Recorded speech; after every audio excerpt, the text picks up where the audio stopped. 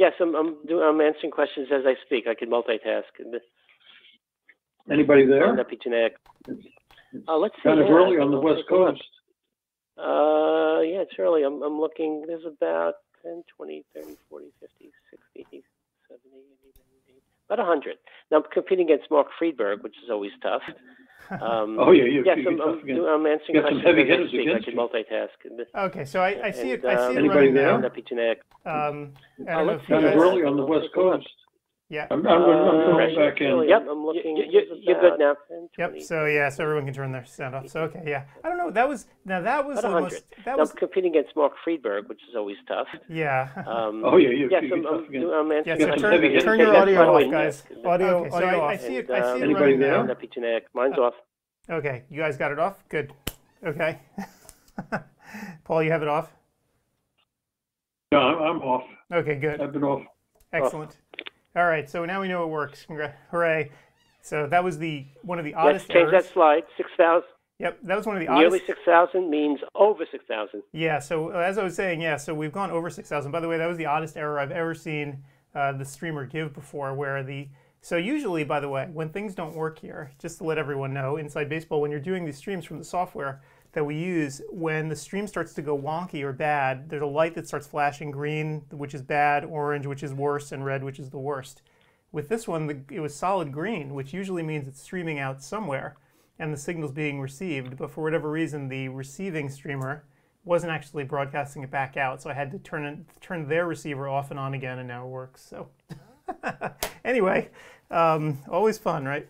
So, um, so CEWire 2020 has, yeah, as you mentioned, Steve, we have over 6,000 ODs at this point have attended, which is crazy. Um, it's just a shocking number. I, I, you know, obviously the pandemic had a lot to do with it. Uh, people can't get their CE Yeah, it's, anywhere else. it's, it's the, it's the class hours that, that are even more impressive. Yeah. The total number of hours that people have taken. So I went back and computed Yep. yesterday because I was really curious. I wanted to look and see, you know, where we're offering all this stuff, how many hours have people actually taken? And I can share some of these numbers, right? You guys wouldn't be offended. Um, so, yeah, I, I was, all. you know, you're sharing Am, am I still number one? confidential information. Well, so I didn't look per class by class because that's just too onerous even for me. I was tired yesterday. But on average, people who attended the conference have taken 23 hours on average of the courses offered so far. Wow. Um, so you can imagine that when you multiply by the number of people that we have, the sheer number of CE hours that people have completed, I would guess that at least for 2020, we're probably the leader or up there with the number of hours of CE generated. Um, Not only that, Adam, but when you look at the amount of people who attended, meaning registered, and that could be students, could be large groups of doctors, the this was by far the highest percentage that actually attended the courses. So it's upwards of about 97, 98% of people attended who registered, and that could be students who don't care Right. uh, for the credits. While in previous conferences, uh, it was a good percentage 10, 15, 20% who never took a class. So it was needed this year, and, and necessity is mother invention. It worked. I, and I'm surprised too because I've spoken with, you know, I have insight into other people's conferences as well, and we've done other ones for industry this year too, right? We in between C wires, we don't just sort of sit around. We've done some other ones too. When you have people register, typically the conversion rate from people who register to people who attend at a lot of events, it's 50%. Um, sometimes a little more, sometimes are a little less. For the numbers that we're seeing, as you're saying, in the high 90s is, is unheard of. We've never even done that before. Um, so it's, Yeah, it's right. really shocking. Well, what's amazing to me is when you reported what, what the webinar attendance are. You see, we get these, uh, ad, these ads every day to come to our webinar, and it's free. Yeah. how, how many actually show up? So those those That's can be remarkable. those can be a real drag. Yeah. So typically a typical webinar, like you'll see when a publication does one, the typical show rate for people who sign up is about forty percent, um, sometimes less. Right. The commitment's low. Right. You sign up for something, you know you're not paying for it, so a lot of people just don't even bother showing. So it's forty percent or less. So yeah. Um, so we've, you know, we we definitely, uh, I think we we really hit it out of the park this year. And again, the, the pandemic had a lot to do with it. But I'm hoping that going forward, the CE rules, which have been relaxed and apparently are going to turn back in June to the way it was before, I'm hoping that Arbo comes to some sort of a realization that this is something that people want, um, and so maybe they could. They have to on- add it, You know, they can add it to an exam. That yeah, would make it perfect. I'm, yeah. If they add back the exam, I don't think it would be too onerous for people. It, it would ensure the learning outcomes a little better, and people could still do their CE online. Well, Yep. so if we have to Did you have find out some what. insight? Yeah, you're gonna say Adam, it. didn't you have some insight that they might be changing things in Arbo with respect to CME and other uh, professions that they might uh, be leaning one direction, or was that just a, a feeling? So yesterday we got an email from uh, the folks at Arbo that they are, you know, every year they modify how CE is actually done. And I wish we could get Mike Olson on the phone. I know he won't come on, but I'd love to have him come on because uh, Arbo just um, made a change where the their standards that they're trying to hit are becoming much more closely aligned with medicine. And uh, I don't know what that's going to mean for us. Unfortunately, what it means for me personally is I have to sit in now and listen to this and figure out how the rules are changing. So when we when we put together the 2021 show, which we're starting to do now, that we meet all the requirements. Uh, but I know that that's a big change. Is that they're trying to align more closely with medicine and dentistry um, and other healthcare professions to sort of up their game. But what it means from for a practical sense for providers like us, I have no idea yet. Um, and that's why I, I, you know, we have to. They have webinars and stuff that we have to sit in on and figure out how that works um, going forward. So yeah, it's going to be an interesting we, year. we know the playing field. We know the playing field and landscape so well that anybody else coming on, even the big conferences, et cetera, that don't do online stuff, really have to go from the ground up. So they can't make it too complicated the first year. It'd be really interesting if we can combine um, optometric CE with uh, medical CME and have actually ophthalmologists take our courses. Because, as you know, we have uh, quite a few ophthalmologists and PhDs uh, in our lectures this year. Yep. Yeah, that would be fun, and we have to just see how it's going to go. It's, I my gut tells me they can't do too much, like you're saying, because you know the pandemic is still going on, right? And people are putting together their conferences now. Arbo says they're reverting the rules back to the old ways in June. I just don't. I don't know. I just don't know what's going to happen, but Yeah. we'll see. Well, based on what we heard from the um, president or CEO of uh, Zeiss yesterday, it was quite interesting. He was anticipating not being able to go to a conference at least through the spring, even late spring. Um, and the logistics have to be arranged way before that for these big companies to get the equipment, the hotels, et cetera, for their staff. And if a company like Zeiss, and again, there's international travel rules that we don't know when that's going to be relaxed with Europe and the Far East. So it might be that Arbo might have to push that June 30th date even further uh, forward as the as the world gets vaccinated. Right. Because it's not just the U.S. or the U.K. It's countries like um, well, China, Germany, France, Italy who, who come to these conferences, especially the Vision Expos and the academies. And I think a lot is going to depend on what happens over the next, say, 90 days, right? Because we now have at least one vaccine, and probably another one's going to be cleared for usage very soon, uh, maybe even this week. But the question is, how quickly can they roll this out to make a difference in the pandemic? And you know, I, I'm not. I'll knock on some wood because I want this vaccine as soon as I can get it, right? As most people do. But I don't know. I mean, I was hearing estimates. Some people are saying if they screw up the distribution, at least out here, we're not going to see it for, for people like me who are you know younger and not in a high risk category till the fall, which is crazy because that means if I'm not vaccinated, I'm not traveling. Period. Um, Right. And, and I know a lot of people who are in decision making capacities at these companies now are around my age or younger. Um, and we don't want to take a risk. I'm not going to. I just simply won't unless I'm vaccinated. So you're going to have a whole group of people whose mobility will continue to be restricted until that vaccine is available.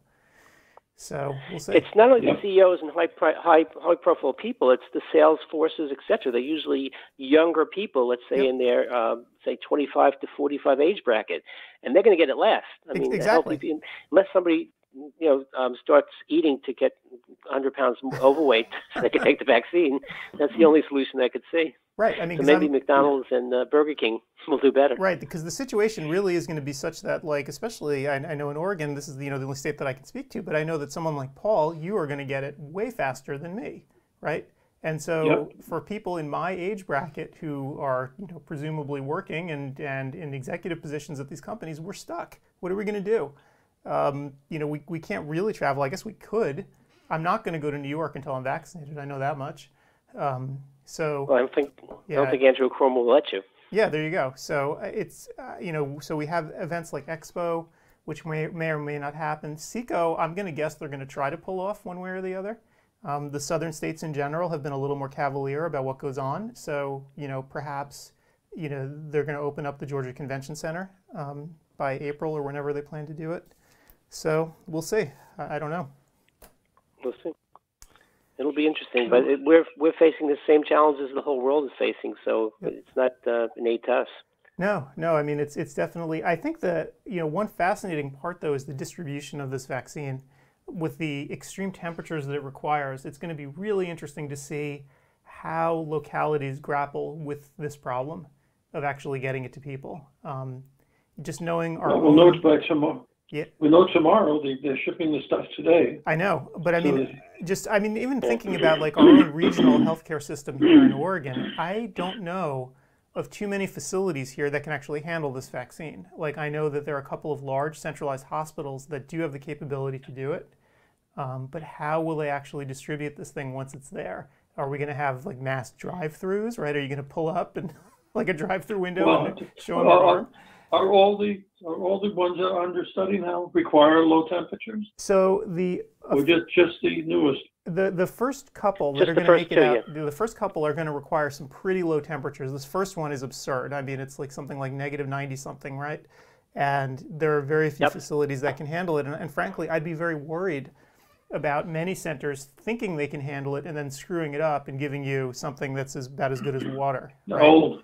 So, yeah. Um, yeah, so it's just it's going to be a challenge. I mean, you know, I guess Paul, you're going to be the guinea pig for us here, right? So, so you can That's tell true. us what you experience. um, well, at least I'm not allergic. So yeah. they're, they're, they're, hedging on that. I was listening to one guy today from the, uh, I guess it's the CDC, one of them, and they can include a very specific question: what, what sort of allergies do you must will be eliminated from taking the vaccine. He would not give the you know people that are allergic to eggs or cheese or whatever the hell it is. So if you're allergic, you're not sure whether or not the uh, the vaccine will work. We will give you the side effects that they're worried about. And from what I understand, Paul, you know, I know genetics. I don't think people could be allergic to the messenger RNA. It's just uh, it's just a piece of DNA that of RNA, excuse me, that can be transcribed into the virus spike. It's, it's the carriers, the things that they actually make it, the reagents that they make it with. And that's really hard to test people on to see whether they're allergic to that. But if you have allergies to eggs and bees or whatever, or any anaphylaxis, uh, I definitely would wait for the um, J and J and. Um, oh, you know, we're we're uh, all victims one. of uh, of thimerosal, right? When the contact lens solutions first came out, that was the yep. thing that uh, was a disinfectant, and boy, that was a real practice builder. People came came in with those red eyes. Too bad we. Too bad you couldn't treat disease in those days because people you, you created. I think it was like a forty percent reaction rate to thimerosal. Wow, it was very high. Yeah. Hmm. So the people that knew the secret to just to give them to a saline solution were, yeah. were heroes to start with. The, the Meanwhile, trouble with the uh, AstraZeneca. Yeah, you talk. Right, I'm sorry.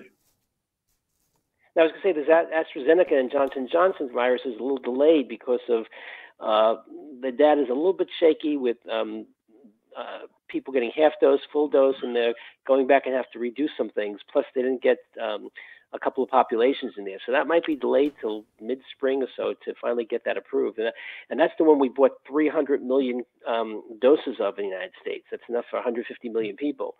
And if that's delayed, then we're, we're faced with Pfizer and Moderna, which is the, the cold storage that Adam's referring to. Yeah, I mean, I, I right. wonder about this delay. I understand that they want to you know do more subgroups or whatever, but if you can show efficacy in at least one group, uh, one large group, I don't know. I mean, if it was me yep. with the scale and scope of the pandemic, so you're losing about one 9/11's worth of people every day, right? And we will continuously do that for the next 60 days at least, right? So every single day that you delay you're just going to be increasing mortality. And I think what's even more important is the um, the hospital system is just getting overwhelmed, right? We have to do whatever we can to try to just get people out of the ICU. So I'd, I'd be surprised if they delayed it too much longer. Um, but we'll see. And who knows? Right. You know, maybe Pfizer will also discover that they're better at distribution than they thought, and their production facilities can go faster than they thought. Um, so perhaps you know we'll get more Pfizer vaccine, but who knows? I guess it's all it's all a mystery, right? We have no idea. And depending on uh, delivery systems like CVS and Walgreens, and like you said, uh, is their infrastructure good enough to hold these cold storage vaccines? I'm curious to what happens if people try to take several vaccines and whether mm. there's a cross reactivity or a problem with that. If they take the, um, uh, or they can't get the Pfizer's, they take the AstraZeneca, and then maybe they take Joe Schmo's. There's about 30 of them um, going down the road. Um, if they take another one to give them better protection, are they going to kill themselves, or is it other reactions, cross reactivities going to occur? I don't think they've done. They haven't done those studies for sure. Uh, they would have to be animal studies, I would think. Yeah. Humans would not uh, try that. Yeah, I'm not, I'm not sure. It's a really um, good question, though. You know, I guess with the messenger RNA um, vaccines, I can't imagine. You know, because like you said, it's just a fragment of messenger RNA, and then they're just using different vehicles to get it in, right? So it's a, a yep. same same same uh, you know sort of method with a different delivery vehicle. So who knows though, right? Uh, and let's yeah, but let's say they uh, determine it's the vehicle to go back and put another vehicle and to make all those viruses again and to do all the t- um, what do you call it? Uh, Fifteen thousand people on both ends, placebo and, and getting the virus. That's that's a humongous task to yeah. redo something that you've made. Yep. They'll so, fall way behind. Yeah. Anyway, so virus talk over for a second. Let's uh, let's get back and uh, let's get back to this. So again, are you you guys on speakerphone or are you uh, on regular? There you go. Uh, I'm I'm on regular. I'm on regular. I, off spe- I, I was I was I just checked. I was off speaker also. Okay, good. Yeah. I have everything off. No feedback. good. okay. Any uh, well, any Leo Hadley's supposed to be here. Yep. So Any Leo, word from him? No, I, I, emailed him this morning. I don't know if he's going to make it in this this particular morning. So Leo wanted. So let me actually tell you what Leo wanted everyone to know uh, about what he's doing. So Leo, of course, runs. Uh, hang on here. Let me pull up his email. he runs Vision Equipment Inc. And let's see. Okay, so uh, let's see. He updated his booth. He said and uh, you'll receive an extra 5% off on orders placed this month by mentioning CEwire 2020. No limit on order size. And oh, by the way, if you order $100,000 worth of stuff, you get an additional $5,000 off. So there you go. Um, That's what he has to and say. To go to, and on the other than this business, we had a nice discussion with Zeiss and sure other companies are doing it. People always want to upgrade. I mean, things are getting better and better too quickly. Um, Leo will take that old equipment and give you some money for it rather than putting it in your basement or your garage. So uh, I'm sure that if you negotiate with him, he might take the equipment and resell it to some some nice person down the road. So both in and out, Leo's got a great company. Yep. Yeah. Don't yeah. don't. Okay. I I just got word from Ben Casella. He's going to be part of the program at 12:15. Oh, cool. Which means, Steve, you're on to replace. Steve as our pinch hitter for Leo Hadley. so okay, anyway, so, Steve, uh, so we've been here. we've been talking, yeah. So we've been talking a little bit. Let's just talk about your course for a second, Steve, on epigenetics. So we've been talking about messenger RNA this morning and fun stuff about the virus, but you actually did some research into some other stuff around topics in genetics that yep. most people are unfamiliar with, right? So epigenetics is a relatively new term relative to what people know and understand. um, you know, just explain it simply. When somebody has um, gene therapy, like we had uh, something for a company called Luxturna approved for Leber's congenital amaurosis, that was the first one approved last year. That's actually changing the genes, the DNA, the ACT, um, uh, sequence so that you make a better gene copy and whatever disease you have hopefully will be better or cured. And it's being used for that and also RP. Epigenetics of things that change throughout your life. Your DNA is structured in a protein with other things, and as they bind to your DNA, they either get expressed, the proteins get mm-hmm. made, or they get repressed and the proteins don't get made. So epigenetic changes really affect us through our whole life. And just recently, after my lecture, um, in fact, it was in the last month or so, um, that a company has worked with animals and they made epigenetic changes in the eyes, and that's because they're more accessible. But it had nothing to do with the eyes, except that it's just a better place to work with. And by putting what's called a methyl group, a methyl group is just um, carbon with some hydrogen atoms around it, they're able to change the expression of the gene. They didn't change the gene, and these mice got their uh, vision back, and they seem to age less, um, much, much less uh, quickly. So um, it's a great field because it looks like potentially we could um, A, make people's lifestyle better, P, cure, B, cure diseases, and, and C, maybe have a greater life extension through epigenetic changes, which again, just very simply is making the genes that we have. We have a whole bunch of genes, billions of genes, uh, actually about 200,000 in our body, and they either get expressed a lot, a little bit, or not at all. And things that happen throughout our life change that, whether it be um, your own genetics will help you change that, or things that you choose, like if you smoke, if you're obese, your environment. These will change how your genes are expressed. It's really a, an amazing field. And when I was lecturing, when I made this lecture, which was about uh, nine months ago, and I improved it a little bit, I never expected a therapy to be almost on the horizon with at least animal studies to be as our conference is going on. So I was talking five, ten years down the road, and it looks like it could be more than more like a year or two.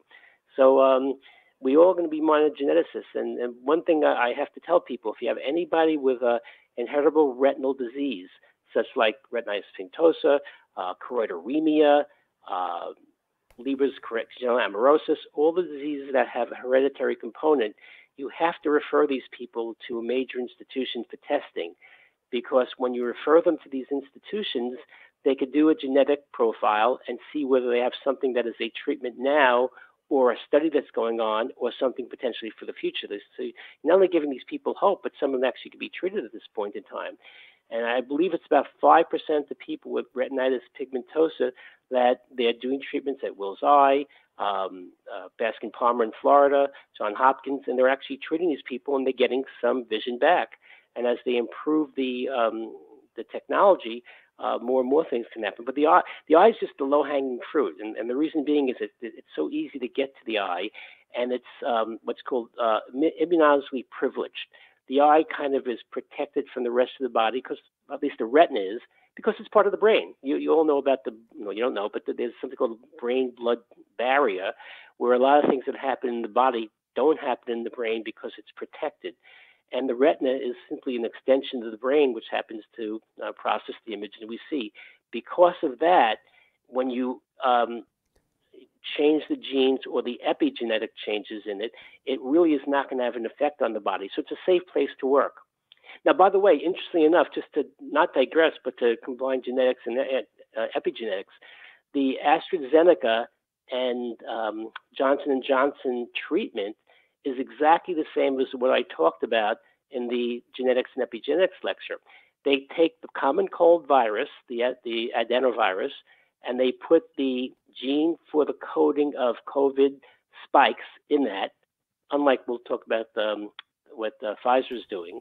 And that, um, that virus, which is the common cold, infects the muscle cells where you're getting it injected they produce antibodies to the COVID spikes, not the virus, the spikes, and that'll attack the virus and kill it as it comes into the body. Um, the messenger RNA is doing it slightly different. That's the Pfizer and the um, Moderna um, process.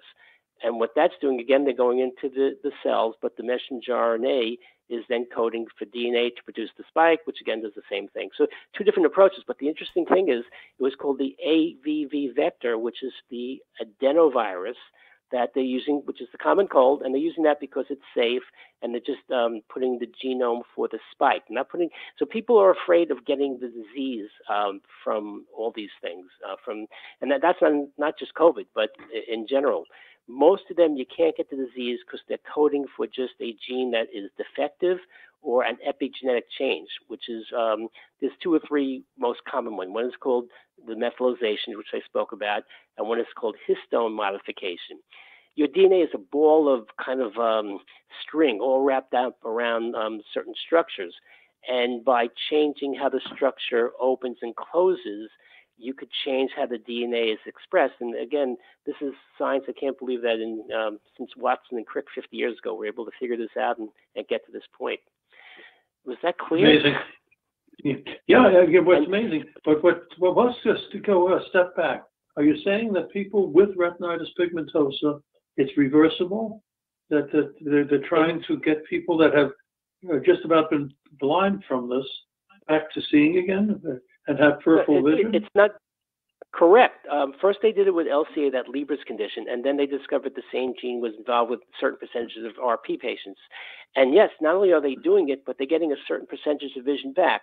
It's not 20/20 in a, in a 180 degree field, but their field of vision is improving, their night vision is improving, their subjective Yeah, is well- improving, and, and they're getting some lines of acuity back. Yeah, that, that peripheral vision, you know, really is, really is a- an amazing, you, you really need that. I, I remember I used to date a, a gal with retinitis pigmentosa, and it was real fun to watch her go into a movie, into a movie that- house. She was absolutely blind. But- That, that was a very short-lived date. I, I didn't like, you know, people with, uh, with these diseases, so. I could make we a all joke. I could make a joke, and- Dad. Dad, I could make a joke about you know the kind of people that would date you. Uh, you know, they have to be blind, but I'm not going to go there. Yeah, well, that's, that's I was going to say something uh, uh, about Jewish anatomy, but I didn't, I didn't go there either. Uh, Yeah, but for one other, one other point though, then, if you're saying that this, this is working, uh, for the retina because it's low hanging fruit, very close to the retina is the brain, and, and Alzheimer's should be a natural then for this.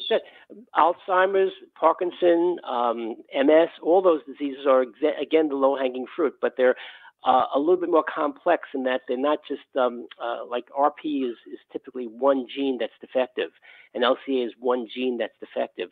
While a lot of these diseases, like glaucoma in, in the eye and in the brain, Alzheimer's, Parkinson, they haven't yet identified. A, it's not a one gene system, and so because of that, it's a lot more complicated to treat.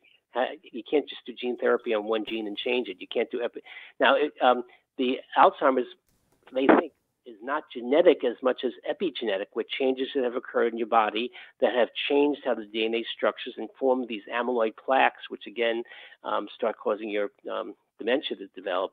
Uh, but it's it's not so simple in those diseases. Just like, um, for, as another example, cancer uh, has many many genetic changes before a cell becomes cancerous um, and to revert, revert it back would be very difficult. You just have to you have to kill it. Is, the way we're doing it now, and probably down the road. But we, we're getting better at killing it by identifying uh, substances on its surface, much like they do with COVID-19, to attack it. And sometimes it's our own immune system, which is what we're doing to ourselves. Just imagine that we're, we're not giving anybody any medicine for all these um, vaccines. We're using our own body, and, and that's unfortunately why older people have um, less well less good outcomes because of the fact that the immune system isn't as good. And so uh, it's great that um, uh, the treatments that we're developing, the vaccines that we're developing, they're getting an immune response similar to uh, younger people um, with the two viruses. It's diverse, but it's real. It's really amazing. So um, uh, this is a field that's going to get. Um, it, it used to be blue sky until a month ago, where they actually found out that they could change uh, the vision in mice. Now, um, mice have trouble reading uh, French and Italian, but they're very good with uh, with, with names. Yeah. So they were able to change.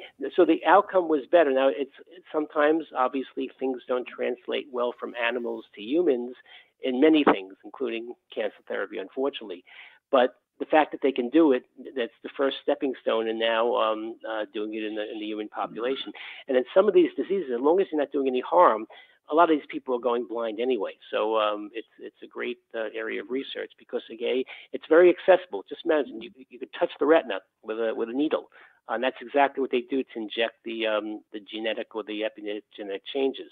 There's, there's a couple of enzymes. Um, enzymes are proteins, and they do things in our body.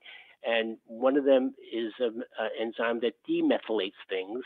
One is an enzyme that methylates things. So they can change how the DNA is expressed based upon what enzyme they're giving. We make these naturally, but sometimes we our body either screws up or our lifestyle choices that we make um, make things different. It's real interesting when you look at um, identical twins. Sometimes throughout life, as they go off on their own paths and they live different lives, and you see them when they're 30, 40, they look totally different. Not totally, they look a little different or a lot different depending on the, the case. Now, how does that happen? You know that DNA was identical, so it's whatever life choices they've made or environmental things that they've been exposed to that cause, again, these epigenetic changes, which is the expression of identical DNA. and sometimes they look uh, radically different, and they live different lives. Some uh, one might die of a heart attack at 40, and one might live to 95 years old. So um, these things we, we know about these things, and when you advise your patients to change their diet, um, let's say uh, not get exposed to radiation in some matter, shape, or form, well, whatever you do in your office, um, you're actually hopefully changing the epigenetic profile in such a way that they have a better outcome in life. Um, you tell a diabetic to lose weight. Uh, when they lose weight, their A1C goes down, uh, their sugar uh, levels go down. And why does that happen? We're changing how the genes are expressed. So their pancreas is kicking in a little bit, their cells are kicking in a little bit. So we're making changes. When we make, we don't know, we know the black box. We're advising something, the outcome changes. What happens in between to cause it? What's the chemistry? What's the biochemistry that causes it? Apparently, it's epigenetic. Epigenetic just simply means you're, you're again to say it for the uh, fourth or fifth time is just changes in how our DNA is expressed. And so uh, you might be dealt a bad hand, you can't help that, and that's that's helped with gene therapy. But you might be dealt a very good hand, and your own um, um, lifestyle or um, exposures have caused problems to occur that can be reversed now, um, at least on a, a, low level, and hopefully in the future.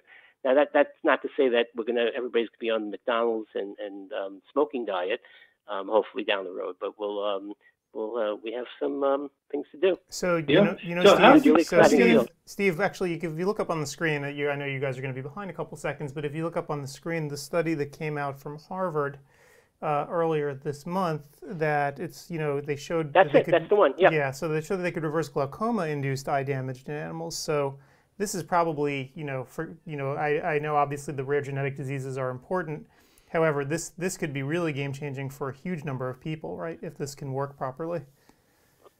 And this is epigenetic, so it's not as dangerous. It's a methylation. If you look down the article, it'll yep. explain a little bit more. And look at the date. Uh, it's probably something like uh, November, December of this year. Yeah, December, December 2nd. 2nd. Yeah, in Nature. Yeah, so it's so no, timely, and I I was going to get this into my lecture, but it was too late to get the slide up. So um, I'm sorry, guys, but uh, in future years we'll we'll continue with that. Yeah. How, how'd you get interested in this? I know you're interested in astronomy, but this is not part of optometry. How, what made you well, uh, I, get interested? I've always been I've always been an optometrist slash scientist. When I was in school, I won the Vision Science Award for various things. So I've always liked science and basic science. So probably another life, if we could live two or three lives, I'd get a PhD in some science field and, and do that with optometry. But uh, I chose not to go that route. So I, I always, if you look at some of my other pre- previous lectures, they were on things that had to do with basic science that relate to optometry. And I, it, I mean, most of these fields are not that hard because one thing that we do get in optometry is a really good uh, education, almost all of um, the scientific backgrounds whether it be optics, which was one of my other lectures, or uh, one of the other lectures years ago that I did, or biochemistry, or physiology, uh, or neuroscience. We get all of that, uh, maybe even more so than uh, a medical student, a student gets. So we ha- we have the background. I have the basic knowledge, and I always just get an interest from whatever article I read um, in uh, the various journals that aren't uh, optometric and aren't ophthalmological. Um, there, there's I get Nature and um, what do you call it? There's a there's a site called Flipboard that everybody should download on their uh, pad or, uh, or computer or, or your phone. And there's almost every journal you can think of is in the world there. Some let you read the whole articles, some let you read just a, a portion of them, but you get the feeling. So again, it's whatever um, gets my interest. In fact, one of our lecturers this year, uh, Dr. Ledger, it was a PhD out of um, uh, University of Pittsburgh, and I started talking to him about his research, which is on the uh, bacterial flora in the gut and how it affects the eye and uh, and he was doing a whole bunch of research in that. So uh, after a couple of conversations, he agreed to come on and lecture for us. So it, it's just uh, I still have a, you know a, a fertile interest in basic science, and uh, that's how I got interested in it. So when I did ge- genetics, and I, I I'm not a geneticist at all, but I could at least uh, converse with them knowledgeably. Then I went into epigenetics and and whatever uh, else has and uh, maybe if Elon Musk is going to hire me, I'll, I'll, learn a little bit about uh, space science. In fact, you, well, you know my logo. What is it? It's Space Doc. That's my email. So it's uh, yeah. a combination of everything. So, so like everything else, uh, my wife says I, I do take up space. That's for sure. Oh my gosh. So it's just a fertile imagination that uh, I- I'd rather. You know, I love I love optometry, but after a while we tend to be experts of it. So I like to be a master of other things, and that's what got me interested. But uh, and it's a good question. Oh my gosh! Hey, you know, That's Steve, when I was, when, Steve, uh, I was wondering actually. I Yeah, was you just looking. I was looking at the study itself. When you use a vector, you know, like a, a virus that they're using here, the adenovirus, and you're injecting these. Yeah, same thing, these- yeah. and so you're injecting the, these genes, and you know, they start to ex- express genes that have been latent otherwise. Have they actually seen? Because I don't see it in these papers. You know, obviously these genes have been turned off for some reason, right, by evolution um, over time in a, in a person as they age. Right. When you turn them back on again, what kind of sort of second order effects have people seen? Have tumors developed or anything uh, of that nature? Or because you don't really see any any of these second order effects in these studies. You know, that's a great thing. I think you know what telomeres are, for example, correct? Yep, it's a little bits Uh, on the end. Okay, so to, to- but but that's a good way of, of uh, approaching your question. A, a telomere is basically our chromosomes have at the end of it a whole bunch of garbage um, bits of DNA, and as our cells divide, this garbage bit gets smaller and smaller and smaller until it stops. The cell stops dividing, and we age, and we age more rapidly. Well, there's an enzyme called telomerase which controls that. And like you suppose, let's say they take that enzyme and make it express um, less so that the cells will not get shorter and shorter as time goes on, and they'll um, and people live longer. You'll get you'll stay younger and healthier. Sounds good, but like you said, or, or suppose cancers develop from that. So they have to be able to control in a way that um, uh, doesn't affect things negatively, and that's where the challenges are. To uh, you can't go haphazard. You can't do human studies on these things. So correct, it's um, the the AV vector is great for these. Um, like for example, for the, this particular thing, it was a one gene um, thing. Now glaucoma is many. It's I think they've isolated about 60 genes for glaucoma because there's various types and uh, why does some person react to the medications or the uh, IOP lowering while other people don't, and they have to figure it out. But in, at least in mice, in this particular case, a lot of them, you see, got back acuity, got back visual field, and um, and hopefully that will transfer onto humans. And that, that, I mean, that was just right hot off the presses. So I think we're going to have a lot more studies, uh, basic science and otherwise. But you're right. It, it, the big thing is control. Many years ago, I think it was about 10, 15 years ago, they did the first gene therapy on a, a boy in France for, I forget the disease, but it was a systemic disease, and he died. And that stopped all the research uh, for a while. So you have to be really careful because you don't want to make things worse. And that's why the eye is so fertile because again, it's protected. Again, a lot of the diseases, not not glaucoma, unfortunately, are uh, single gene defects, and because of that, uh, we might, for example, colorblind is uh, just a uh, several gene defect, or we might be able to make colorblindness better. Not that that would be a uh, something we want people want to go in gene therapy as long until it's very very safe. But you have to be able to uh, regulate it, and that's why it's being done. You're not going to do this in your office. You're going to refer the people out to the major institutions that uh, I would think for this for the very foreseeable future. Sure. You know, I remember there was a study on aging uh, way, way back when I was still in practice, where they were getting Rockefeller University. A lot, most people don't know about Rockefeller University, but it's in New York, and it's a separate university for pure research. And I had a couple of patients from Rockefeller University, and they were looking for people in their 90s that were still sharp to, to become guinea pigs. And I had the fortune or misfortune of getting many of these people into the practice for, that were cataract patients, but they were sharp as tacks. A lot of them were German Jews. For some reason, the, the Kissinger type of people, and the Kissinger is still going uh-huh. strong and he's in his 90s. And there are many people like that around, and they, they wanted them to see what, what, what's the commonality among these people that keeps them so sh- mentally sharp. Some are not as physically sharp as they used to be, but, but certainly mentally sharp. And I never know what ever came of the study, but I did supply them with patients. More than So- likely, it was their their genome, because most of the people in, in Eastern Europe lived the same sort of lifestyle and ate the same food, etc. So it was just the the deck of cards they were shuffled with, and, and they they got lucky. Or But, maybe um, a natural selection that these were the smarter ones that got out of Germany uh, just before Hitler or, or during the Hitler time, and they came to the United States. So they, this was the survival of the fittest, and they would these were the most fit intellectually to start with, uh, and maybe that that's why there was that that group there. But, Are you uh, supposing that the Jewish population, because throughout history they've been persecuted, have been jealously selected to be superior, Paul? I'm kidding. I wouldn't want to say that. Because that would be a whole can of worms we don't want to open up. Um, you might say that for, about every race, every race or every Yeah. ethnicity, because we've all been persecuted over the course of, uh, of history. But you're right. So, so the idea is now you, you know the the result.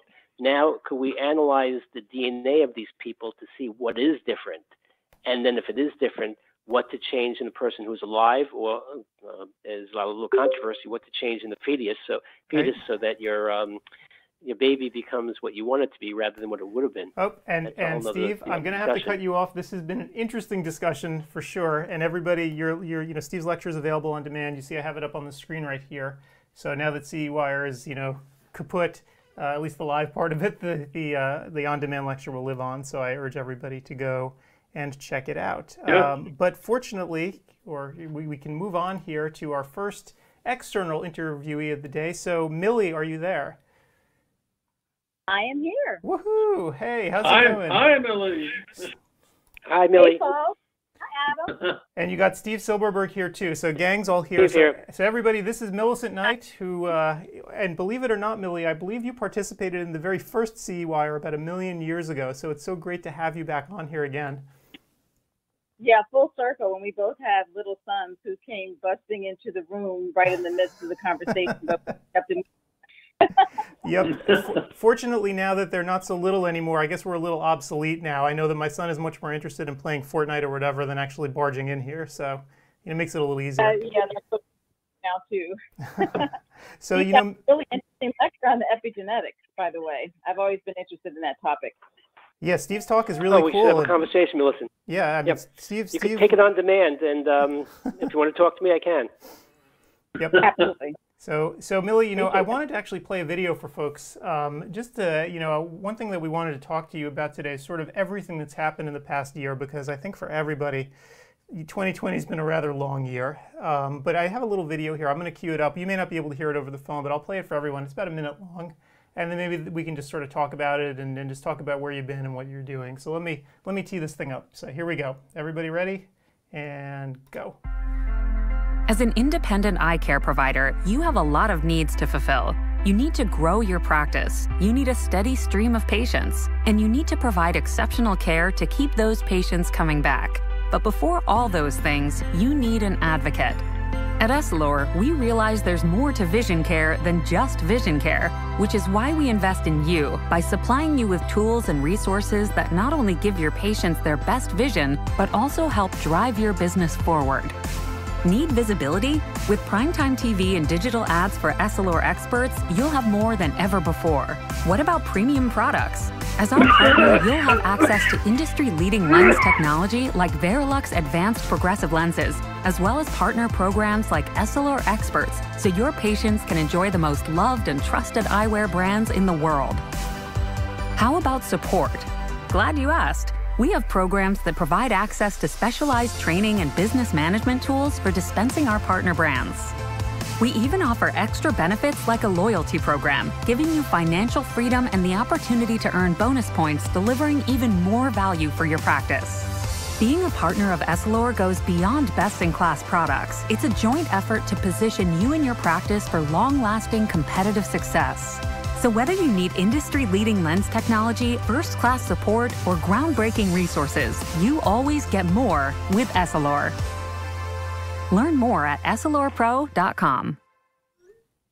Okay, so I think everybody uh, got a sense of what that was about, and you know, just talking sort of about how how Essilor has kind of been here for everybody as this this year has unfolded, for for better or worse. So Millie, you have kind of the unique perspective, right? Because in your position, you get to see things from industry side, and you've gotten to to have a front row seat on everything that's happened. So maybe you could just catch us up a little bit on what's been going on in your world.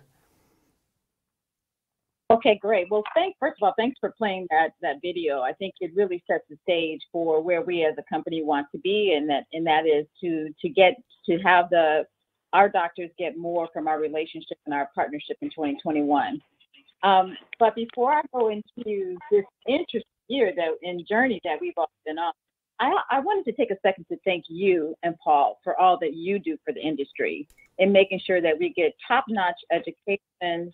You stay on top of everything that's going on, and you really take an earnest effort to communicate that out to the masses. So I just wanted to thank you, especially during this season of gratitude that we're in. Oh, thank you. Okay, that's so nice of you. Thank you. So, uh, nice. you know, I, I, I, I took some notes. I started taking some notes, and then I was like, you know what, this is just going to be a conversation. And I think it's, it's a rich and important conversation in that um, when we first sort of got challenged with some of the, with the um, COVID shutdowns and, and just this whole like fury of not knowing what's coming next and what we should do next. Are we considered essential providers? Are we not? Um, the first thing was to roll up our sleeves and work, which we did as a company with the AOA and other organizations to make sure that optometry was recognized as an essential provider and profession. And um, by, by virtue of that, we of course had to fulfill, so we were an essential business. Um, we then, I know I worked with our global teams and our research teams to try and access information from CDC and other organizations to help doctors prepare to number one, boost the confidence of their patients, have information to communicate with their patients before they started to come back into the office, because that was really critical to shore up that confidence from the patients, shore up the confidence of their staff, as the staff morale, um, staff were afraid, to be honest. And so it's really critical to make sure everyone was ready to go, the practices are ready to go, and we spent some time uh, doing ECP programs to help people uh, prepare their practices uh, so they'd have the right protocols in place. And again, this is very early on in the journey with people were first starting to come back into their practices. And then we also wanted to make sure that we trained our sales team so that they were ready to, for the new relationship they were going to have with their doctor partners. And they would also be the least disruptive coming into the office because they protocols for the businesses and including all the way down to the PPE. And they would all be bringing their own so they wouldn't take away from the precious source of PPE that the doctors needed for their patients and for their staff. Right. So that was probably really early on. That was one of the things that we really had to go up first. Yeah. I'll pause for a second there. Yep. Yeah. So I, you know, I was just wondering. You know, you mentioned disruption and people coming in. So in the beginning, at least, I know that all the offices were shut down. But now that they're back, are you actually having people, you know, go out into the field, or is a lot of stuff that you're doing virtual? Yeah, we, we do a little bit of both. I think that is meet people where they are. And that goes for both um, our company as it relates to the doctors and the practices and the staff. One of the things that we did was we provided during some of the downtime that some of the um, doctors and staff had, is we made sure that we had free um, CE available so that they could sort of fill in some gaps in some areas where time does not always permit when the practices are in full swing. So really, we had, um, I don't know, an 800% increase in the amount of coursework that was taken. Um, we always have a pretty robust program throughout the year, but it was just, it just grew exponentially. Yep. Um, but, you know, we wanted to also, at the same token, make sure that um, if the doctors weren't comfortable meeting with the staff or um, our sales team coming into the office, that we found different and unique ways and really whatever way they wanted to meet. And I think that the important point there too is that that also cascaded to the patient and the consumer. Because the one thing that we know now is that we have to be prepared to meet the patient where they are. And some were ready to come back into the office, and some wanted to use online telehealth, telemedicine type technology to be able to at least do a portion of their exam or to meet their more urgent or emergent needs, which I'm really proud of our profession, by the way, um, because we kept a lot of those patients who would have gone into the emergency room from going into the emergency room when we really needed that space in the hospital for those patients who had um, more issues with COVID and COVID related conditions. Um, so we now know that patients are not going to turn around and go back, even once we have this uh, coronavirus managed, if you will. And so we've had to modernize our practices and we'll have to modernize the approach. And we have some tools and technology available through Essilor to help doctors be able to do that. We have a technology, we know that patients want to schedule appointments or uh, want to sometimes seek information about the practice or about a particular condition before they reach out to your practice. So we have all of that information and those tools available so that at 11 o'clock at night or midnight when the patient suddenly realizes, oh my God, I need to make this appointment and I've been putting it off and I want to get it done, they can do that at night. And when you come into the office in the morning, you've got a full schedule. So that's kind of what I think doctors want to um, look forward to in the new year. And that's what patients are increasingly expecting. Right, because I don't think many people realize, or you know, if they hadn't been paying attention, that you guys, you know, you're more than just the product, right? You actually have a whole bunch of software tools now that people can use. They can sign up for and actually implement in their practice if they want to. Absolutely, we have those. We we have everything to help. Uh, again, as I said, modernize practices and allow doctors to be able to meet their patients wherever they are.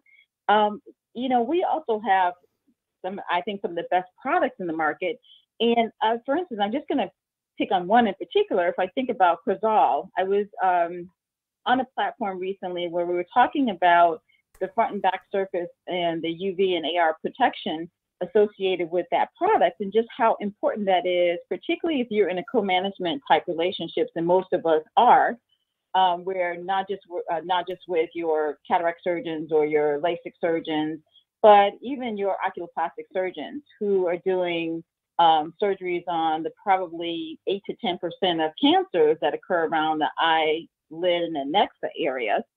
And those doctors are not as familiar with uh, the fact that, you know, if you don't have back surface AR protection, that you're actually getting some of those light rays bouncing back into that sensitive tissue around the eyes and also inside of the eyes. So they don't know about that, and it's an opportunity to educate them as part of that co-management relationship that you have with those ophthalmologists. Yep. So these are the Millicent, as far can you talk? Now, I was just going to oh. interject. Um, have you found, Steve? Have you found a difference in the product um, products that people are ordering because of the COVID virus, like more blue blocking technology, better computer glasses, more progressive lenses because of the stay at home? Is there a shift that you're seeing in Essilor's product line? Yes, we do. We are definitely finding more of a shift in that. We're finding more people looking, you know, seeking out the Crizal Provincia, um, and then just asking a whole lot more information. You know, there's, um, I've um, been working also, I'll, I'll pivot in a second to some work with the Global Myopia Awareness Coalition, and we've set up a multitude that's 15 companies in the industry, you know, doing taking big to do to to do well and to educate the community on progressive myopia because so many parents are concerned now that their children are e-schooling. Uh, we're on we're personally on digital devices all day between our computers at work and then in between when you take a break, you take a break and you get your cell phone out and you know it's just it's just nonstop bombardment uh, to our visual system and to ergonomically to our system. So um, just having those conversations about how important it is in between your uh, digital devices, your gaming activities, um, getting out, getting that UV that you do need uh, that for the vitamin D conversion, and then shutting the devices down at a respectable time period in the evening so that you know you can get the natural hormone melatonin to kick in and do what it's supposed to do so that you get a nice relaxing sleep and wake up ready to go the next day. And that's really critical with children. Um, so I've had a lot of, uh, we've had a, a, lot of inquiries in that area and we've uh, been able to partner a lot in that space. Uh, and I'm really looking forward to when we have a spectacle solution to the myopia um, epidemic, which will be coming sometime soon, I hope. Cool. And you know, Millie, one thing that's really funny, we had uh, Craig Thomas um, on the phone yesterday, and obviously he's always a you know overflowing with information that he loves to give out. Um, but what he was telling us um, was that in his practice, from what he has seen, um, people, even though his patient volume is down, the patients who he he has, they're actually spending more a lot of the time um, because they they have this disposable income, right? Because everyone's kind of trapped, and all they're doing is sitting in front of screens at home. they can't go anywhere or do anything else. So they're treating themselves, right? To, this is the time when they're trying to upgrade their eyewear. So I thought that was a kind of a fascinating discussion. You know, and it's a, and it's it's actually what we're hearing a lot of too. We had an Essilor, we have a Essilor think tank, and we had a, a whole session around headwinds. But the funny thing is, uh, we heard that over and over again. You know, less patients because we're being more methodical about how we uh, bring the patients in for their eye examinations. Um, but because of that, you're able to really be able to address their needs I use a term called bioindividuality, and it's basically looking at that individual and making sure that you're putting together a treatment plan that's specific to that individual based on their needs. And so when you when you are able to spend that time talking about the challenges they have, how much time they're spending on their digital devices, this is what I recommend for you. This is why I recommend it uh, recommend for you. And you know, optometrists don't like to sell, but you're when you educate the patient, you don't have to sell because you're giving them what they came in for. That's why they came in to you in the first place because of your expertise in that area. But we have noticed that the average sale price is up. The, the, the, the amount that the patient is spending per transaction is up, and that the capture rate has increased tremendously. Yep because I mean, if you're motivated enough to actually get out to any kind of healthcare provider's office, right? Clearly, you're motivated. you know, most people you, you don't want to go, but if you're there, you may you've made the commitment. So I could see why people are spending more. And, and, and I'm very interested in. You talk. Go ahead. Go ahead, Paul. No, I was saying I was very interested in your little comment about the myopia control glasses because that's a field of interest of mine. Um, I know it's not approved even close to the U.S., but what's happening overseas in terms of that um, lens or lens products? Well, we have a product. Yeah, we have a product called Stellus, and it's it's out, and uh, we have it. It's launched in China, uh, and we're working through, you know, what we have to work through in order to get in, uh, approved to be launched in this country. And so we have all hands on deck, and uh, you know we're working to bring a good and right solution. And in the meantime, we're just staying engaged and supporting the efforts of the doctors who are working really hard to address those patients' needs with the tools and services that are available today. Mm-hmm. But the science is similar to what um, orthokeratology and the contact lenses that are for myopia control do in terms of what the optics are. It's a similar approach. Um, well, a similar approach, I would say, but the but the actual um, technology and the science is a bit different. And um, unfortunately, I can't go into any more detail on that. But um, it's really exciting, and it's I, I think that when we are able to bring it to the market, it will be a big game changer.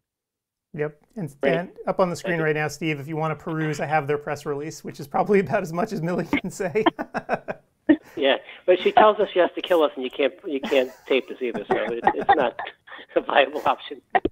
Have these intimate conversations with Adam anymore if you do that. you know, speaking of press release, I've got to compliment you, Millie, and the company on the slickest, wonderfully prepared advertising to both the profession, but more important to the public. It is really beautifully done.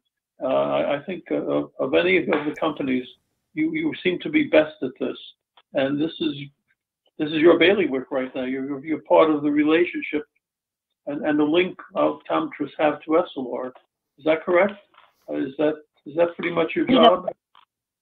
That is my role. I, I serve on the senior management team, and I am actually the voice of the optometrist on that senior management team. I report directly to the president. So I, so, I, it's my personal commitment to make sure that I look out for the best interests of uh, my colleagues, our colleagues out there, and making sure that, you know, I know that our company is always looking to do the best in terms of services and the products and technology. You know, equipment company that people uh, often forget about, but we work in tandem across these, these companies as best we can um, to make sure that we're bringing good and right services to to patients and through the doctors and that is actually the commitment. You know, when I left practice, um, which was a very, very difficult decision, uh, because I love clinical care. Um, but when I left practice, one of the things that one of my patients said was that, you know, you've always been an advocate for us, uh, us as patients being able to get great products and services, and I know that you'll continue to do that on a bigger level in your in your in your role in industry. And so that is a commitment I made to my own personal patients after 20 years of practice in, in my practice, and that's a commitment that I make today. So, so basically, when you are uh, you, you're doing this, you know, uh, I spend all my time on OD Wire, and every day there are complaints. So when, when there's complaints about Essilor, uh, how what's the best way to reach you so you can address these complaints to the optometrist? Um, if it is something that it can be addressed, that's that's a, a legitimate um, uh, concern. I'm going to say because I think that um, often if we're complaining about something, it's because we care and we want to make sure that we have the right information as it relates to how we best take care of our patients. And so I'm always available, Paul, to you or to Adam. Um, Adam has my cell phone, uh, personal cell phone, my work cell phone, so um, you can reach out to me. And if it's something that um, I am able to address or discuss, I'm happy to do that. If I can't do it publicly, I'm happy to get the information to you. That's great. and, and what's the, well, you have the FAO title, uh, on, I see on your name. What's that second one? What's that last F that you have? What, what does it stand for? F F A A R M. uh, so, a fellow in the American Academy of Anti-Aging Regenerative Medicine. Cool. And one okay. of the things I believe is that you have to differentiate yourself in this field, and that you have to continually reinvent yourself. And when you listen to your patients, my patients were always asking for what they could do themselves, you know, taking some personal responsibility for their own eye and health care and understanding the connection between the eye and the body. And knowing that um, what I used to say as my tagline was the optometrist in practice of the future look at the whole body while they're focused on the eyes. And so we've gotten so fragmented in the whole healthcare system where we're so compartmentalized with each part of the body. Well, I like to look at the body as a whole, and the eyes are a window into the rest of the body. And that was the approach I took in practice.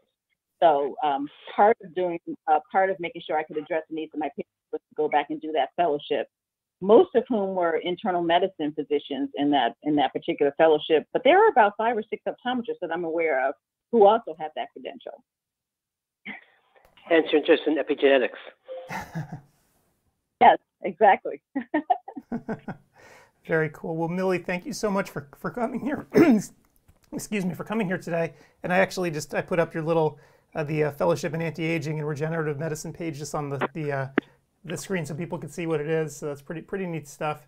Um, so you know, CEwire is going to continue on into next year. Hope to have you back you know, in the new year to, to, to, sort of talk about how things are going. I'm going to keep my fingers crossed that the next time we do a CEwire, things are going to be substantially back to normal. Maybe I should knock on some wood or something, um, because you, you know, and I'm just glad that you know you've been you've been there along the way, and that you know things are, are you know sort of normalizing for you guys at least, and you found ways to interact with the doctors even in this really most challenging time that I think any of us have ever had. Well, Adam, thank you for the opportunity to number one say thank you to all of the doctors out there who've been supporters um, and those who have, have provided even feedback that's allowed us to get even better in the new year. So we're looking forward to it. We know that there's some headwinds there, but we know that we're up to the challenge and we know that each and every one of you are up to the challenge as well. Awesome. All right. Well, have a great day. And we'll see you at the next live meeting sooner or later. Eventually. It's going to be a live meeting where we'll get together. so we'll see you then. Yes, I'll look, I'll look forward to that. All right, Millie. Thanks. All right. Thanks, guys. Bye-bye. Bye. Bye now. Bye-bye. Okay. That was fun. Always good to hear very, from Millie. Very bright lady. Yeah. That's terrific. That was, that was a great question, person. That FA, F, F, it's like farm. i am putting it up on the screen again just so you can you can see it again. So the fellowship in anti-aging and regenerative, regenerative and functional medicine. So you can see sort of the fellowship director and uh, and who's who's on there. So she's right. It is a bunch of MDs mostly and PhDs. Um, so pretty neat that she was able to take part.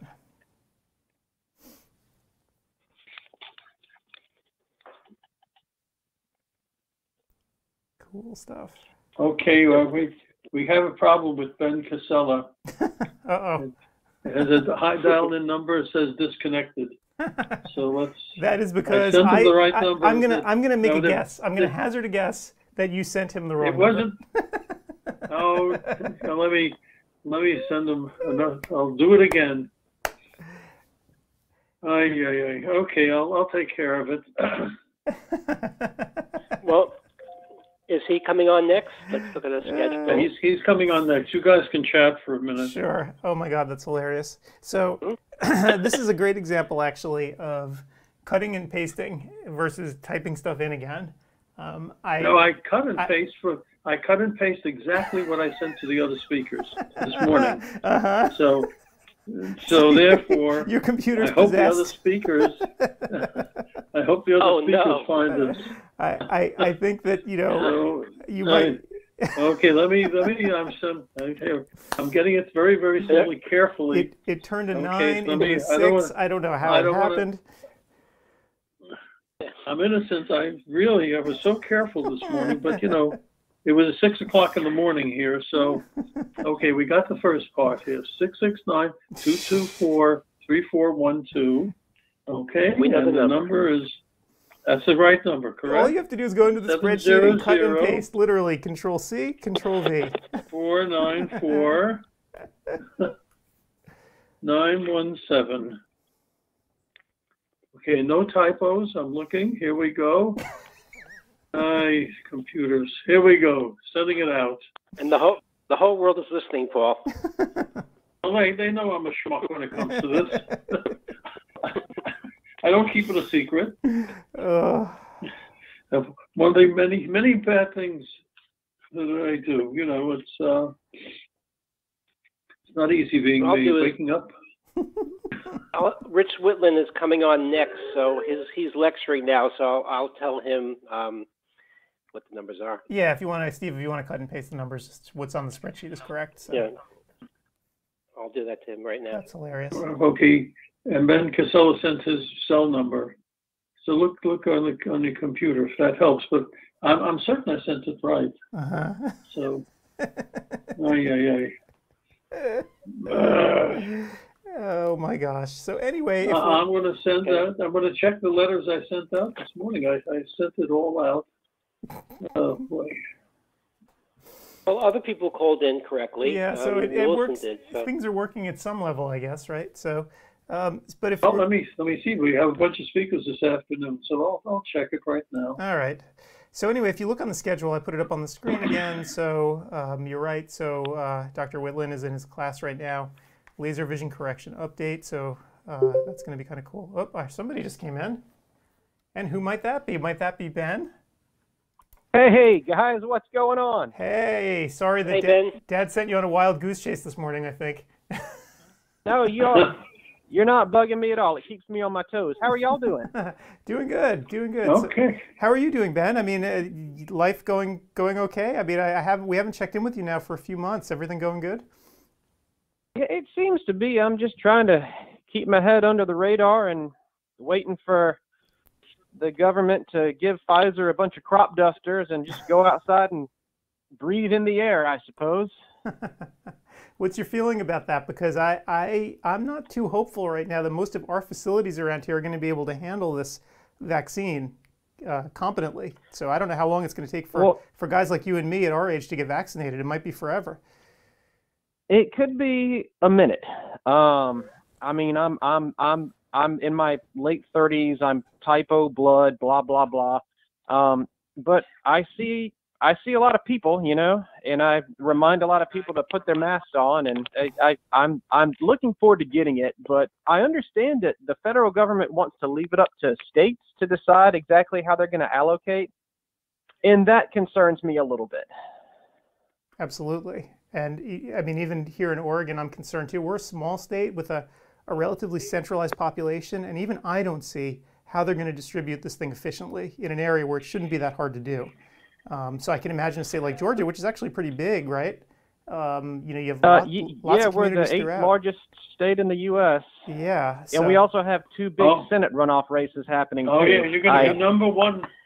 You're gonna be number one in the media for the next couple of weeks. Yeah. So we're gonna watch It- closely. it is. It is so What do you think about the terrible with possibility- these. Go talk, Ben. Uh, hello. Yep. Go ahead, talk. Ahead. Oh yeah, yeah, yeah, yeah. No worries. I was just making a reference that the uh, political attack ads are just they're just incredible. It's it's incredible how much money is being pumped into Georgia politics right now, and the only thing that I really take from it is that undecided voters, I get, I guess, just by and large, are are not the most intelligent people because all the ads are saying is that if you vote for the other one, the whole country's over. It's it's it's it's incredible. So funny. But, well, at least it's, you know, it's outside money being pumped into the economy in, in Georgia, right? And if Yeah, the I- ad agencies are local. it's being pumped into something. I tell you that much. Yeah, I guess. I guess. I heard S- S- Savannah's rates for their for their r- r- TV and radio is ten times the ordinary rates. Wow. So somebody's making a lot of money there. So I, I think it's, uh, that like a a week's worth of advertising in um Atlanta is like it's like well into six figures. It's it's Mm. it's incredible. Wow. And I has it- wish that uh, somebody would come on into my office, but well, well, that's what I'm wondering. what Like, are you know, you you, gonna do? you're in Augusta, right? So how are you seeing this creep in to where you are, right? Are you seeing billboards everywhere, or is it just like just constantly on the airwaves? Are you just being inundated? Constantly on the airwaves, Mm. being absolutely inundated, and uh, people um um Republicans are are are are are framing um, Warnock and Ossoff just to be it's it's it's there's there's no ad that doesn't mention Chuck Schumer, Nancy Pelosi, and then there's no ad that the Democrats are putting in that doesn't mention Trump. You know, it's just it's it's it's. yep. Oh, As if, Well, as if we would don't change know it. somebody's vote? And what would change somebody's vote? For, I, I understand Perdue won by two or three percentage points, and that, I mean they were inundated before for the general election. What would? It's just a matter of turnout, I would imagine, on both sides because he won Sure. by enough to have a little bit of a cushion. But again, if the Democrats show up more, then then the other person will overtake him, it's, and that's why it's. I, I I know they're inundated. The, the buses are going to show up at everybody's home to take them to the polling places. Or can pe- can people vote um, uh, absentee? Yeah, we can still do mail-in here, um, and that's what I'm choosing to do. Um, just because in Georgia, there's still a fair amount of people that wear their masks like it's an Amish beard, Oh God. and um, you, you know what I mean? Yeah, It's yeah, oh, like, yeah. Or like they like have their mask. It's like they have their mask on, Yep. but you can still see their nose. You know, it's like it's like having twins, but only buying one car seat. But uh, you're, a- but um, you're absolutely right. It all boils down to turnout, and without um, a presidential uh, uh, contest at the top of the ballot, I think turnout's probably going to be less than it was for the general. Um, but you know, we we shall see. But it can't get here soon enough. Yeah, just get it over with I'm and, sure. and get back to normal. But meanwhile, Yes. speaking of speaking of normal, Cut the cord. how is your office doing? I mean, uh, obviously you mentioned people who are abusing their masks in terrible ways, but um, you know, are you sort of starting to see a little more normal volume? We just spoke to Millie Knight, who you know, and and we spoke to to Craig Thomas yesterday, who sort of said Yep. his volumes are down, but ticket prices are up because people who do show up tend to spend more. You know, I I I will say we're up to about we're between sixty and seventy percent of of our so-called pre-COVID numbers. We pretty much got our moves down. Um, no families greater than two. No, it's it's it's it's it's. I will say that our bottom line is better than I thought that it would be. I think we're um I think we're um averaging a little more per capita per uh patient. Um, and maybe that's because I'm getting to spend more time with people, and we're I, I'm I'm not sure, but I like the way that things are going now, and I'm I don't think I'm gonna go back to my so-called pre-COVID patient flow numbers. Um, it's it's I I I'm in I'm enjoying spending more time with patients. Yep. But the long you story said that, short, Ben, we're because getting there. We just interviewed Millicent Knight uh, from El- Essilor, and she said precisely what you're saying on, on a national level that spending more time with the patients, you're now satisfying need rather than selling a pair of glasses. And, and that's why the average person is spending more because you're satisfying the needs during this uh, crisis. So exactly what you said is what industry's saying. But but Ben, here's the interesting What- thing, right? I mean, besides having to like dress up like a human condom or whatever to go see patients now, uh, putting putting that aside, like, is it is it more? Well, I'm Catholic, Adam. I, but is it more fun now, right? I mean, besides having to wear all the gear, is it more fun now because you can slow down, right? Isn't that the way that people really want things to be, or at least a lot of people? I know I would, just slower, you know? Agree. I agree with you a hundred percent. Um, there's still like it's it's it's it's funny. It's like I'm I'm I'm still keeping things relatively tamped down. Obviously, um, there's there's there's the scientist in me that that understands that this is the right thing to do and that we're doing this as well as we can. And and and the only thing that really keeps it from being fun is that is juxtaposed with the small business owner in me who is terrified when like a family of five shows up to just pick up like one kid's glasses and they're just like roaming around my office you know it's like a, a waiting room with people in it used to be a, a good thing and now it's what i fear most you know? Um but I will say that yes, being able to spend more time with patients is, I mean, optometry is a people profession, you know, and um, and maybe you know, maybe if there's if there's any plus side to that, it's that I, I I'm beginning to realize that I suppose, you know, because you work harder, you it's it's it's I feel like I'm working a little bit smarter now rather than working harder. Don't you So feel, you think Ben, the- that it's always, you talk, Paul, go ahead. Yeah, I'm just wondering, will the practice management gurus that have been preaching one way of practicing suddenly change their whole tune? Uh, that you don't really have to practice the way they spoke before, where you want to, you know, turn out a very large number of patients with all the automated Right. equipment, and and you're going to be uh, slower. And uh, will that change? Uh, I'm wondering. I, I know I recall just a quick story. Uh, we had a major fire in 1989. I'm going way, way back. And we had to move our practice uh, to 900 square feet from 4,000 square feet. And we, Wow. we were only, when we only were, we went down from the number of associates we had to only one exam room, but the practice stayed open from seven in the morning to seven at night, six days a week. And it turned out that the bottom line was not that the profit, even though the gross was much less, our, our profit, because we were paying much, much less rent, was equal. So we didn't take any loss of being out of an office for six months. And of course, Wow. then we went back to normal business. But, you know, so a lot of the preconceived notion, we, we keep hearing about the people that drop the VSP, for example. That is something that most optometrists won't do. And yet we have people on ODWire that say, I have never been happier. That I got rid of the vision care plans and people are just Sure. just the medical insurance and no vision insurance, and I'm a happy guy. So I'm just wondering if that's going to be changing now with with the new world. Ah, the will that be swept up in the aggregate of the new normal? I would say probably. I mean, and I'm so glad that you brought up the difference between you know gross and net. I mean, that's that's such an important concept for people to understand. I mean, if you have a million dollar practice, that's wonderful. But guess what? If you spend a million and one dollars, you're in the red. Um, uh, a few weeks ago, uh, Gretchen Bailey from um, Optometry Times and I had a conversation with uh, John Rumpakis, and we got into a, a little bit with um, vision care plans and with profit margins and with how the eye exam is going to look going forward. And I basically ended the conversation by saying, John, the reason I never hired you to come to my practice is because you would fire my whole staff and then you'd fire me and there would be no one left there. Um,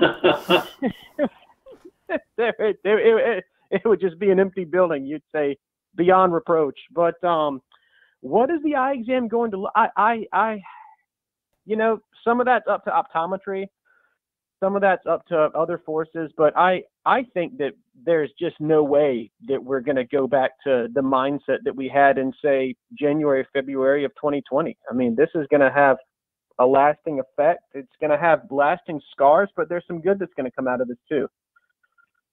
So I appreciate right. your point, and I definitely take it well. Yeah. Have you been doing any telemedicine, Ben? Oh, uh, what's that? Have you been doing any telemedicine? Yeah, I've had like friends other people like, are pivoting. like um yeah, I've I've um I have uh I haven't really quite figured out the exactly how to bill for such. Um but I've definitely been doing it. I mean, I'm I'm I'm kind of small potatoes. If you call my office on the weekends, you're routed to a number and then my left pocket starts to vibrate and so I mm-hmm. I I FaceTime and look at eyelids and eyeballs on the weekends anyway. So I guess I I I, I haven't really seen a huge uptick in that um, during the whole being shut down from mid March to mid June. Um, maybe two or three a week. But uh, no, I haven't really had to incorporate that in in any in any grand scale form, thankfully. But it has Getting back to your original thing, about spending more time with patients. Um, I always felt that when I was down to my last patient of the day, I was the most relaxed, had the most fun because there's nothing afterwards. It was open ended. You didn't have to worry about somebody in the waiting room or somebody, whatever. Um, do you agree with that? And then when I came I out, my staff says, "We have three three emergencies coming in." but it definitely exactly. is true. Psychologically, but you know, you don't talk about you're done. Oh no, oh you have a foreign body and a person coming with narrow glaucoma attack. So, so keep the lights on. Exactly, exactly, exactly. I would agree with you a hundred percent. I mean, a day in the life of a private optometry practice or any optometry practice, I should say. I just, I just speak for myself. Is it's, it's it's a roller coaster, but you get over that last hump and you start to slow down and you realize the seatbelt's about to come off and it's definitely I I would agree with you a hundred percent. I feel like my mm-hmm. days are longer now. I'm not sure why, but I feel like like like at at like five o'clock, I look back and I think, gosh, that patient I saw at nine o'clock, that feels like it was three days ago. I'm not sure what COVID has done to my mindset, but the days just seem a little bit longer now. I think you're breathing in a lot more carbon dioxide that you're breathing out from the mask, and that slows your brain function. Yeah, you know, I'm pretty sure that yeah, speak, speaking what of I patience, exhale is. Uh huh. Go ahead. I'm sorry. Finish finish your thought, and then I want to ask you something. Oh no, no. I was just going to say when I exhale, I'm pretty sure God intended that to go out into the ether and not onto the back of a mask, and I'm looking forward to that being over. You you had a very interesting uh, lecture, a course yesterday on opioids and drugs. Uh, yes. Can you tell us what you when do you prescribe it in your practice, and what what changes? What, what happens when you do prescribe this? I honestly cannot think of the last time that I prescribed an opioid. I think it's been a couple of years ago. Um, I hardly ever prescribe them. Um, that is not judgment on their nature. I understand they have their, uh, they certainly have their place. Um, but when I do, like I, I like a really bad corneal insult is really the only times that I think that I've ever prescribed one. Um, and uh, I've I've I've um, written for um, uh, Vicodin because I, I I personally think that hydrocodone is better at treating pain than codeine, and I feel like hydrocodone makes makes people feel less uh, queasy than does codeine. But I write for like maybe maybe two or three pills total in Georgia, we're not allowed to treat um, for more than I, I think it's either 48 or 72 hours um, a uh, opioid, and um, I really can't think of a case in which in which I would be solely handling um, a uh, scenario in which I would need to do that for more. Um, but I hardly ever do it. Uh, I I I do think that its use um, that uh, opioid prescribing seems to be decreasing um, across the country. Uh, I talked to a uh, pediatric critical care doctor actually last night, and he said, "Yeah, I prescribe fentanyl like all the time, but I'm a big outlier. So I I I think if you're not in a critical care setting, uh, it its use seems to be decreasing, and that's probably not a bad thing. Yep. Yeah, I mean, I think what you're seeing is that it's just used in acute situations now. At least that's my observation, right? If you go out more than 72 yep. hours, you have to have a really good reason for why you're doing this. Yes, absolutely. And um, and there are a lot of checks and balances, and the CDC really has really good guidelines about about how opioids should not be first line therapy. Um, and and there's actually for for chronic pain, there's all sorts of um, resources with like behavioral therapy. Um, um, um, the CDC website talks about yoga. It, it's it's there's a push to get people not dependent on opioids, and for a very obvious and very noble reason. Right. I mean, they're use they're useful post surgically a lot of the time, right? This is something that most oh, people oh, yeah. can get behind for you know a few days, but beyond that, you really have to start to question. Like I remember when I got my dental implant a couple of years ago, I couldn't believe the dentist just handed me this bottle of Vicodin. I'm like, wow. okay then. So your oh, so your practice yeah. patterns are obviously, you know, you've been doing this for 30 years or whatever. This is what you've always done, but this is not really what people should be doing, you know. I didn't want to insult my guy, mom. um, my mom had um, had uh, uh, pretty invasive um, um, back surgery. She was prescribed like a hundred Percocet, and she didn't take one of them. Yeah. And she's like, "I've got this. I've got access to a hundred Percocet. Like, like, what am I supposed to do here?" Now, now, when she was post-op in the hospital, she was hitting that button as frequently as she could to get some uh to get some uh, pain relief. But then when she got home, it was pretty much. I mean, it was pretty much she um she uh was a good patient. She did everything the doctor told her to do, and she really. Um, I I know it's not cookie cutter, but I I think it was interesting that she was given a hundred Percocet and didn't take one of them. Yeah, I mean. Well, you know, true confession. I, I just opened up a, a drawer in my in, in my bathroom where I keep old pills. I don't know. I don't throw anything out, and I must have a, a stash of of pain pills because I say, well, you never know when I'm going to need it, but it keeps piling up. So I don't know what what to do if we ever have a robbery. I think well, the, the, thief is going to be so happy with, with the, we're stash. But if, if you come back to Northeast, Paul, if you come back to Northeast, if you ever fall on economic hard times, you can go up to certain areas and, and make a big profit, and then go to jail. But that's right. like that's you said, right. Adam, I I I just had an implant done also about uh, three months ago. My best friend, my life, did it and normally he'd give me a prescription for um, Vicodin also, or some of the hydrocodone. And he said, no, I'm not doing it. He said, take the what we do, the, the ibuprofen Tylenol cocktail, and you know what? No pain. So it, it shows that the easy way sometimes is not the best. Yep. You, you know, if you take 1,600 milligrams of um, ibuprofen in a day, that would be two of the 200 milligrams Q four to six oh. hours. You, you, that that approaches the analgesia of a schedule 3 narcotic so it's not like like advil works like kind of down here and then opioids are way up here that's that's that's I tell you, and when um when uh Laura, my wife, when we had our first kid, she was prescribed uh, 800 milligram ibuprofen post uh um partum, and uh I tell you, you pop one of those things, you're never gonna have a headache again.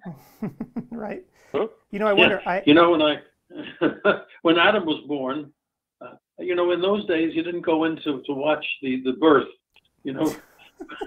you know, yeah, 50 years ago. smoking a cigar. So I, you know, I, I really didn't want to go in, but my wife was suffering to give birth, and I said, "Look, I'm going to use hypnosis on you." Those are the days I was still using hypnosis. Well, she threw me out of that exit that room so rapidly. And rightly so. That's outstanding. Oh my God. Outside with your uh, fedora and your cigar and your scotch.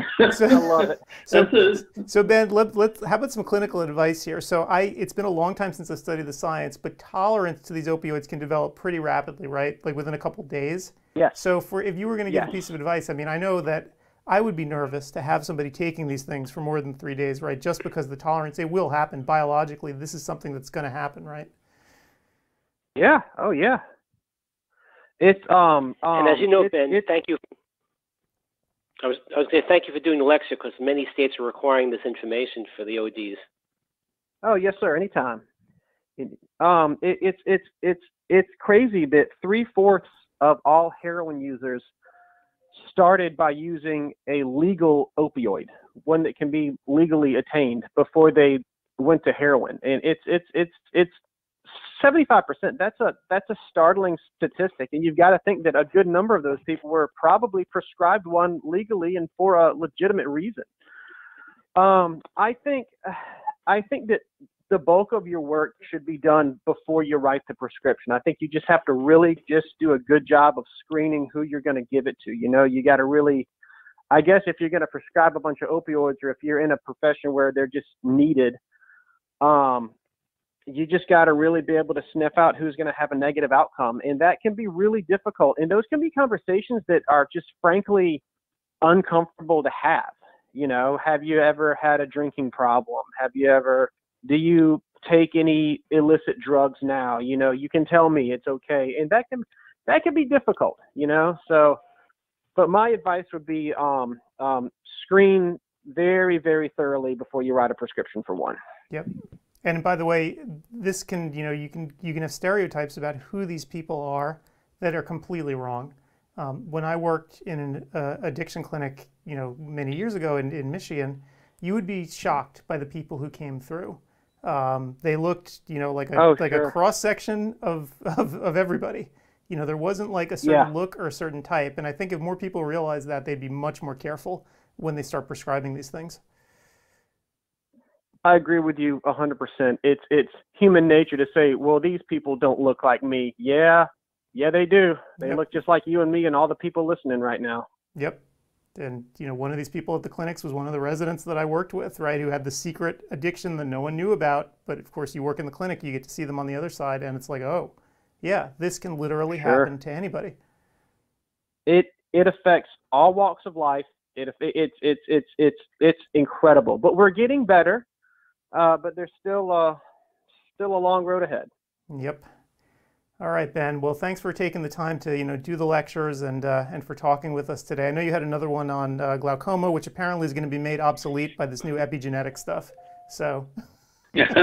oh, he's giving. As a matter of fact, Ben Ben has to walk over to his to to his course. It starts at one o'clock. Hind glaucoma. That's right. I better I better tree. go.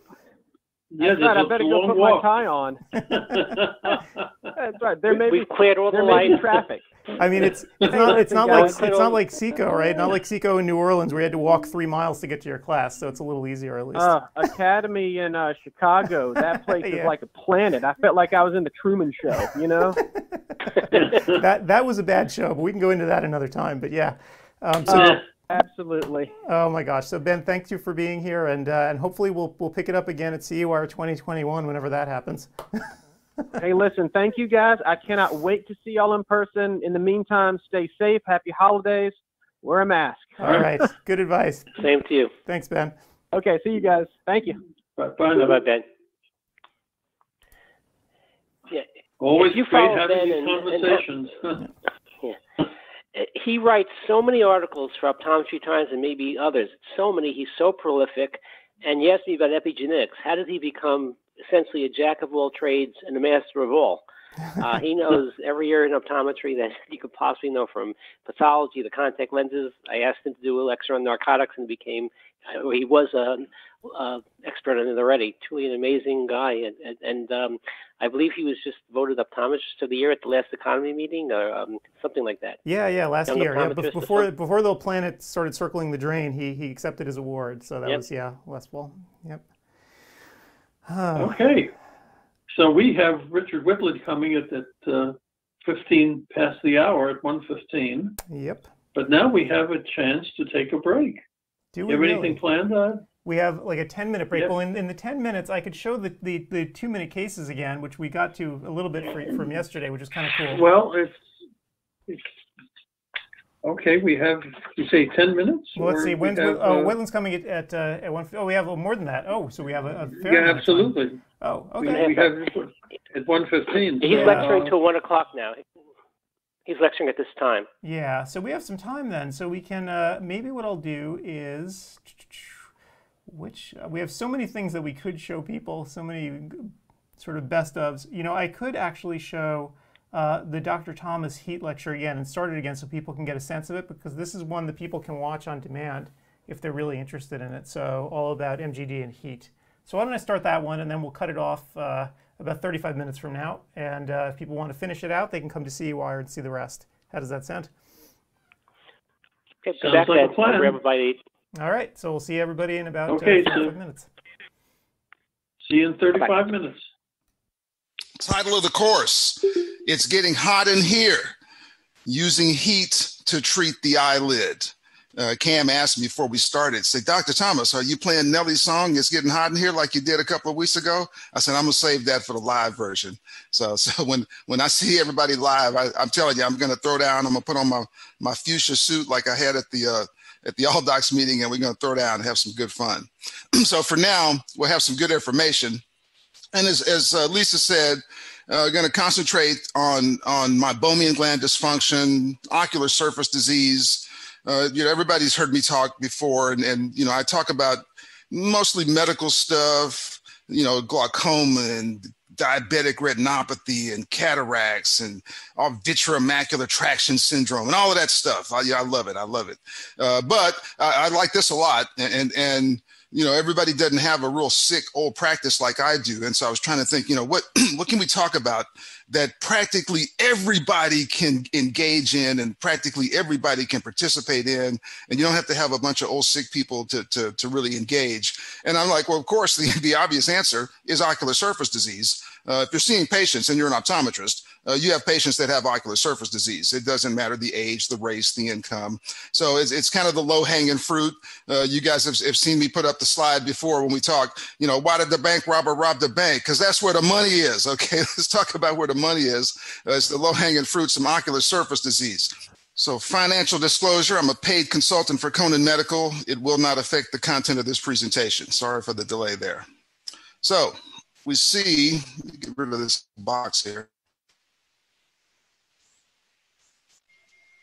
We see the first slide. We're gonna, you know, we'll spend a few minutes on some scientific refresher so we can all be on the same page moving forward. So we'll spend 5, 10, 15 minutes just doing some basic uh, review on our, our anatomy and physiology, just going back to optometry school. so here we see we have a, a diagram of a meibomian gland. Uh, you guys know I'm not going to read slides to you. Everybody can read the slide while I'm talking. Uh, you can see the gland. Uh, you know, you could. I, I kind of talk with the mouse, so just follow follow the cursor along. Uh, you know, as we see, I mean, some stuff's important enough to read. The, the glands, uh, these little little acini here, these little nodules, they secrete oil or meibum. Uh, meibum is, is what we call the oil that comes out of the gland. It's, it's made up of lipids and proteins. And so it, it's made in these little bulbs, comes up this central duct, and comes out this, this orifice to lubricate the, the uh, anterior surface of the eye, the eyelids, the, the ocular surface. So just a, a you know, kind of the anatomy of the meibomian glands. Remember, there's on the bottom lid, you've got about 25 glands going from one end to the other. On the top eyelid, you've got about 35 or 40 glands, a little bit longer, a little bit slimmer. Uh, this is essentially what normal glands look like, kind of a, a grape-like cluster. Uh, before we get too deep into this, I, have got to tell everybody, and, and uh, you know, Dr. Hamilton will will second that emotion, and, and, and other doctors will chime in based on on the meeting that we went to a couple of weeks ago. Uh, uh, ladies and gentlemen, uh, fellow optometrists, it's going to be a real hard to do the stuff I'm talking about for the next hour, hour and a half. If you cannot obtain meibography images like you're looking at here and actually see what's going on inside the person's eyelid, you simply have to have some kind of meibography technology to really get into this and for to, to, to demonstrate it to the patient, to get the patient to buy in, to get the patient to understand what we're talking about. I just, I mean, I've been practicing 37 years, just like Lisa said. Uh, you know, I've been doing my meibography for two years, two and a half. Uh, you know, it's almost like having an OCT. You know, how do you practice without it? It's like having a topographer. How do you practice without it? So your first step if you're going to really uh, kick it up a notch and, and try to figure out how to be a, a more modern optometrist in 2020 and going forward into 2021 and and you know and, and kind of deal with the stuff we got to deal with now you know with the pandemic going on and it's going to be going on for a minute so we, so we got to adjust. You, you simply have to have the ability to look at the glands like this. So you've got to get a meibographer some kind of way and and look at the glands like this. So let's assume you know that in a reasonably short period of time sometime in the next three to six months everybody that's really interested in doing this stuff is going to obtain meibography so you're going to be able to look at the meibography the, the glands the meibomian glands. So let's talk for just a second on what's called meibum lipidomics and, and, and I got to tell you, you know, I've, I've, been lecturing on this topic. You know, you guys snap. You know, my, my, you know, y'all are my, my brothers from another mother, uh, like the All Docs group. So I mean, I I gave this lecture for the very first time to you guys three years ago, if you remember. Uh, so, you know, I, when I started talking about my meibomian gland dysfunction, my very, very first lecture was to the SNAP group three years ago. And there's three or four pictures in this presentation from that original uh, uh, course, uh, but most of it is, is almost all of it's totally new and different, uh, like this stuff here. Because uh, I didn't have I didn't have a clue what meibum lipidomics was three years ago, but as I kept giving the lecture and, and kept adding to it, you know, the, the, the more I learned, the more I needed to learn. And I started learning about meibum and I'm like, man, I'm, a, I'm supposed to be an expert. I'm lecturing on meibum. And so I started reading all these articles on meibum anatomy and how you make it and synthesize it and what it's all this stuff. And, and, and really the study of it is meibum lipidomics. So you see the little parentheses, the study of the pathways and networks of cellular lipids in biological systems. Man, I was feeling real smart. So I read, I found two or three articles on this stuff, and, and you see there, uh, and, and it's basically it's it's you know in a, in a simple way. It's really just talking about what we learned in what I learned in optometry school 35 years ago, 30, 40 years ago. You know that that meibum is temperature dependent and if you heat it up it does different stuff. And you know just to understand it you know i actually you know read some articles that talked about it and and it's really kind of weird because you go back and and you're having these nightmares about biochemistry and and where this carbon uh, atom is is located on the molecule and you know the the way they're arranged and all that. I mean that's what all these articles were talking about all this biochemistry stuff. So this first slide is talking about all that biochemistry stuff. And i just put it up there because uh, I thought it was important to go to the second slide. And so the second slide uh, is, is really the, the important stuff. We're talking about different temperatures. And here, you know, these little bullets, this stuff's important. Where the first thing, uh, the meibum is not a solid uh, at, at, low temperature. So it never really gets solid, but it's, it's kind of a gel. Uh, and it's never really a liquid when it gets hot. Uh, it just gets less ordered. So it's, it's disordered and so it never really melts. So we shouldn't use melting uh, as the as a you know a correct term. Uh, what you know what you're doing is you're changing the meibum fluidity by changing its temperature, and and and the temperature is making the molecules and all of that stuff rotate around and do different stuff, uh, and that's what changes its its structure and its physical characteristics. And and this, this these last couple of bullets, this is real important because uh, what you're seeing here is that the that, that fourth bullet where it's talking about the temperature range. And so to to change the meibum inside the gland, you've got to heat it up, but it's a pretty wide range. I mean, 32 degrees centigrade, that's almost like, you know, somebody that's laying on a slab. Uh, you know, 45 degrees is pretty hot. I mean, it's real hot uh, to where it'd be uncomfortable for almost everybody.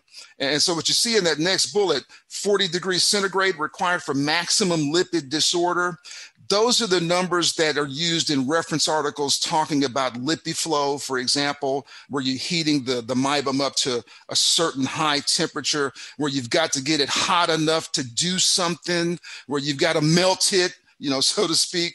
So 40 degrees is apparently the, the standard, and apparently, I mean, I read a bunch of articles, 40 degrees is the standard, kind of the average, where if you get the meibum heated up to 40 degrees, then you're considered to be doing something to it, where it's getting hot enough to where you're changing the structure and you can express it out or do something to it uh, or change it. Uh, for patients you see with severe disease, uh, you're actually recommended to get up to 41.5. But I saw articles that say once you get about 42, 42.5, it's so hot the person's just going to start burning them. I mean, that's pretty hot. I mean, that's like 108, 109 degrees, something like that. Uh, so, you know, I don't think you need to get it that hot. And the last bullet proves that you don't need to get it that hot. And so this last bullet, and and and I don't like I don't like when guys claim superiority when it's just not there. And I got to tell you, even though I got me a LipiFlow, I don't like people claiming superiority where they're saying you have to heat the meibum to 41.5 degrees centigrade to get the job done. No, you don't. You just got to heat it. And if you heat it up 2.5 degrees centigrade or higher, you change the, the, the structure of the meibum by 66%. And that's usually enough to start squeezing it out of the glands and doing stuff to it. So, you know, you don't have to get it smoking hot to do anything, but you got to get it hotter than it was. So if you started out at, at 32 degrees centigrade as you know before you started heating it up, if you got it up to 35, okay, you can still squeeze it out and do something, you know, 66% of the time. So you don't have to get it blazing hot with some fancy $28,000 LipiFlow to get the job done. As long as you're heating it up and squeezing it out, it's better than doing nothing. That's what these that's what I got from reading these articles on meibum lipidomics is it kind of debunked the the LipiFlow marketing claim that you got to get it smoking hot to do anything, uh, and, and, you just got to get it hot. So I think that was an that's an important thing to to know as we go forward. You just got to get it hot, okay? Now, let's talk about meibomian gland dysfunction. So what we talked about at the start, we, we, we showed a meibomian gland, just a regular old gland, kind of normal anatomy and physiology, what the gland does. Uh, we looked at them in real life like we ought to be looking at them. You know, I got to tell you, I, I, got, you know, I, I you know, I can be politically cor- incorrect. You guys know that. I was at a lecture two years ago and I went to it because the guy was talking about meibomian gland dysfunction. And I wanted to compare what this guy was saying with what I was saying and see if I needed to add some, you know, to see if I needed to steal something, to be honest with you, to see if I need to take something from his presentation and put it in mine. And so I'm sitting there on the front row. I got my notepad out. I'm ready to get do some serious learning. And this guy starts the lecture. And, and you know, within 10 minutes, he's saying, okay, now the way you, you're going to view the meibomian glands is you pull out your transilluminator and you transilluminate the lower lid and then you can see kind of what's happening. And I'm like, are you crazy? I'm like, are you serious? You know, pull out a transilluminator. Okay, is that what? You know, I said, come on, man. Uh, I almost got up and left. I was, it was pitiful. So anyway, so we talked about about regular meibomian gland anatomy and physiology. We talked about how to examine uh, uh and visualize the meibomian gland so you actually see what's going on. And I'll show you what you're looking at as we go. But you got to you got to be able to look at them. So now you know, we're not really talking about taking care of healthy people. That's not what we're talking about. We're taking care of people that have meibomian gland dysfunction, that have some kind of disease process going on in the meibomian glands. And in a technical sense, all these articles I've read, you know, they talk about meibomian gland disease as really a more severe thing, kind of a, you know, stuff like Steven Johnson syndrome, all that old wild stuff people getting when they're kids. My Meibomian gland dysfunction is what we usually deal with, uh, which is which is really different than my meibomian gland disease. You see the the standard textbook. I got to put it in there to be honest. Definition of my meibomian gland dysfunction. I mean, I agree with it. It's accurate. It's kind of old now. Uh, you know, it's coming from the the uh, international workshop on my meibomian gland dysfunction back in 2011.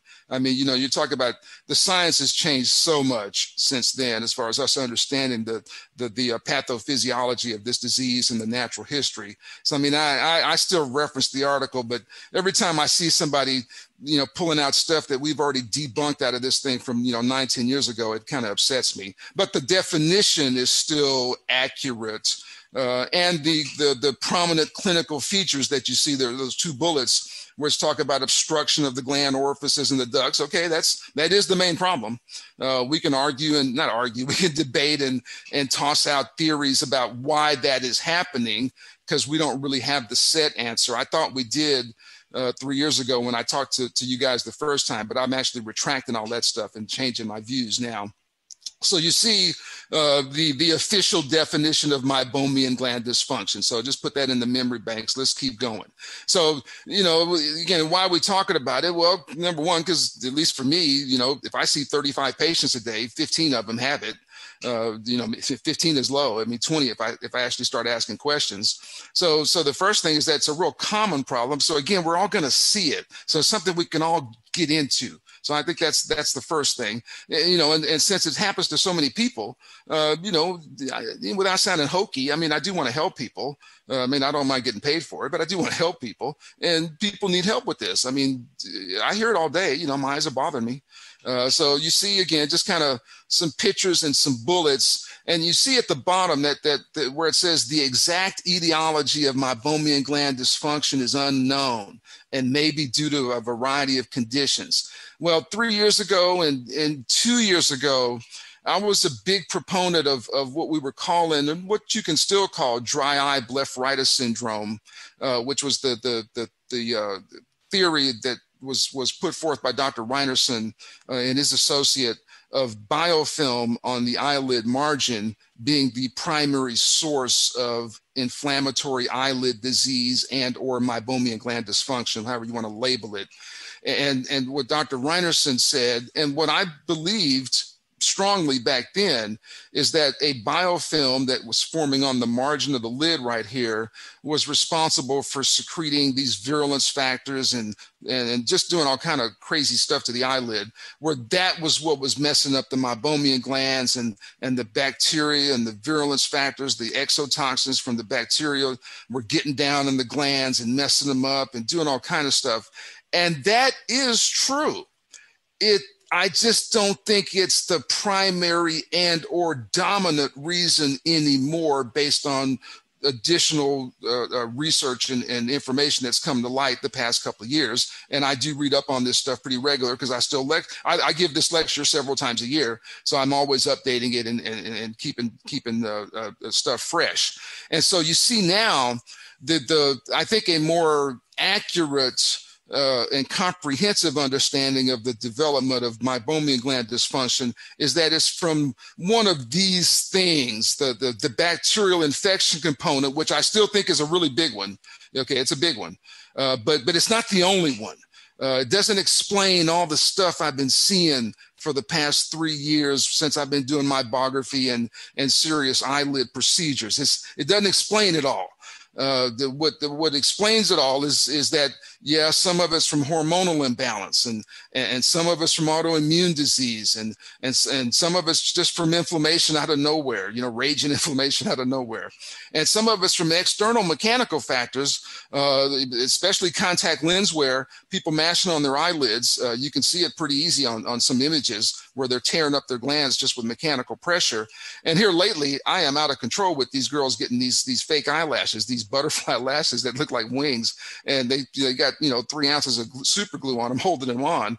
And I'm, I'm telling you, we're doing one or two of these infections a week. Uh, you know, peeling these things off and doing all kind of stuff. You know, because they come in with with uh, severe uh, eyelid infections from all the glue and the mechanical nonsense of the eyelashes. Uh, so it's, it's, kind of funny, but in a way. But but I've been we've been seeing that pretty regular here in the hood. Uh, so so bacterial infection, hormonal imbalance, autoimmune disease, inflammation, external mechanical factors. Those are the things that cause meibomian gland dysfunction, in my opinion, in 2020. Uh, so just again, just a still kind of on refresher review. This is stuff we've all seen. I'm not I'm not showing anybody stuff you haven't seen. I know that.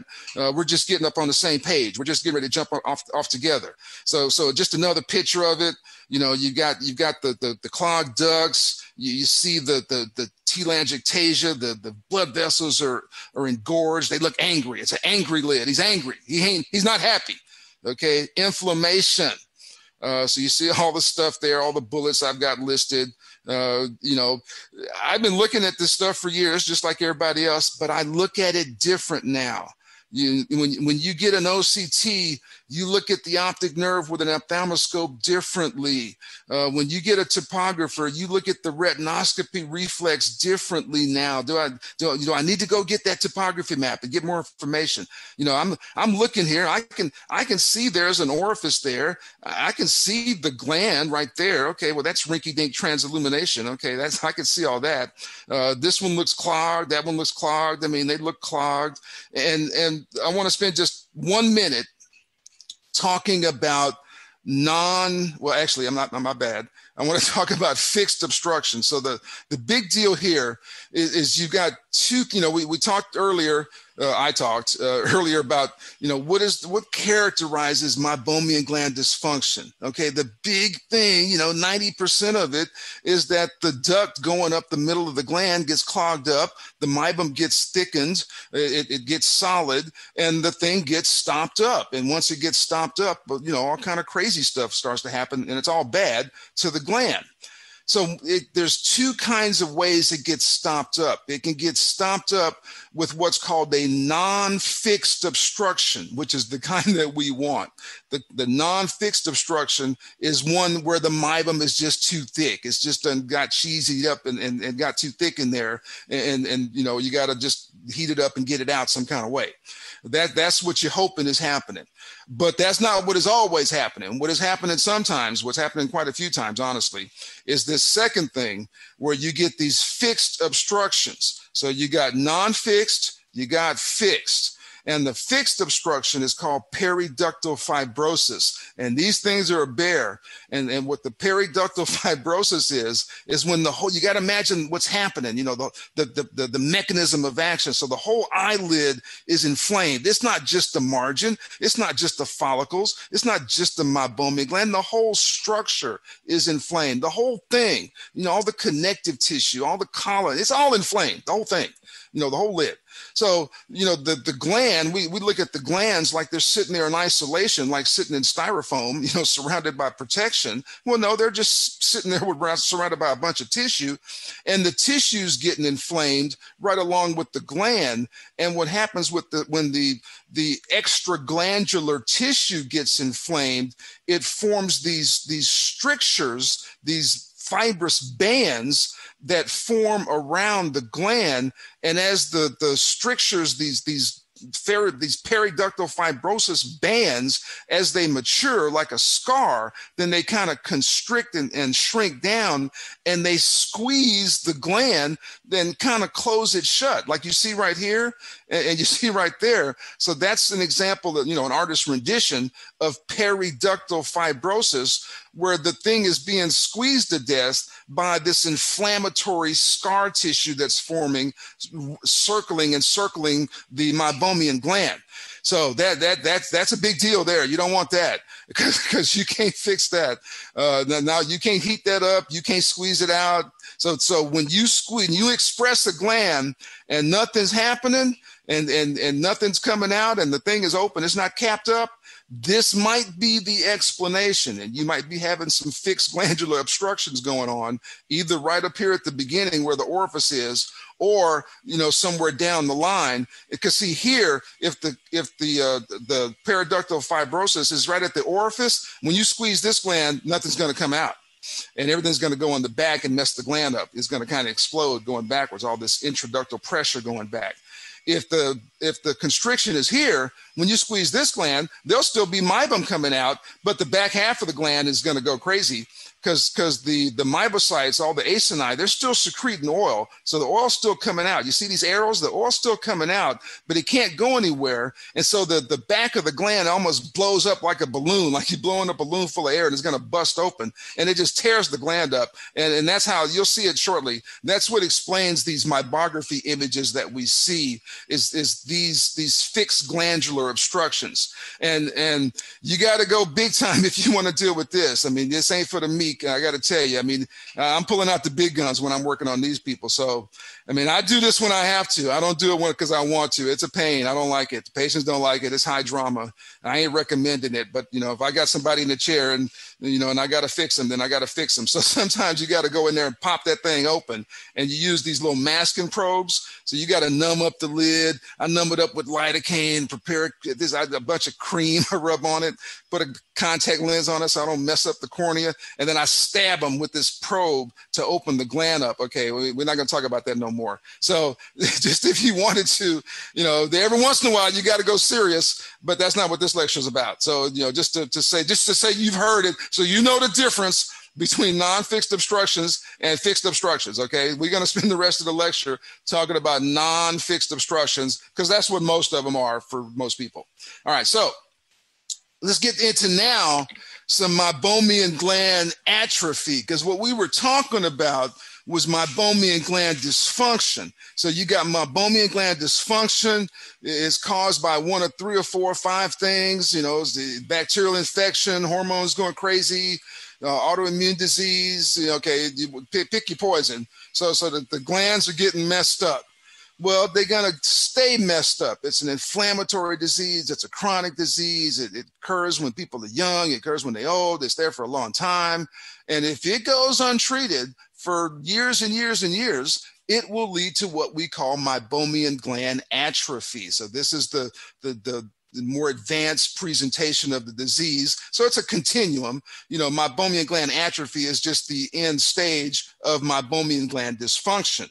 But I want you to see it's really two different clinical presentations on the meibography images because you can have a normal looking meibography image like that second slide I showed where all the glands look fat and happy, but they could be stomped up and not working. You can squeeze them, nothing coming out. And so you got all kind of meibomian gland dysfunction going on, even though the glands look normal when you have meibomian gland atrophy, the glands don't look normal at all.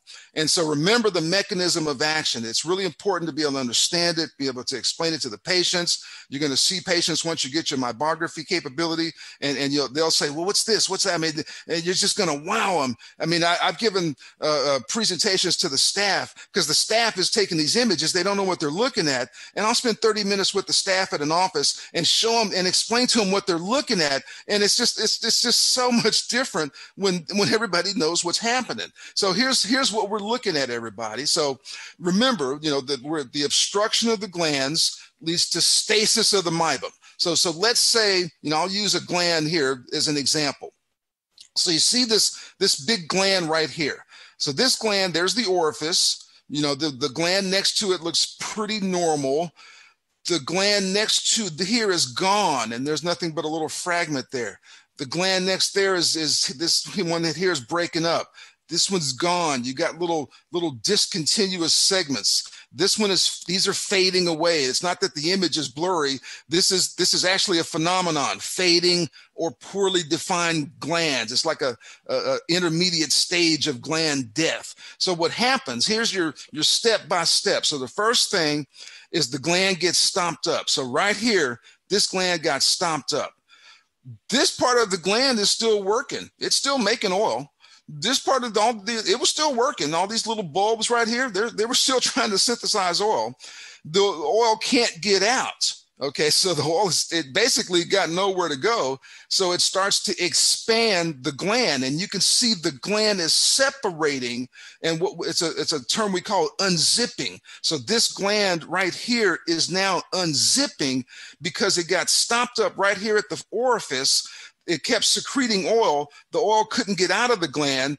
It causes increased intraductal pressure. So now the gland starts to, to, to separate laterally. You see that? So think of me blowing up a balloon. I'm blowing up a balloon, filling it with air. And when, if I put too much air in that thing, it's going to pop. Okay. Now your gland's not going to pop, but if you put too much pressure in it, it's going to start to separate. You get this dilation of the central duct then the little bulbs, the little acini, they start to die. So they, they, they, they, they don't like that. There's like too much pressure. It's like, man, why are you doing that? It's too much pressure. You know, you know I don't like that. Okay, I'm gonna just shut down. I'm gonna shut it down. I'm gonna I'm gonna shut this thing down and stop working. So then they stop synthesizing oil, but now it's too late. The thing's already it's, it's already messed up. So then what'll happen is that where it, right here, see it, it's separating. Eventually, I'm sorry, my bad. Eventually, it's gonna break off. And if you go up to the top, you'll see here these segments, these, these segments, segments of discontinuous gland tissue. So look at these horizontal pieces. Okay, it ain't no horizontal meibomian glands. That thing's supposed to be vertically oriented. So this little piece here broke off. It snapped off like a piece of a lizard's tail. So what happens is that this gland got stopped up right here in the middle, and then it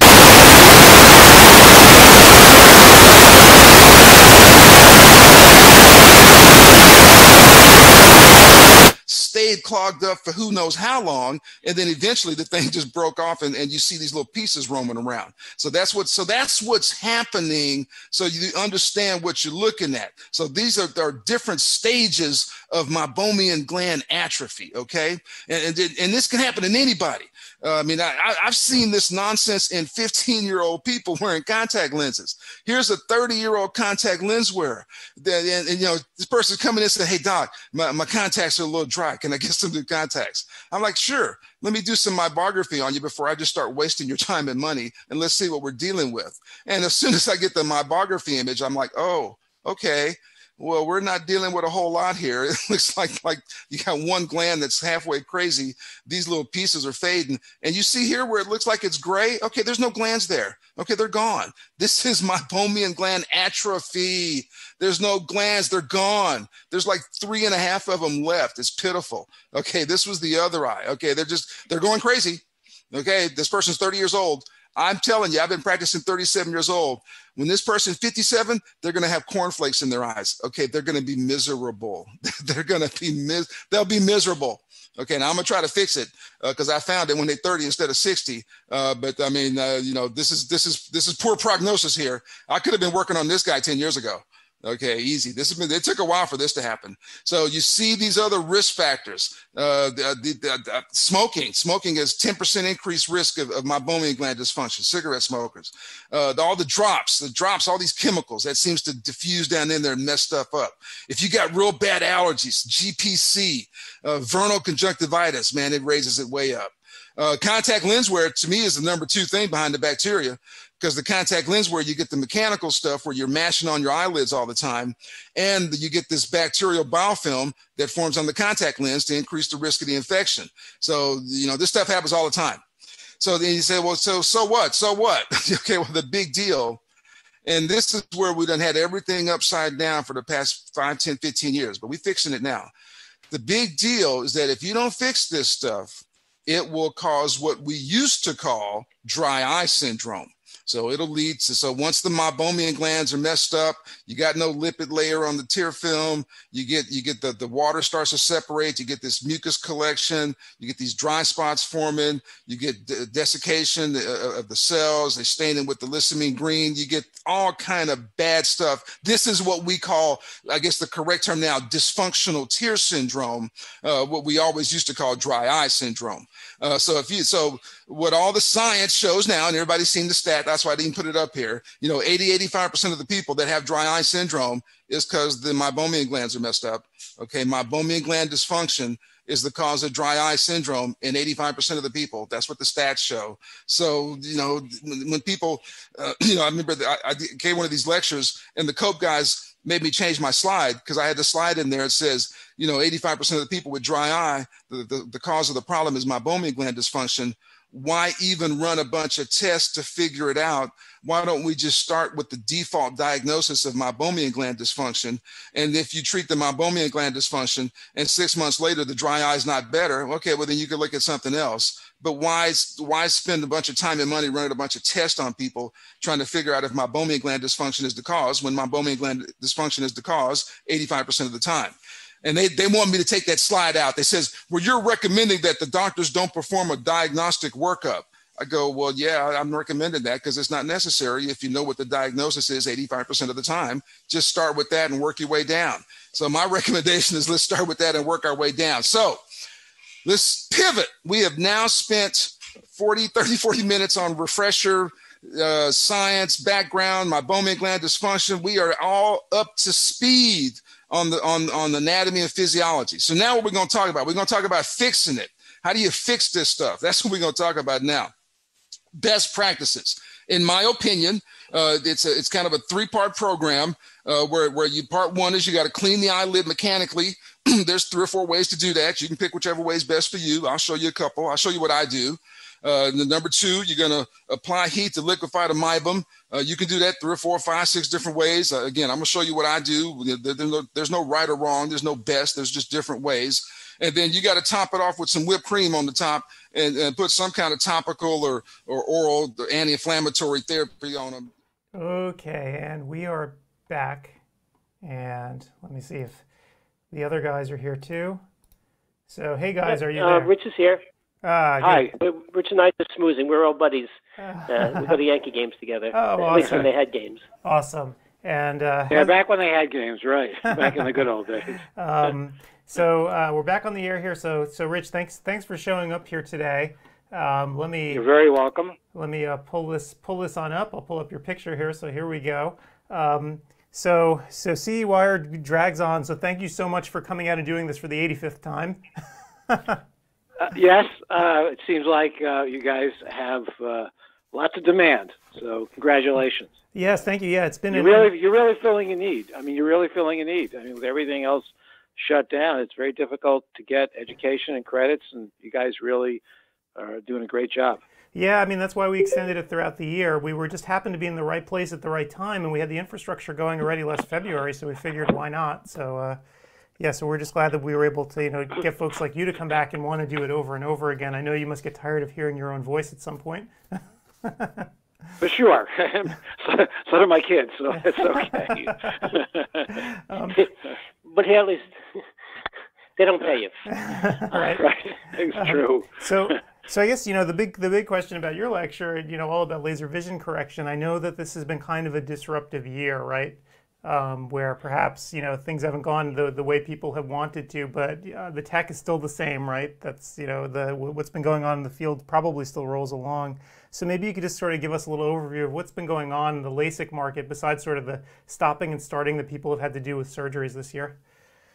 I really think that's that sums it up really well, Paul. I mean, it really has been stopping and starting. I mean, obviously, as elective surgery got shut down, so did so did LASIK. It's kind of interesting. I have noticed recently that there does seem to be an uptick. I don't know if uh, people are, you know, just tired of pr- putting things off, like we all have putting everything off. I don't know if the fact that, you know, people aren't spending money on things like travel and dining, so they have some more available cash to spend on other things.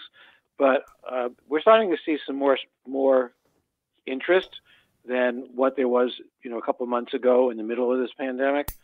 So I don't know. Maybe it's a combination of those things. Maybe we're all hoping for the vaccines and light at the end of the tunnel, but definitely getting more inquiries. Excellent. Patients feeling a little more comfortable about venturing out to the office and, and getting surgical procedures done? Yeah, they are. Uh, there's still some that are skittish. There's no two ways about it. I think you don't see them for LASIK. I noticed it on the cataract side. Um, we'll have, you know, patients who postpone the surgery. I had one just the other day. It was a physician. He just came in and needs a surgery, and he just got himself all worked up, even though you know, at the surgical center, obviously it's probably the safest place to be. I mean, you know, everybody's wearing PPE, you know, gear. Everything is wiped down. You know, all the patients are screened. They have to get COVID testing, but you're seeing people still put stuff off. There's no doubt about it. Right. Uh, especially elective surgery. They're just kind of skittish about it. And you know, I'm in the in the Northeast, and uh, you know, this is the time of the year we get snow and all kinds of stuff like that. So some gives them another reason to go. Well, let's wait till March, and we'll do Right. it when the weather warms up. Right. So, you know, for the ODs who actually did make it to your lecture, and I know that's a lot of them this year, right? We've had about 6,000 people come in through, through CE but I know some people still haven't, but your lecture will be available on demand. I guess one of the topics that, that you know, people are really interested is sort of the, the pre-op assessment of the ocular surface and getting things ready, right, so that you can have the best outcome possible um, when, when the patient finally goes to surgery. Do you just want to sort of talk about that, about what it is that you expect, you know, when you finally get the patient on the table, what is it that you want to see? I think, I guess it's more important what I don't want to see. And what I don't want to see is any kind of corneal staining. Um, these, you know, you're doing an elective procedure that you're going to sever corneal nerves. You're going to put them on some medications. So you're going to disrupt their ocular surface. They've got to start off with a healthy surface. If you don't start off with a healthy surface, you don't get good measurements. And then you end up in a situation where you've got a patient postoperatively not really seeing well because they start developing you know, SPK or it gets worse and it affects their comfort, it affects the quality of their vision, and you go ahead and think you did great surgery, yet the patient's not happy, and usually the ones who are hearing it are the referring doctors because you know I see the patient for the eval. A lot of my doctors see their own one-day post-ops on forward, so they're the ones who are going to deal with it. So it really becomes important to get that ocular surface healthy, and by that you can do whatever it is you need to do based on your individual patient. You know whether they have blepharitis, whether you're going to do something to treat the blepharitis, whether it's just going to be artificial tears, or it's going to be some kind of prescription therapeutic med or fish oil supplements, whatever you need to get that patient's ocular surface looking as pristine as you can get it is just a real big help to me and it's a real big help to your patient. Right. And I know, Steve, you've, you've seen a lot of patients, right, pre and post. Um, you've been responsible for sending patients off to surgery. Do you, do you sort of take take that uh, advice of just sort of getting the ocular surface absolutely as good as you can get it? Um, Rich knows I do. Um, yeah, we, we always test people for all the uh, dry eye conditions and uh, obviously um, fuchs free, et cetera, to make sure. And we give them a heads up that uh, there's a problem if we don't get it quite under control. Uh, we also always evaluate the retina, and that's becoming a, a new norm. Uh, in fact, I'm going to ask you a question along that same lines. Um, I remember back when, when we practiced with knives and bearskins, and you used to do ultrasound on a very dense cataract and a um, a PAM to make to see what their vision was. Um, and now I guess that's by the boards. Are, people are you doing more, or uh, in general ophthalmology, doing more OCTs of the retina? And how bad is it when somebody has a dense cataract? Could the OCT still burn through and get some decent results of what the retina looks like before you operate? In terms of, I mean, I I don't do OCTs on every patient, but I'm very liberal on doing it. There are certain classes of patients, Steve, that to me, I I have to have an OCT. If I if I'm going to put in, you know, an advanced technology lens implant, then I want to know that that macular is is pristine or you know I'm going to end up with you know a disappointed patient even if they spend some money. You know, diabetics, people like that. Um, all you know, if I can get a good look in uh, with a 90, let's say, and the level of cataract and the level of vision are commensurate, and the macula looks good, I'm really okay going ahead and doing this if we're just doing a standard monofocal lens. Uh, but and the OCTs will give you some value up until you start really getting close to a three to four plus cataract, and then the sensitivity and everything starts to degrade. I mean, you do what you can do, but yes, you do have to counsel the patients that you know everything looks okay as far as you can see it. Hmm. But you do see, um, especially for the referring ODs, that they're doing more and more preoperative yes. um, analysis, and in some yes. cases they might I defer the care to you. In other cases, they do it themselves. Yeah, I, I look. I have no. I have, uh, as you know, Steve, because we've worked together for so long. I'm very happy having the, you know, the referring doctor do as much as they're capable of. I mean, not everybody has an OCT in their office. More and more people do, but not everybody does. And I think if you don't have one, you can still do a good job taking care of your patients. But if, if you've uh-huh. got an OCT, and especially if you're talking to your patients about their lens options and I wish I could get more people to actually at least initiate the discussion a little bit. But if you've got a patient that you know would be very interested in a multifocal or extended depth of focus lens, and you know you know this patient for many years, I'm going to see the patient once. It's helpful to me if you've had some conversations. And if you're going to talk to them about it, yeah, it's really good to get an OCT, know that it's normal, so you know that this patient really is a potential candidate. Because if it turns out they've got an epiretinal membrane or a lamellar hole, in my opinion, in my practice, I won't put in those kind of lenses. I And there are a few people who do, but I tend to be a little bit more conservative because you end up, I think, with happier patients. Once patients start paying a lot of money out of pocket, um, they expect certain results. And if the macula is not so good, you're just not going to get the results that, that they want. But you're right. The practitioner, referring doctor who just punts to you and says, okay, I have cataracts, see Dr. Whitland, let him take care of it, without giving people some guidance, some advice, some um, broad knowledge of what's available in terms of uh, multifocal lenses, um, certainly in terms of um, uh, different uh, femto laser, etc. I, I always had that discussion. It makes it really easy for you when you present that to them. Uh, I think they're um, they're making it really difficult for you by punting the whole um, discussion to you to do it, and, and then they're doing the follow-up care, or, or maybe doing the follow-up care. So uh, I know you probably find a big diversity in, in referring practitioners and how they uh, approach things. Do you agree? Yes, there's a. You are always on the more of the forefront end of it, Steve. Quite honestly, uh, not everybody does.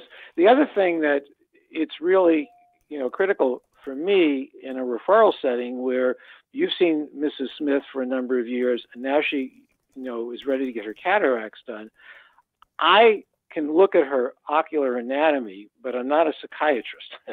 and you know, there's there's a certain patient types that really do quite well with some of these advanced technology lenses, and there are other ones that don't. And I try to be careful about not putting the lens in the wrong person. Do you know what I mean? Somebody could have a good anatomy, uh-huh.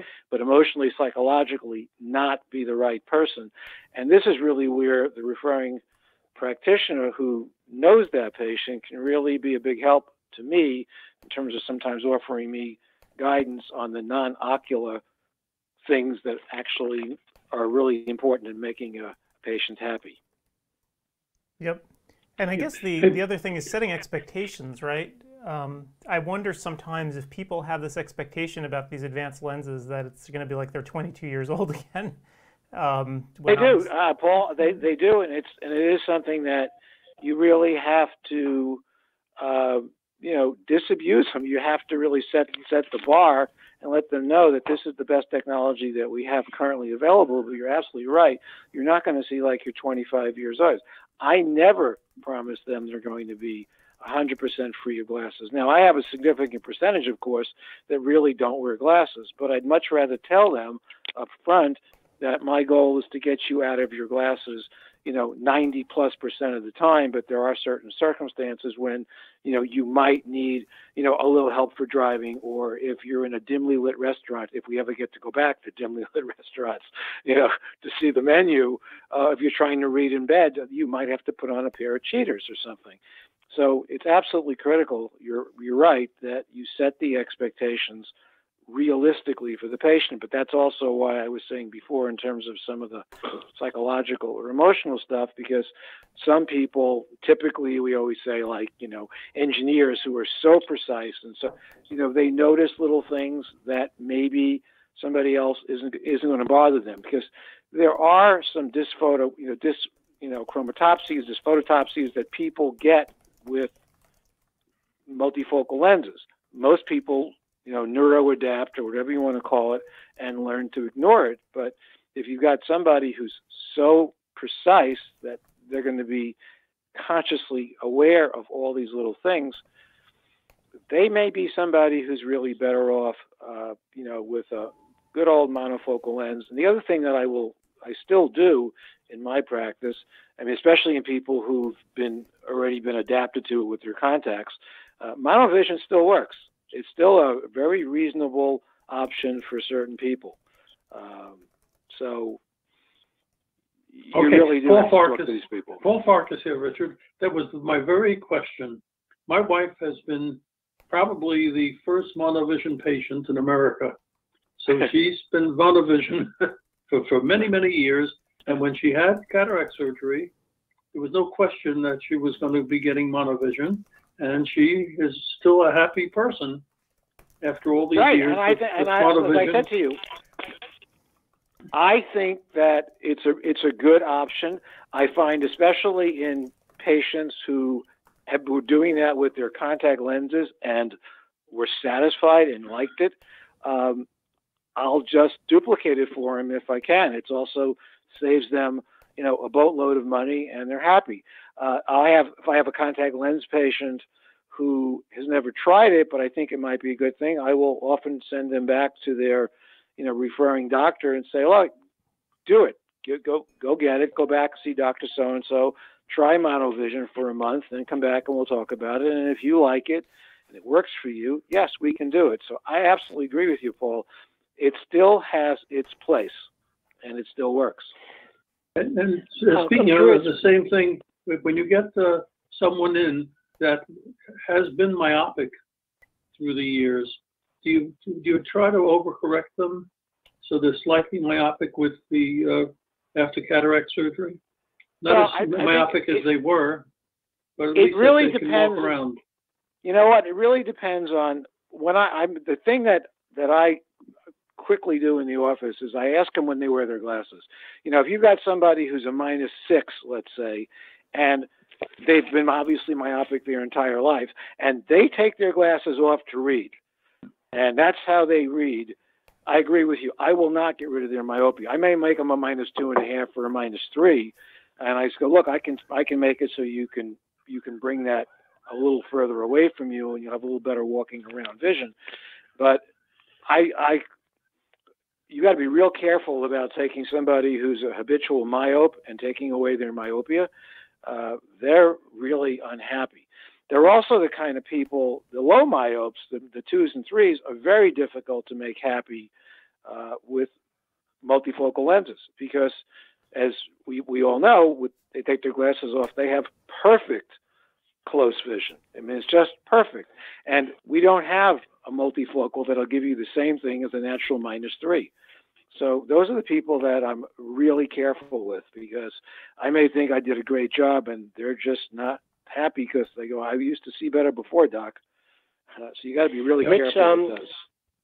Rich, I'm doing a lecture uh, to next CEwire uh, uh, iteration on um, the pharmaceuticals, the topical pharmaceuticals for presbyopia. But as you're talking, uh, especially the, obviously you're not going to improve accommodation in somebody who's pseudophakic.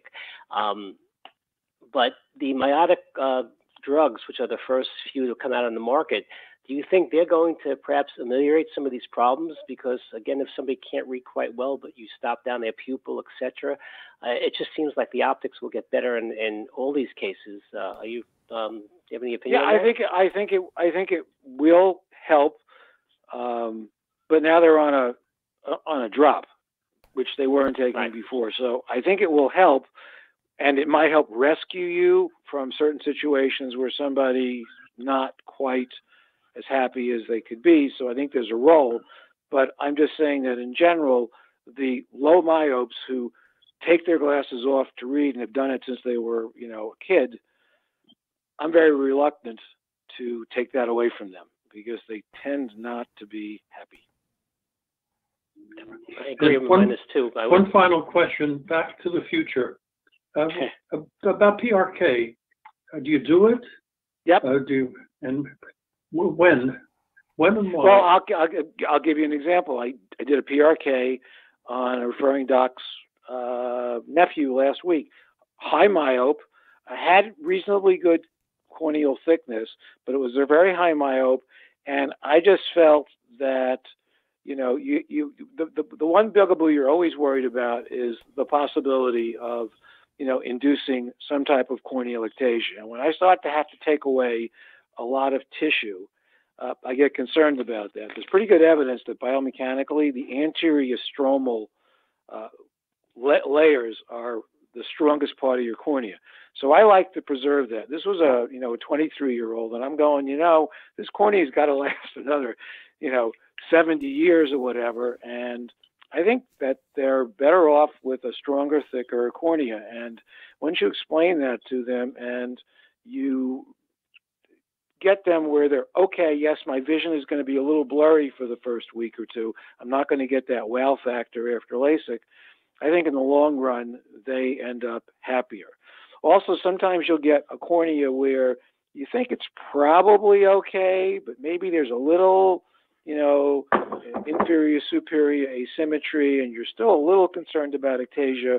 Um, I will sometimes just be on the safe side because this is just a practical matter, Paul. But practicing in, in America, if one of your patients gets ectasia, you're going to get sued.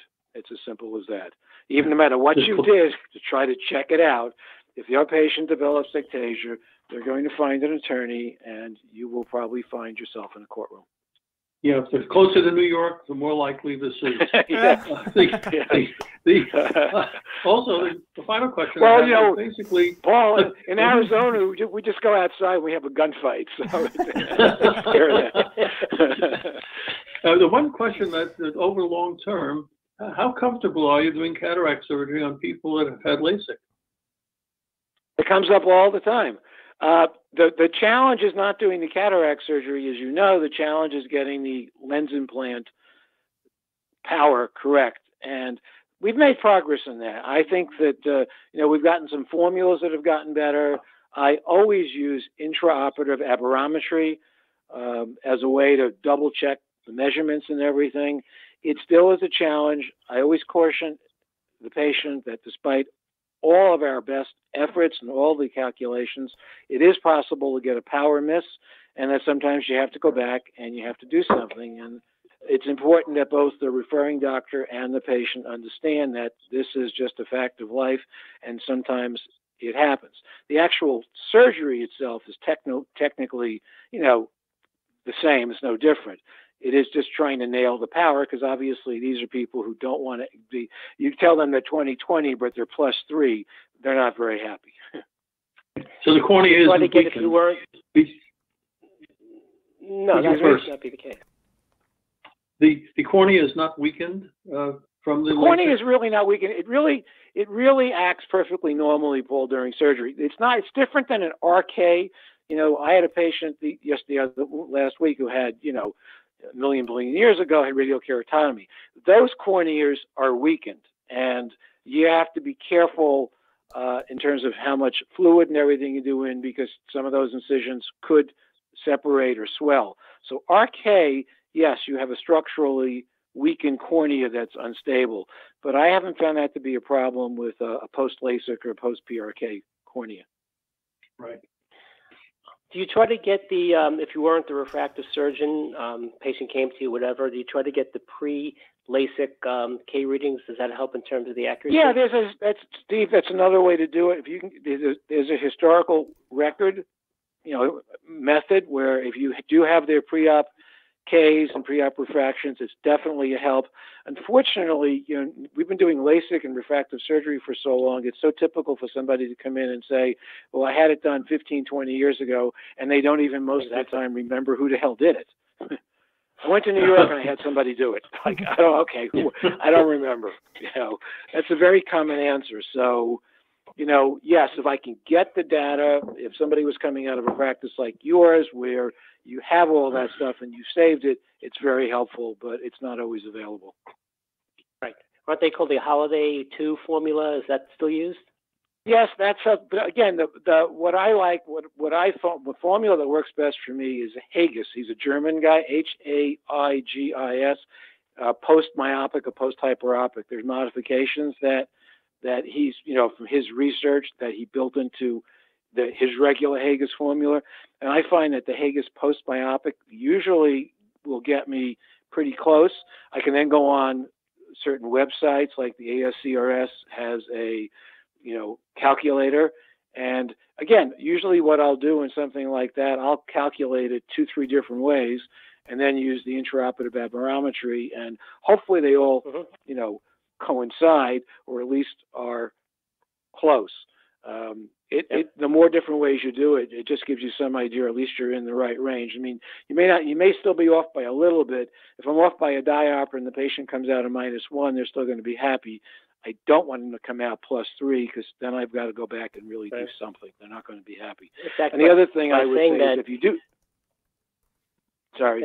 I was going to say that, but by doing that, um, if you recall, well, I think it was about eight years ago. I think we were on the same court case uh, as the Right. first wit- witnesses, um, and the doctor, person had uh, like a 20/20 minus cataract, and um, he was post LASIK, and he didn't use the proper formulas, and uh, the person wound up plus three, and they were not a happy camper.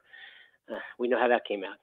Right. So you know, it's again, and I think it's important for the for the for the you know co-managing doctor to recognize, and if there's a problem, because again, the same thing in my practice, a lot of times they're going back to their doctors, and I may not see them after surgery. If you get a situation like that, don't sit on it. Call me, you know, call your surgeon, send the patient back because it's it's going to be easier to fix early on than later, and that plus three is not going to get better on their own. So you might as well just face the fact that something's got to be done. And if I'm going to go ahead and do a lens exchange or something, it's so much easier for me to do it, you know, four to six weeks after than somebody who's sitting on it for six months and now the patient comes back and now it's a challenge.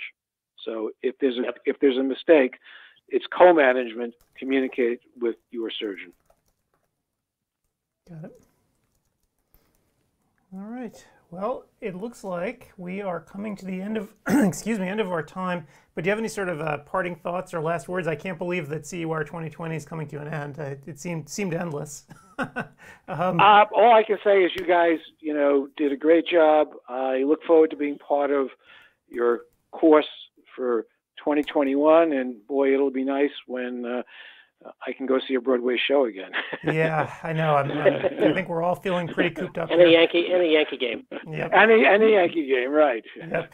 Right, exactly. So fingers So- crossed. I don't. I don't think we're going to be able to make it by April, but hopefully, as the summer wears on, they're going to start letting more and more people back. So I'll, I'll keep my fingers crossed for us. You got it. All right. All right. Thanks a lot. Thanks, gentlemen. Okay, thanks. Okay, Thank you, Richard. Bye. you're very Bye. welcome. Bye bye now. Okay. Okay, we learned something. Okay, um, yeah, and just that advice, um, um, about the, there was a, a change in the schedule that's on the schedule correctly between, um, uh, the doctor uh, was in the wrong time frame, but he has, he's on the schedule So- for later this afternoon. Yeah. So what, what happened here? What happened here is that inside of the conference itself, they had the old version of our schedule up there from November. So the schedule is actually correct on the CEwire 2020 website, where that PDF can be downloaded, uh, and they're just replacing the because what happened was they left the November one in place inside the schedule, um, and a few of the classes have moved around. We try our best not to move the classes, as you know. Um, so people can go from track to track and take a different track each time. But occasionally things do move, and people, you know, people's lectures move. So that's what happened here. So, um, yeah. So they're just going to fix the schedule that people Okay, have been downloading. So for the most part, though, when people download the schedule from November, it looks just like the one in December. There's just a couple of small differences, um, and they're going to make sure the December one is up there. Yeah, these are very um, A plus speakers, and, and things have changed. Uh, at the beginning, they could be on Saturday, but now they're in office hours. So we have to accommodate these people. They're coming back uh, several times, and they're being very nice to us to to redo this. So um, it's challenging to have them exactly the same time, exactly the same Right. So here's day of the week. here's the example that we're having- movement. Yeah, here's the example. We have a problem with uh, Dr. Gellies couldn't make it last time out, so his schedule, his thing got pushed to 4 p.m. Eastern time today, which necessitated then moving other other things around. So it's the schedule's mostly the same, but you will see differences. And I apologize for having the November one still up. Um, so they're fixing that right now. But the December one has been available for a long time on cewire2020.com. It's right here. Most people have been downloading that where it says view live schedule. So yep. all good. Uh, live and learn, right? We've Okay. only only done this like 25 times this year, so well, it's still live, and live is live. So Yep. it's uh, things are going to happen. But it's all it's nothing really. Uh, peop, the people who are attending the conference are planning their schedule based upon um, the new one now, so it'd be no problem. and, and the schedule I that we haven't- emailed out to everybody a few days ago. That's also this new one, so it's the correct one. I, I had an interesting question uh, by email. Uh, will this program be available, what we've done yesterday and today, uh, for the future, if anyone wants to listen to it? Oh, you mean this live stream? So if, if someone Yeah. wants to sit here for seven hours and do it, so the answer is yes. It'll be up permanently, actually. In the thread on ODWire, there's a thread where the live streams live, and you can always go back and replay all seven hours if you're a masochist. However, what I plan to do for a bunch of the interviews that we've done is actually chop them up into small pieces and post them on ODWire as well. Because if you want to hear somebody for 10 minutes, you don't want to have to sit there, you know, six hours or whatever it is. Um, so that's in my in our off season, which for me is going to officially start uh, in a couple of hours. Thank God. Um, I'll have time to actually take all of the interviews that we've done and chop them up into 10 minute segments and repost on ODWire. So you don't have to sit through the, massive seven hour long archive, although people do. Um, you know, oh, yeah. people, I, so, I for those looking, of you listening, Yep. for those of you listening, Adam is lying. He doesn't have an off season now with the way uh, our schedule goes. So um, he has an off day maybe or Right. two. I, so uh, you know, I, I used to, to laugh about it in all the past years of CEWire because we'd have this great schedule where the live conference would be done, and then the baseball season would start. And so I would say, all right, I'm gonna just take you know some time off for myself now because the live thing's over. Take some time, watch some baseball games, and just chill out a little bit. And this did not happen this year. It was the saddest thing in the world. that We, the, you know, the February conference ended, and then we're like, well, we got to just jump right back into it. So we've had no time. Um, this is going to be the first time off that I've had actually, starting I guess this afternoon, since the pandemic started. So yeah, just a couple Well- days away. All right, so, so the, the, the snippets will be available right through to 2021? Yeah. So what's going to happen is as I as I have time to actually do the edits, I'm going to put them up on ODWire. So we're just going to have these little threads, you know, with people's interviews in them, so so people can go back and and you know watch them. If they Yeah, want some of these interviews are pretty good. There- There's Yep. backstories that are And for pure those- gold. And for those who want new content and need credits or just want to have the education, we'll be back again in the middle of March, uh, March 13th and 14th, for the next uh, iteration of uh, CEwire 2021 this time with um, uh, multiple times to be able to watch things live till June 30th. Yeah, So, let me um, just before we, we have away. before we have our next uh, guest come on here, which I think is Sue Resnick. I don't know if she's here yet or not, but uh, um, I just Yes, I am. Oh, Sue, you're here. Okay. Well, before before we, we start talking to you, let's let me just quickly. I just want to really quickly um, show people, or just mention to people that CEwire 2021 is coming, for better or worse. um, on I'll put up the the slide so people can see. Um, so on March 13th and 14th, it's going to be the the next live show that we're doing. Uh, and it's going to have all new content, 100% new lectures, a bunch of new speakers, and of course some classic speakers like you, Sue, um, coming back. Of And course. So 64 credits. So we're calling it a 64 4 and 1. 64 credits, four live events, one low price. So basically, you pay once and it's all you can eat for those four live events. So it's essentially going to be like a 100 day long conference between the four live events and all the stuff that goes on in between with the sponsors and everything's on demand. So it's going to be fun, but I can't really think about it right now actually because my eyes are crossed. I'm just so tired from 2020. um, The year of the. I'm, I'm, I'm writing these uh, dates down now because it's the fir- first I'm hearing about it. oh, is No, it? I'm Oh, sorry. I, I knew I knew about the March one. As a matter of fact, while I've been enjoying all the lectures that I had to catch up on, I've been working on my my next one for you guys, and it's going to be exciting because I'm partnering with the great Melissa Barnett. So um, we have a really cool lecture. But anyway, that's uh, I don't want to do any commercials right now. Yeah, you, you, No, she's gonna be for, on. um, Yep. She'll be on at 3:15 today. so- Yep. Yeah. So Right, we're- I we're- know, we're- I know. So, so, you know, this has been this has been quite a year, and and before we talk about any ridiculous clinical stuff, I wanted to ask you, Sue, how's everything going for you? You know, you, as everyone knows, you know, you're from the New York area where the pandemic really got its legs, unfortunately, in the beginning. What are you seeing now? How are, how's everything going? So it's um, you know, we're still not up to like normal volume. Um, we are doing fine. I mean, you know, it's oh everything's relative. Um, so compared to places like Lower Manhattan, where it you know there is no traffic anymore, people have it's like abandoned. Um, and compared to some other areas in Manhattan, we're doing okay because we're we're next to a residential area. And the uh, other part that, thank goodness, is we have our Long Island office. So we've literally had an exodus of patients to that location, patients who are kind of still hunkering down on the east end of Long Island uh, or even the northern suburbs are finding it uh, easier to come see me in the Long Island office. So you know, we're getting along. Um, I look forward to the time where things are back to normal. We clearly uh, don't have the volume we, we want, and that's for two reasons. One is there isn't the volume we want, but number two is because still we're trying to socially distance. We've cut back uh, a third of the patients uh, to sp- space patients out more. So, you know, we're getting by, but uh, we want it to be better. Sure. You know, I, I made mention uh, a couple of hours ago about our fire in 1989. You were with us then, right? I was. I was only working out of the Long Island office then, but I was getting Yeah. I was getting the blow by blow. But but the but but the point being that uh, we went to 900 square feet right. and uh, worked from seven in the still morning did to seven at night, and, and our profit was not that different. right. And Doing it so that way that's- with one one office. Right, and that one is exam exactly rooms. the. Yeah, we're having the same, sort of the same effect now. Uh, it's a little different, but yeah, we're thank goodness. Um, you know, we're we're maintaining. It's just that um, our expenses have gone gone up probably since then. um, uh, we are, you know, we have more staff. So yeah, I mean, you know, it, it's fine, but but very similar, Paul. Very similar. We're we're very fortunate that we can we can do that. Right. Yeah. You find, Sue, that people, um, I have a friend who's a dentist in Midtown Manhattan, also in a, a very high class practice, much like yours.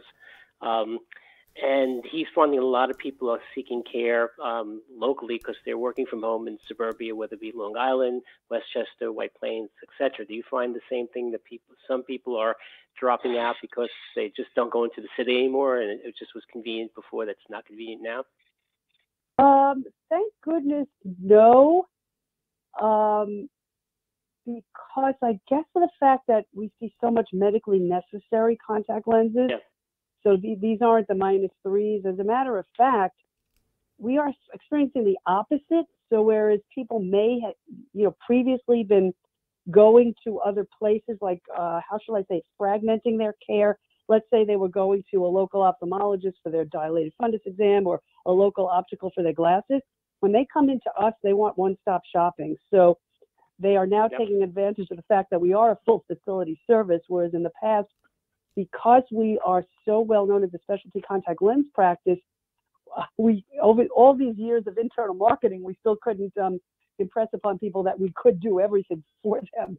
And we were also very, um, how shall I put it, wary of taking patients away from their other practitioners, and, and we still are. We we value the relationships we have with our referral sources, but if they're not aligned with one of our referral sources, um, or they really express a desire to just quote, quote unquote get it over with with us, um, then we are obviously accommodating them. So we are kind of going case by case.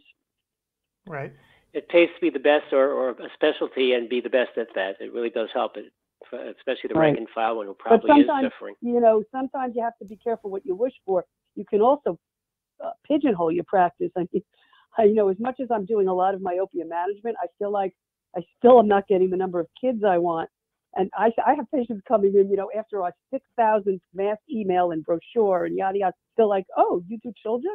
You know, it's, I just, I just, I, I'm sort of numb at this point. So, uh, you know, we still can't impress upon them that we are uh, kid friendly as well. I guess maybe we don't the office doesn't look that way so we'll have to figure that out but anyway Wow. So meanwhile, shift, shifting I, I, enjoy, I enjoyed your i enjoyed your talk with rich whitland.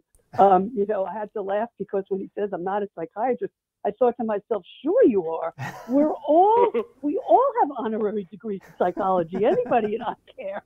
Somebody ought to let him know Yeah, you- have to have uh, a coffee with Rich one day. He's a great guy, a really down to earth uh, uh, surgeon, and uh, really just uh, competent uh, beyond belief, but also really Yeah, no, he's great. Practical. I, I think over the years, I do have some patients that comment. I've, I've attended all of his lectures. No, I love his um, pragmatic look on everything and, and the way he practices. I agree, Steve. He's great. Oh man. So so Sue, I got a question. I got a question for you. So you know your Sure. lecture, your your one lecture here, you did many of them, but this one is on ptosis. So this is a disease that was universally ignored by people until very recently, right? That's right. because they couldn't That's do right. anything, right? And you didn't want to offend anyone. But now, of course, you can Right. offend everyone because you actually have a treatment for this. Yeah, so interesting because, you know, I just did the uh, lecture on this and we addressed the differential diagnosis and how do you measure it and what the surgeon and what the options were. And I had to put on the chat that this lecture was drafted and given before UPNEEQ was approved. So a lot of, I got some comments like, has anybody tried UPNEEQ? So I tried to direct everybody to this little chat. But yeah, you're right. I mean, up until now, I mean, I've been guilty. The habit has been to do a rather cursory look at the eyelids, not paying much attention to the position or function, unless there really was obvious asymmetry or the patient brought up concerns. But, you know, now knowing that we have alternatives to surgery, uh, it's important to look at the lid anatomy and function, you know, both qualitatively and quantitatively, you know, in a methodical fashion on a routine basis. So, um, UPNEEQ gives us the advantage of, as you, you, said, insulting people. We try not to do that. We uh, we have methods of uh, bringing that up uh, in a very politically correct fashion. Um, sometimes a patient will bring it up, but oftentimes the way I will do it is, uh, you know, when I have them under the microscope and I'm explaining what I'm looking at, and I go from one eye to the other, I'll say, "Gee, I'm measuring a little difference in the position of the eyelids. Is that something you've ever noticed?" And that will be a springboard. If they say no, then I'll say, okay, that's great. It's not an issue. Um, just know that if it ever bothers you, and I explain to them what the symptoms might be down the road, that we have a drop that can lift the lid. And then I leave it at that, done. But if they say, gee, oh my God, yeah, my eyelid, look if it's bilateral ptosis and they say my eyelids have always been heavy, uh, or I feel like um, I'm just, I don't like the way I look in pictures, I mean, then it's easy to just say, great. We have this great option, and and I go we go from there. We right. uh, we do a little in office uh, trial with UPNEEQ, and then we teach we show them how they can get it. Right. Well, what I liked about your lecture too was you reviewed the anatomy and physiology of this condition, right? Which is something I think everyone's forgotten. Um, and I know that yeah, some people, I mean, I, some yeah. people are better candidates than others, right, based on what's actually going on. Yeah, sure. So it's for the approval is for acquired blepharoptosis, which, as you know, Adam, is more prevalent with age. As a matter of fact, the statistics show that about 11% of patients will acquire, you know, some form of blepharoptosis as we get older. Um, now, interestingly, being in a, and Paul will know this, um, Paul basically set up our entire demographic for UPNEEQ because back then we were fitting hard, you know, he was fitting hard lenses, and I still have many of those patients. And, you know, these patients literally come in, you know, lifting up their chins and looking down at their noses. Uh, some of them have significant bilateral ptosis due to the dehiscence of the lid uh, from, you know, pulling on that lid in terms of uh, removing the contact. So for us, it's probably more than 11.5%. Um, but it can also happen with soft lenses. But yes, acquired blepharoptosis, the differential has to be made because, you know, there can be underlying serious systemic or, you know, isolated conditions. Um, you know, the isolated acquired blepharoptosis, such as trauma, surgery. I mean, that's obvious. The patient will basically walk in and tell you the story. Um, but if they walk in and it's neurogenic or myogenic, then you do have to be careful. Uh, the first thing I do is I look similar to pupillary, um, you know, differences in pupil size. Uh, you know, first thing I do is I have to look at a picture from way back or their their driver's license, and if it is something new, then it has to be investigated further. Right. And so with the patients that come in, you actually, if you've determined them to be a candidate, you actually give them a trial right there in office? Yeah, so basically I do the exam and if I'm going to, let's say, dilate them, I, I actually will put in the the UPNEEQ first, wait a couple minutes, and then I'll put the dilating drop right in after. So while they're dilating, we're waiting for their pupils to open and their lid to lift.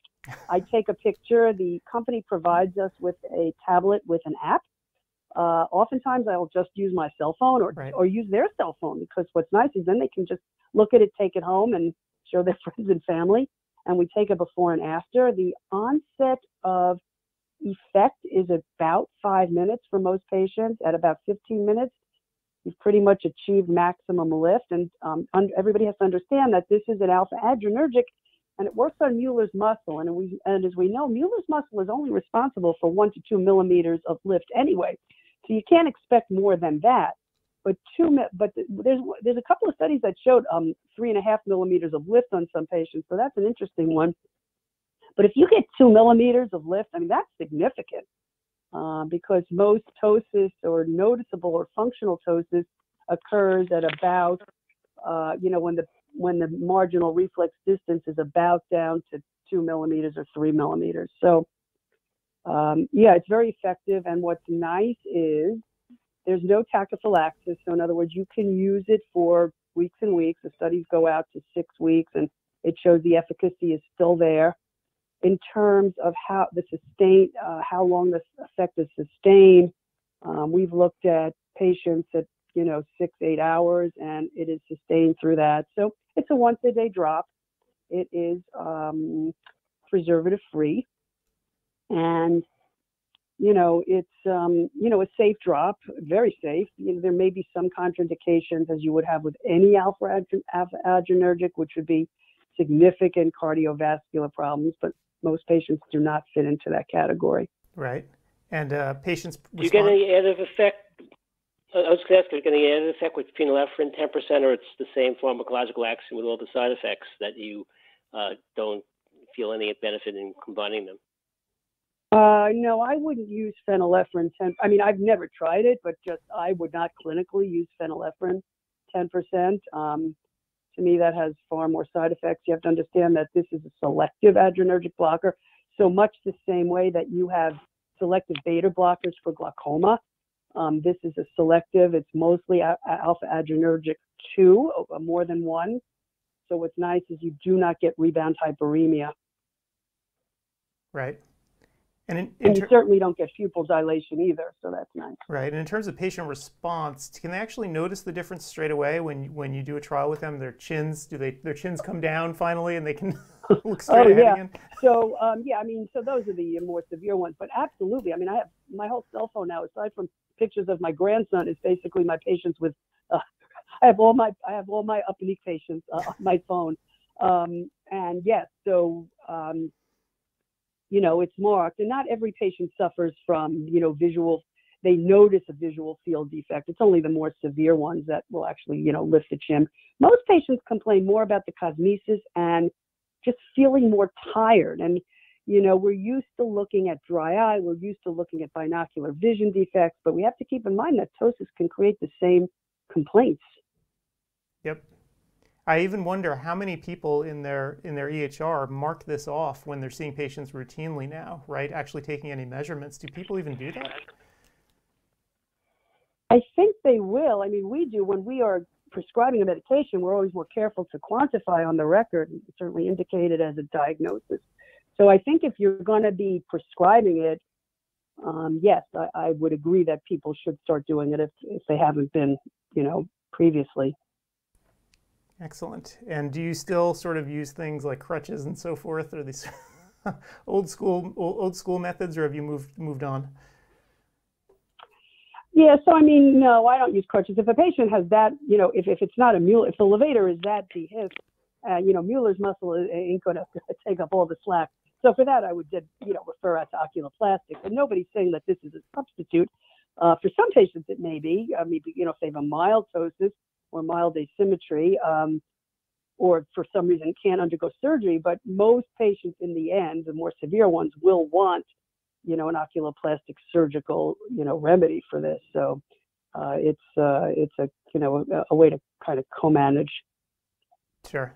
And you know, one one question I had too is this all sort of came out around the time of the pandemic, right? Um, it's sort of there's like an overlap, and my question would be: Is this generally available, like out here in the in the wilds of Oregon? Do pharmacists can they get this product, or I mean, I guess in Manhattan it's, oh, it's yeah, easy, right? So, oh, so this is a very unique. Uh, how shall I put it? Um, how they how they how they um, provide it. So RVL, which is the company that developed the um, formula. They have their own pharmacy. Hmm. So a couple of things everybody needs to be aware of. Um, one is that it, you can only get it through RVL, so you actually can put it through your your normal EHR or however you order your pharmaceuticals for patients through the computer, and then the, the company will contact the patient to finalize the delivery. They'll take their credit card number. It is not covered by insurance, so it's out of pocket. Um, so anybody can get it anywhere in the country. Um, they are. It's a small company. They are trying to get reps out to the boonies, as you said. Uh, they are, they are not yet in every state and every region, but they're trying. Um, you can email the company or email me if you wish. I'm happy to put you in contact with them, and they will get back to you and go over how to do this. They have they have brochures that um, you give well, not brochures, but you know just a slip of paper that you give the patient as to the how to get it and what's going to happen. Um, so it's very simple to do. And just as an aside, um, coming this Wednesday night and then for a few other nights, we're going to be going through all this. Uh, me and a couple of the other um, uh, KOLs for UPNEEQ. We're doing webinars, and I'm, I'm going to be pairing with Dr. John Fezza, who has an amazing practice in Florida. So he and I are going to be doing two presentations Monday, uh, Wednesday night, and then there are a couple after. So just go on if you you know you can um, find the link and just sign up for one of our presentations, and we're going to take everybody through all of this. Oh, very cool. I'm, I'm happy to plug it for you if you could if you could send the link or I could find it here. I'm on actually. Oh, um, I'll do, yeah, because I'm on a, a yeah, big site sure, right now. Adam. I'll send I'll send you the link uh, in the yeah. I'll se- I'll email it to you because I don't know how else to get it to you. It was sent out in emails, and you can figure out how to transfer that. Sure. I'm really bad at that stuff. yeah. So, and I'm actually Uh, browsing I their website right now. So you're absolutely right. So you have to go to the, their uplifting pharmacy experience, right? So they have a website, Right. and the, the procedure that you go through to actually uh, get the, the drug to the patient. So that's pretty Yeah. cool. They, they- you know, they make it so easy for you. Like you do nothing. All you do is like uh, put it into the the, the, the EMR, the phar- uh, not the EMR, the you know whatever pharmaceutical uh, platform you use, and then they take it from there. But to answer your question, we do provide the patient with about a three day sampling, and if you call the company, if you don't have a rep, they will send you samples. Uh, it's in individual tubes, and again, you use it once a day. You have to, you know, you have to tell the patient it's uh, it's always preservative free, and it is, um, you know, it's a very comfortable drop to use. I haven't had any stinging or burning or you know anything like that. Very cool. Excellent. Well, you know what? If you can get me that link, what I'll do is I'll take this little interview that we're doing and I'll clip it out and I'll put it on ODWire so people can just watch our little talk here. And I'll put the link right beneath it Great. because I know that you said it's coming up on Wednesday. So that I, it's mine and Dr. Fezza, and then I know Dr. Karpecki and a couple of of the other, as you put it, classical speakers. I like that instead of saying old farts. a couple of other. Thank you for that. A couple of the other class, class, classical speakers um, are on there. Um, we what what uh, what RBL did was so cool. So they paired ODMD up for each of the presentations, so we can really combine, talk about how we do this, compare notes. Uh, it's really it's a it's a nice way to bring um, bring the professions together. Very cool. yeah. Great. So I will send that to you shortly, Adam. All right. Excellent. Well, thank you for doing this. And again, thank you for being part of CEwire again for the 85th time. I'm glad it's over. I mean, it's been fun, but you know, this year has, has been dragging on a little bit too long. Well, you guys are just doing an amazing job, and I was looking at the uh, attendance, and I'm just so impressed that people are still logging on in force. And, It's uh, it's know, surprising to me. I don't know. If, yeah, I don't know if you heard. We we got our six thousandth uh, participant yesterday morning for this year. Wow, do they get some sort of a prize or something? That's actually a good idea. Sure. Yeah. Um, I think you should have had a drone deliver like balloons. send them some and, and you're correct, Sue. The amount of people in the rooms are just phenomenal. People are, you know, getting their last. I guess some states have their biennial the the calendar year, so they need the credits desperately, as well as the great education you provide. Exactly. All right. So um, Okay. enjoy. Uh, you know, I'm going to enjoy the rest of the meeting, and you guys just get through it and uh, get some sleep. All right. Well, thanks, Sue, and we will catch up with you in uh, in 2021. So after our after our little Sounds vacation. All right. Thanks. Happy holidays. Bye. Happy holidays. Catch you later. Hey, Bye, soon. Bye. All right. So always great to speak with her. Um, and as we mentioned, of course, CEwire 2021 is coming, whether we want it to or not. Those are the dates. Um, Steve, hopefully you made it clear to the speakers that these are the dates that we want them to be there. yeah, they all want the first date first because they they don't know if the world's going to end after that, and uh, uh, they all have um, all the dates now. At, le- at least the speakers I have. We have almost our full um, consortium of speakers, but a few more uh, Yeah. high So profile people. We should getting on. definitely let them know that these are the other dates that we want them to be there as well. Hopefully they can make it. Yep. Again, we tried to schedule those that you know away from major meetings, right? We don't want to Yep. step on anyone's toes like like Expo or whatever. So as as the world gets more normal, it gets harder to have the speakers come back. It was easy March and April of 2020 when they were locked in the house, but now we have to accommodate their needs. yeah, it's going to be which is challenging, and I'm sure we're going to be moving dates around and stuff like that. Like from Saturday to Sunday, people are going to be switching, and that's okay. Mhm. We'll we'll figure it out. Yep. Um, You know, one thing you haven't done yet today, you haven't thanked our sponsors. oh, right. You know, so before our break, maybe one of yes. you who made Yes. all this possible. Let me bring up our sponsors. You're absolutely right. I apologize for that. It's been such an action packed day here today on our very last day. Um, so let me pull that up so people can see. So there we go. So thanks to our sponsors for um, taking part in the conference and making it possible. Um, the lectures are actually kind of expensive to produce. The entire event is expensive to produce from getting the speakers and especially having them come back over and over again to the technology behind it and so forth. So it's it's a lot. Uh, and we couldn't do it without our sponsors. They provide us with kind of the seed capital to get running here uh, each year.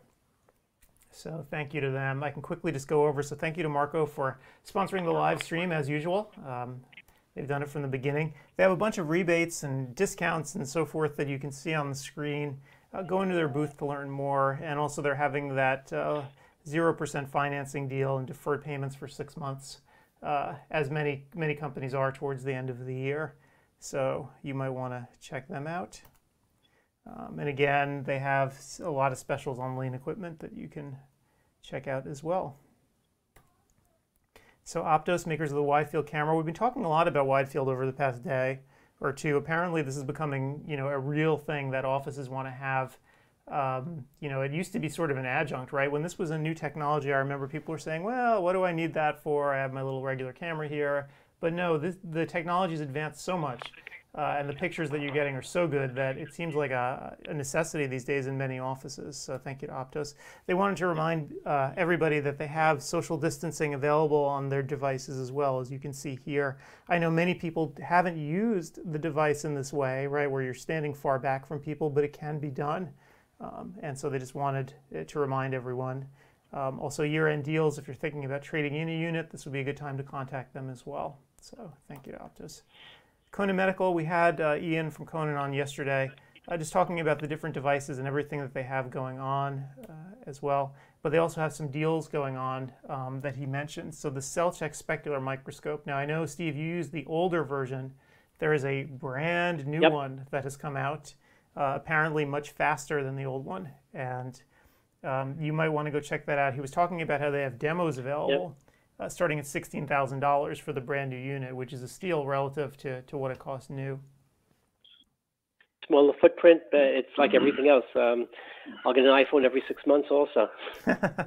so definitely go check it out. They have these show specials and demos. Um, so thank you to Konan Medical. So MacuHealth, we had a, a good conversation with Jim Stringham yesterday, uh, all about lutein and zeaxanthin, and talking about where the stuff comes from, how you know it's used, um, and talking about why the AREDS formula might be considered by some to be obsolete, right? Because it doesn't have zeaxanthin in it. So, uh, and I didn't realize this, Steve, that there's there's not an AREDS three coming. this is it. Um, there was I wonder why. I mean, it, it took a lot of years, and there's a lot more information that we have than we didn't have before. The the Yep. meso, the other components like zinc. I, I just don't. I know it's expensive, but um, the that was now 15 years old. They- Yep. So yeah, data, so- I, I don't I don't know. He said they're still analyzing the data from the last one, and th- there's not even one in process now for the third one. So, but anyway, he was talking about the mesozeaxanthin and how it wasn't included, but how they included in in health supplement. Um, and because clinically and, and looking at the science, it looks like it is very important to actually include. Um, so S- Steve, you were uh, you you mentioned that that you're a big user of MacuHealth in your practice, and I had the And- and question, myself. and I just want and and I want to confirm it. Uh, MacuHealth is only available through eye care practitioners, and not through uh, mail order or anything else. You can go on the website and purchase the product directly because it is a vitamin. It's not a drug. Um, you can buy it um, directly from the website, but uh, you might get a better deal, frankly, purchasing it from the doctor. um, especially with his guidance on, on the use of it. So, no, you can buy it directly, not mail order, for, but through MacuHealth directly. Right, and it's not something you're going to see at pharmacies. And basically, you take it like a vitamin. You take one a day, Yep. even if your eyes are healthy. Well, it, it does several things. One, um, it helps to prevent macular degeneration, also helps to prevent progression. But because it gets that yellow pigment in front of the macula, people, and if you listen to John Nolan's lecture and his science and his research, people simply see better. So um, it's even, I've been using it for athletes, for example, who want to see a baseball better or something like that, because supposedly it just makes your overall visual performance and visual acuity better. Now, my, my office doesn't see um, uh, 100,000 people a, a, week to do a scientific uh, study, but uh, people have reported better vision. So it's used for visual enhancement as well as uh, the health of the eye. That's why I take it. Yep. And my golf game's getting no better. In fact, one of the but other I can things. see my misses perfectly. So one, one thing that Stringham also told us was, you know, the amount of spinach one would have to eat or kale that one would have to eat is so excessive that no normal human would want to do it. So this is why supplementation is important. So You know where they get it actually? Um, I don't know if he discussed that with you. Um, I was uh, on a jet plane, literally. Um, they get it from the marigolds in Mexico, and they distill it down. And that's where they get the mesozeaxanthin, which makes sense because it is a yellow pigment, and marigolds. Last time I looked, were yellow. Yep. So that's their the source of the product. Yep, pretty cool. Okay, so Luneau Technology is a platinum sponsor of the conference, and thank you to them for coming on. We've been doing a lot of work with them actually and exploring their their technologies, um, including you know we did a webinar with them on standardizing uh, your practice with dry eye screening, which was cool. We had a talk about their iRefract system, and I did an interview, and I played it yesterday. I'll probably play it again today so people can see it, and obviously we're going to put it on on ODWire as well since we just finished editing it um, with Dr. Rasa, who started up 11 cold starts in Chicago.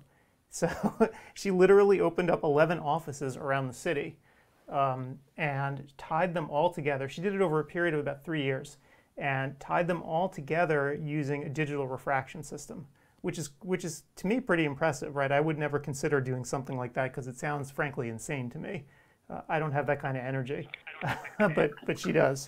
Um, and so It's amazing. Yeah. it- it is kind of amazing. And so to make it work, she needed a way to do a lot of stuff remotely, and she implemented this system called iRefract. And we, you know, I interviewed her about it um, and how she implemented it. So pretty cool stuff. So thank you to Luneau for for coming on board and sponsoring the conference. And again, if you go to lunotechusa.com slash CEWire, you'll see a bunch of the resources uh, that they have um, are there that we've created this year. So Haag, makers of the octopus, and we have deals. They sent me some deals, and you know, at the conference, so $2,500 mail-in rebate for the Octopus 600 Pro, uh, and then a bunch of deals on chair stands and stools uh, bundled together. So, so this is running just at the conference. So definitely go to their booth and contact them that way the Neurovisual Medicine Institute. So they identify uh, and treat patients with binocular vision dysfunction using fractional units of realigning prism.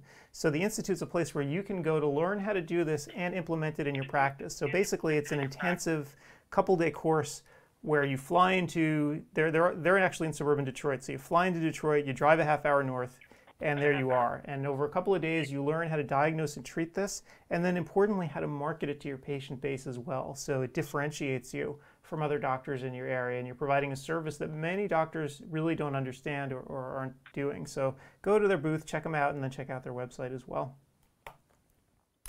Uh, TearCare, we had Craig Thomas on yesterday talking all about heat and my meibomian gland dysfunction. This is one of the systems that he uses, although it sounds like he's cornered the market in every single kind of device possible to treat MGD. Um, so, But he has a great strategy, as he outlined to us, of, of when to use which device. Yep. It's So amazing. he he he tries to determine which patient would do best with each, and TearCare is part of his strategy. So this is a small and affordable system, uh, different than sort of the the ones where you'd pay you know fifty or hundred thousand dollars. This is much smaller, portable. That thing that looks like a hockey puck is the size of a hockey puck.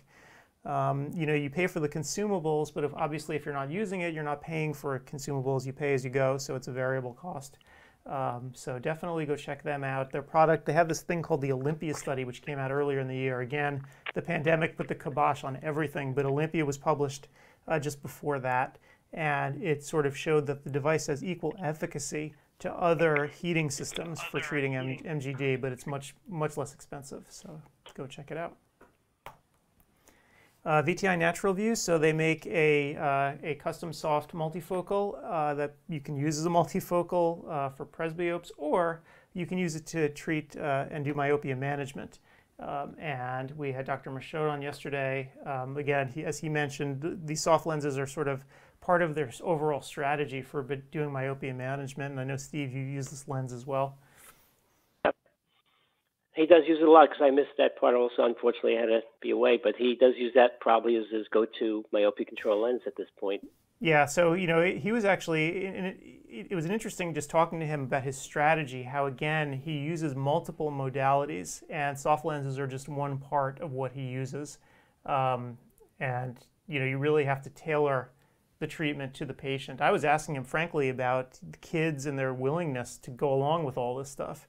Uh, I have an 11 year old, it's hard to get him to do anything sometimes. So I'm always amazed that kids are willing to go ahead uh, and engage in this. Not to toot my own horn, but I, I lectured with uh, Dr. Bullimore um, about five years ago, no, four years ago at the Academy about the combination therapies. In other words, doing um, multifocal contacts and orthokeratology, and sometimes even atropine with the you know high risk cases. Uh, you get a child who's seven years old, whose parents are minus 11, and they're minus three at that time. That's a high risk patient that you don't want to go on to being a high, high myope. So that, he, he took up the uh, slack and has done all the research, but we just did it by the bootstraps at that point in time. Yep, and the research is getting better every day. So these are all tools that you yep. can use. So, so definitely check it out. Uh, Zeiss, so what more can I say about Zeiss? So they have been incredibly responsive in the face of this pandemic right from the beginning um, big supporter not only of the conference but of eye care in general. So when the pandemic unfolded, they immediately started giving out shields, breath shields for slit lamps, not just for their own devices, but they'll fit on any slit lamp. Um, and they immediately started publishing huge amounts of educational material online that people could use, both how to sort of secure your practice uh, to make sure that you're as safe as possible, and you know, frankly, just educational material that you'd have a hard time getting elsewhere because you can't travel. You're, everyone's been stuck. Um, so they have been really great right from the beginning. They virtualized their operations, so they didn't even have a little hiccup, even though everyone was working from home. Um, of course, their instruments had a lot of remote capabilities built into them from the beginning that, that most people never took advantage of, and now they are. So it was sort of fortuitous, right, that the devices actually had this capability and now people are using it. Um, so they mentioned they have a couple bundles going on here that you want to go to, to their booth and talk to your reps about to try to get these discounts. The Retina bundle, which has the Clarus, again, which is a wide field camera which with incredible images, uh, and a choice of OCT unit, or a glaucoma bundle, which, uh, which is a perimeter, the HFA3, and a choice of OCT. Um, and again, they have trade-in discounts for those looking to upgrade their OCT units and for those looking to upgrade their fundus cameras. And what's hilarious about this of course, we're talking to Craig Thomas. He took one look at the Clarus 500 and said, I absolutely have to have one, and immediately bought one, even though he had multiple other fundus cameras around, and they're now just sitting in his garage. Um, he's retiring these old units. Of course, I, I the, the immediate question is, why didn't you just trade it in? Do you want a museum in your garage for these old units? So I'm not sure what he's planning on doing with them.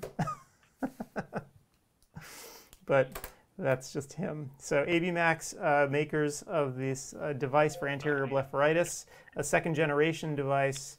Um, clean all the junk off the lids before you actually get started uh, on other treatments. So this is an incredibly important thing to do and inexpensive too. Um, the device itself is relatively inexpensive. The consumables cost about half as much as the first generation device. Myco, uh, the company that makes it, has a bunch of deals going on. Go to their booth to see what the latest ones are. Uh, critically, um, if you've never gotten started with this before, they'll train you via Zoom. Uh, the device is actually not difficult to use. The treatment itself is not painful at all. It tickles a little bit. I've had it done a few times. Uh, it tickles, but it's, it's very easy. And in fact, your staff can learn to do it themselves. You can see a certificate up on the screen. Myco will create these digital certificates for you that you can then you know, have your staff hang on the wall or whatever to show people uh, that they're certified to use it. So NeuroLens, uh, makers of the device to manage misalignment between the two eyes, and then uh, the device spits out a prescription, and you can get custom lenses made with contoured prism from NeuroLens's lab. And they wanted to to let everyone know that you know obviously now now's the time to take advantage of Section 179 tax benefits. You can defer payments on the system for six months, uh, and they'll also issue a $500 lab credit when you dispense 10 pairs in a month, right? So if you have a volume of, of patients coming through, um, you can probably meet that, that lab credit. In fact, I should have asked Sue Resnick about it because I know they're big users of NeuroLens in their practice. Um, and I completely slipped my mind. I should have talked to her a little bit about it. Uh, but if you want to become a provider, go to hs.neurolenses.com slash become a provider uh, to jump on board or visit their booth. And Oculus, again, makers of a large number of devices. They've been with us since the beginning as well, so thank you to them. You know, devices like the Pentacam, which we started talking about a lot, um, and the Keratograph, which we've again spoken about a lot this past weekend in the context of dry eye. Um, you know, they make these these multifunction devices that are like Swiss Army knives. Um, they also have a sale going on right now. I think this is still happening on uh, open box sale on the EasyField S. I'm assuming they still have some of these units left. I don't know for sure because uh, again, it was an open box sale. So $59.95 plus a six month warranty. EasyField's kind of a cool perimeter. Uh, you don't have to do it in the dark, which is kind of interesting.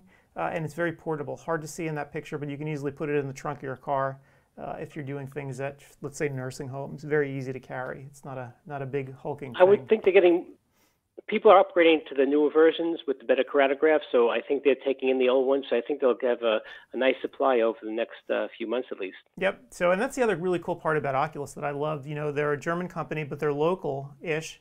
Uh, you know, they're local to me actually. They're right up here in Seattle. That's where their service center is. So um, they have sort of this, the resources of a large multinational company but a very sort of local feel. If you want to talk to the CEO of the company, he makes himself, the American unit of the company, he makes himself available all the time. Uh, you'll see him at trade shows all around setting up the booth himself with their staff. So he takes a real hands on approach. If you have uh, questions about their software or you want to see features implemented, they actually do take your feedback seriously. We have multiple doctors who sent them requests to build into the software, and you see it actually roll back out uh, into the devices, which to me is amazing. So they really are listening. So definitely check them out. And Science Based Health, makers of HydroEye supplement. Um, so again, Science Based Health uh, looks to the latest available science when they're making their formulation, and they modify their formulations over time on their products too. As the science advances, so do they, which is a really cool thing. So you're not going to get a lot of hand waving from them. If you have any questions about the science behind dry eye and supplementation, you can ask them and they will give you very pointed responses. Um, they know what they're talking about. So it's like Zach Denning, who we've had on here before, you know, is up on all the latest science. If you have any questions about the science, just email him because he's a huge resource and a, he knows a great deal about this topic, probably more than anyone I know. Um, so really, really good folks, easy to work with. So definitely check them out at Science Based Health. Covalent Careers, so this is the largest job site in eye care. If you want to look for a new job or if you want to post a job, right, if you're looking for an optician or another OD, this is the place to do it because their listings are syndicated everywhere, um, including at odwire.org. I can pull that up just to show you.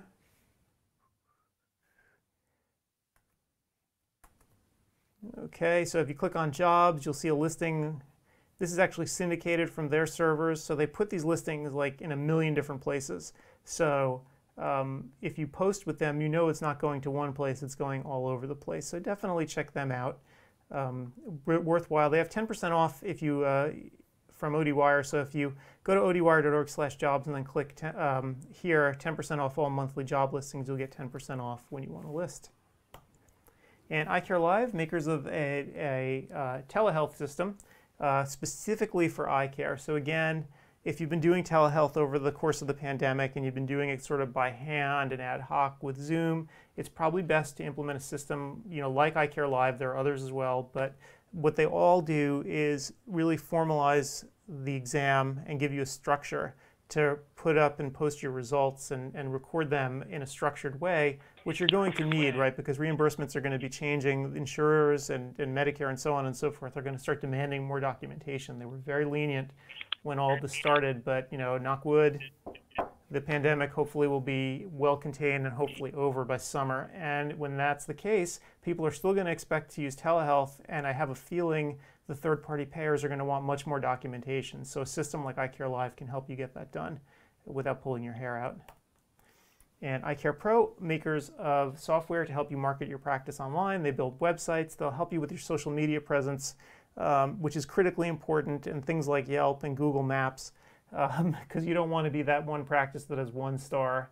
So when someone sees you on Google and they look on the map and they see that one star or two stars, they just you know walk away.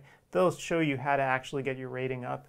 Um, to get people who are your biggest fans to actually contribute reviews, which is sometimes the biggest problem right? Because usually people only submit reviews when they're angry. That's not what you want. You want to have good reviews up. So check out EyeCarePro. Um, they can save you from a lot of misery of trying to do this yourself. Lacrivera, maker of punctal plugs. You can see their latest, whoops, latest discounts. There we go, up online. Um, enter code CEwire2020 at their site when you're ordering to get 10% off. Uh, and you can see sort of the menu of stuff they have up there right now. And finally, optometry times, practical chairside advice. So um, the great Gretchen Bailey, who's been under the weather, so unfortunately she couldn't be with us here today, which is making me very sad because she's a fixture here with us. And uh, hopefully she'll start feeling yep. better soon and she'll be back, back in action. And hopefully when this pandemic all ends, we'll have her back out here again. Um, and she can be by my side while we're, while we're doing this uh, for, the, for next year's show. Uh, but anyway, practical chairside advice. So uh, as their name implies, very practical journal. Uh, they give you little bite-sized chunks that you can use and implement in your practice quite easily. Ben Casella is their chief optometric editor. We interviewed him earlier in the day. Um, really good folks, easy to read. They don't expect you to build a shrine to Optometry Times in your office. Once you read the thing, especially on paper, chuck it out when you're done. Um, you're meant to, to use exactly what you take away from it uh, and not save it for another day. So check them out. And finally, Vision Equipment Inc. So this is Leo Hadley's company. Unfortunately, Leo couldn't make it here to be with us today. I wanted to talk to him about all the stuff that he's got going on, but if you go to his booth, he's updated all the equipment that he has for sale because they handle refurbished equipment, so their inventory is constantly turning over, especially with COVID, right? We've had some office closures, so he's got a good inventory now of stuff. Um, he wanted to let everyone know that you can receive an extra 5% off orders placed this month by mentioning CEwire 2020. Um, so go to his booth to learn more and see what he's got. One thing I can tell you about Leo is that he thoroughly refurbishes whatever he gets. Uh, and he's been doing this for a long time now. I think it's like 15 years, maybe longer, 20 years. Um, so he's wow. he's a true expert at this. And uh, go to his website too, because they sometimes has fun videos of him them you know breaking equipment apart, so you can see how refurbishing actually happens. It's pretty neat. All right, and I think that's it for our sponsors. And I will mention one more time that CEwire 2021 is coming um, after our little vacation here. 64 credits, four live events, and one low price. So the idea is that essentially you're paying once to attend, and this is going to be like a 100 day long event where you can choose to come to any one of the four events or all four of them. All the credits will be offered live at each one of the events. So if you want, you can come to one event, sit there for 16 hours, come back the next time, sit there for another 16, and so on and so on. So if you're brave enough, you can get 64 hours live. That's the theory. And you get it for one low price. We, we're not going to nickel and dime people and make them register twice and so on and so forth. We want this to be affordable, particularly because the pandemic is still going on.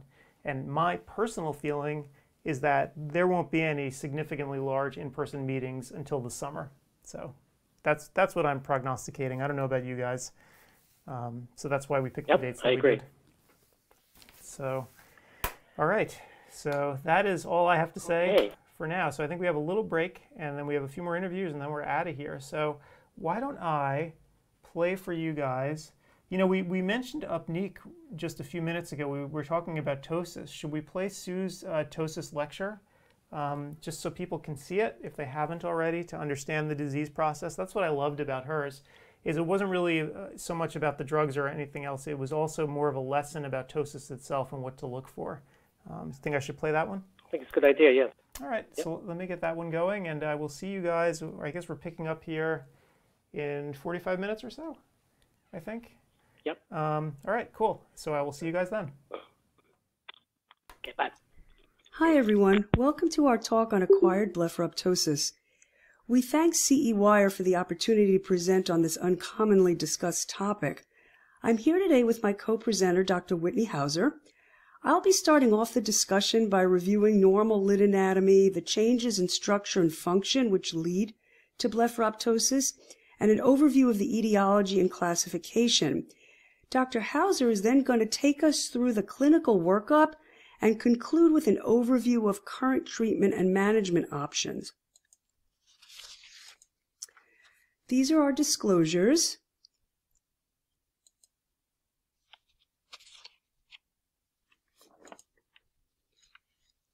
Let's start by just reviewing eyelid structure and function.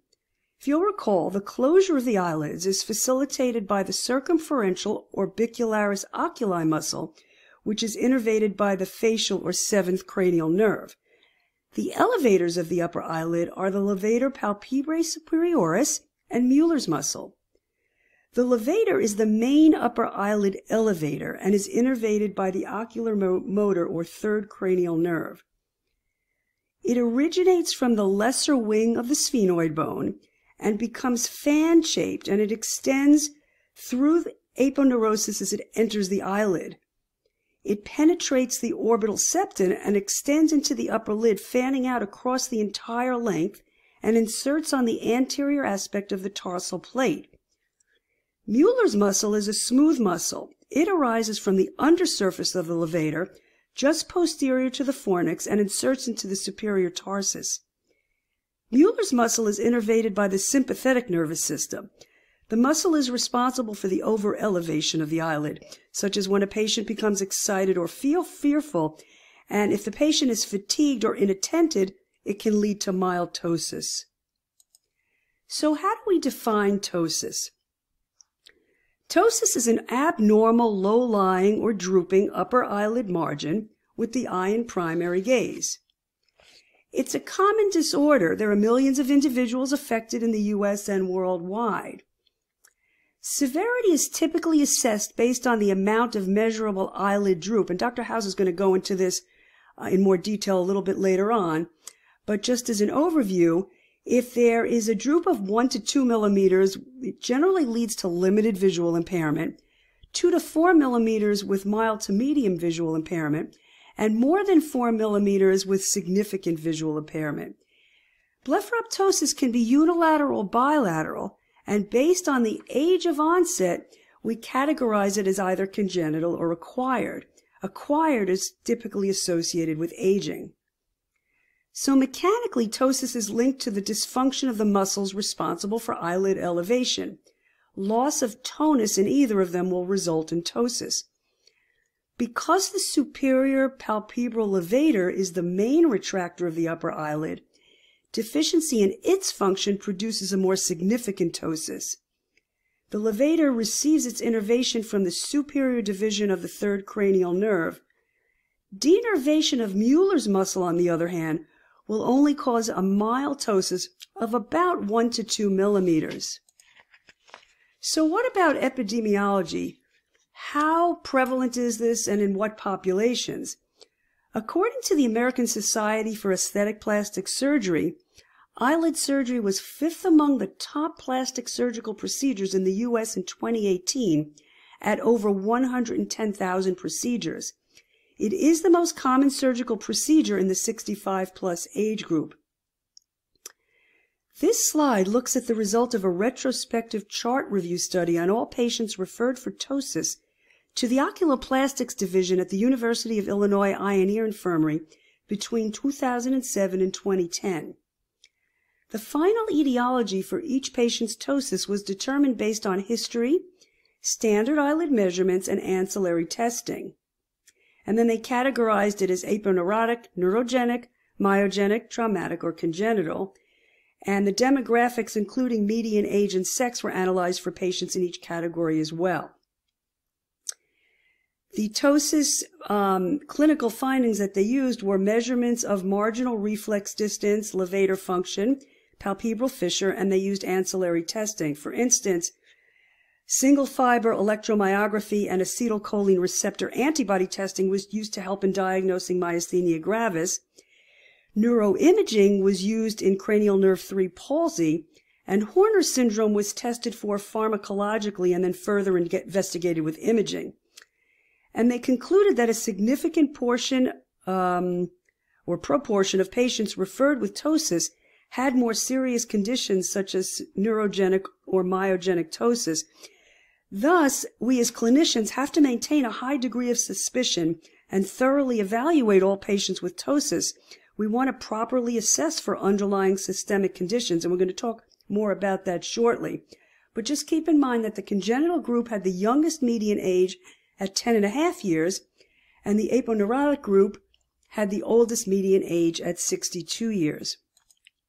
So how does ptosis impact patients' lives? I think we're all familiar with patients who come in and express dissatisfaction with cosmesis, um, but there are other things that patients will uh, experience as well.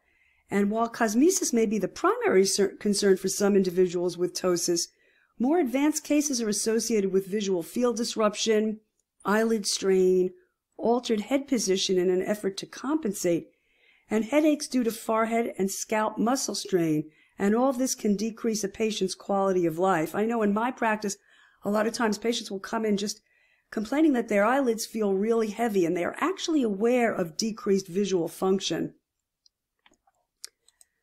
So let's talk now about the causes of blepharoptosis, and we're going to start by looking at congenital versus acquired. Congenital blepharoptosis is typically caused by developmental myopathy of the levator muscle.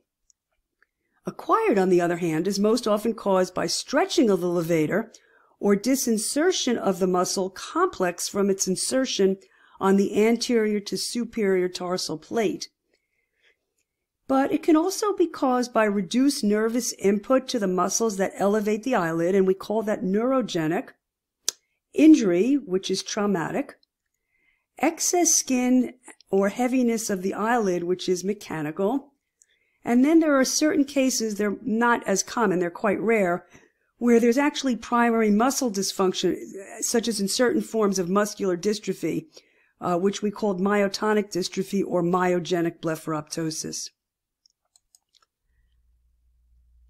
So an overview of aponeurotic ptosis clinically, how do these patients present? You'll see a reduced MRD1, which we call margin to reflex distance. You will see a high upper eyelid crease. There will be near normal levator function, and there will be decreased palpebral fissure in down gaze. So as the patient looks down, the palpebral fissure actually reduces at a higher rate than somebody who does not have levator dysfunction. In myogenic and congenital ptosis, you'll see a weaker absent eyelid crease. You'll see poor levator function and again eyelid lag on down gaze.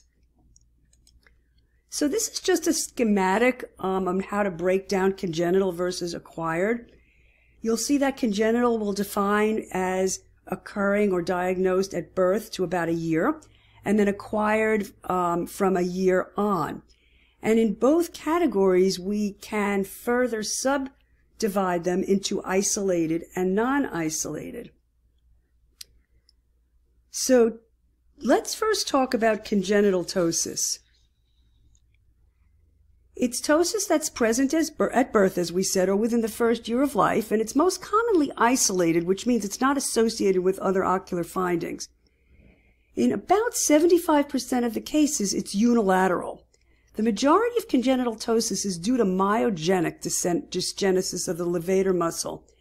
It most often does not affect vision, but in severe cases, the drooping eyelid may occlude all or part of the pupil and may interfere with vision, resulting in amblyopia.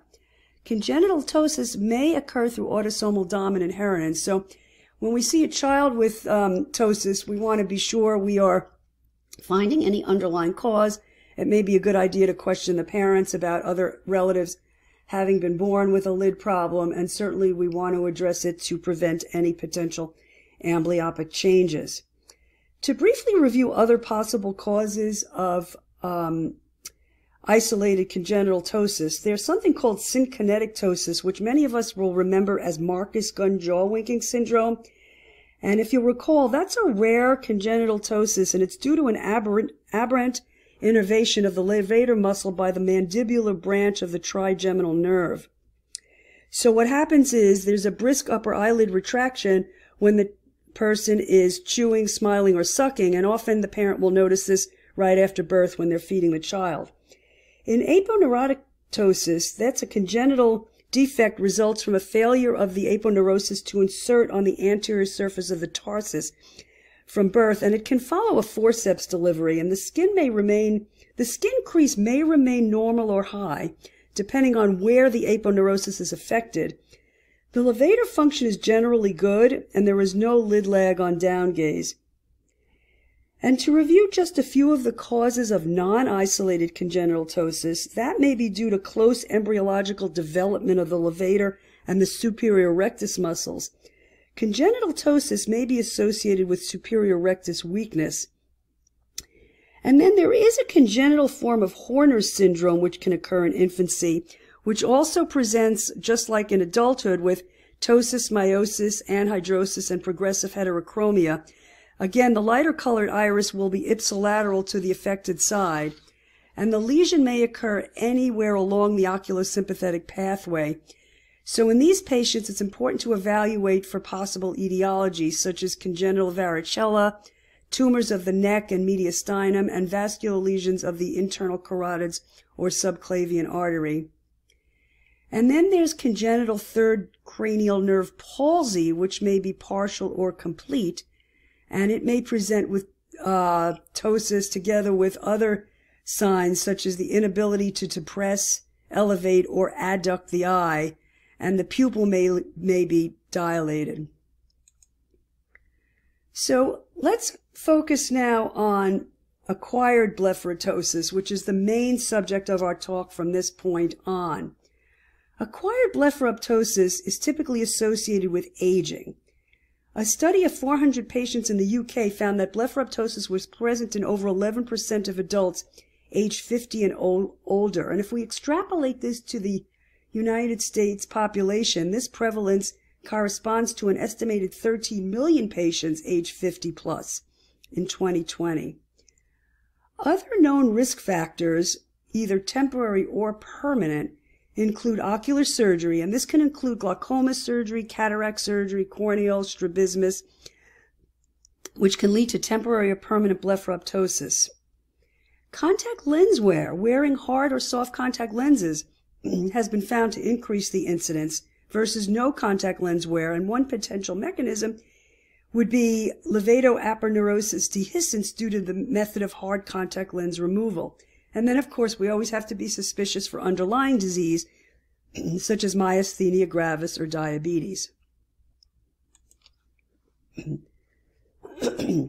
As previously, previously discussed, uh, you know, similar to congenital ptosis, acquired ptosis may be categorized as isolated or non-isolated. The most common cause of isolated acquired ptosis is aponeurotic. It's most common in adults. The abnormality is in the levator. There is a dehiscence, disinsertion, or stretching. It can occur in younger patients as well. In younger patients, as mentioned, Repeated manipulation of the upper eyelid during contact lens wear, and this can occur in both hard and soft lens wearers, may cause disinsertion of the levator. It occurs frequently after ocular surgery and following trauma. There are some other causes though, and that can include eyelid trauma from infection or allergy, blepharochalasis, pregnancy, chronic use of topical steroids, and frequent lid rubbing. Mechanical ptosis is caused by excess weight of the upper lid. There are a multitude of causes that can easily be dis distinguished on physical exam. A few common causes are edema, inflammation, tumors, chalazia, dermoid cysts, neurofibromas, and amyloid deposits. And scarring from inflammation, surgery, Stevens-Johnson syndrome, or ocular pemphigoid can also lead to mechanical ptosis. Always perform orbital imaging in patients with an underlying mass or infiltrative lesion.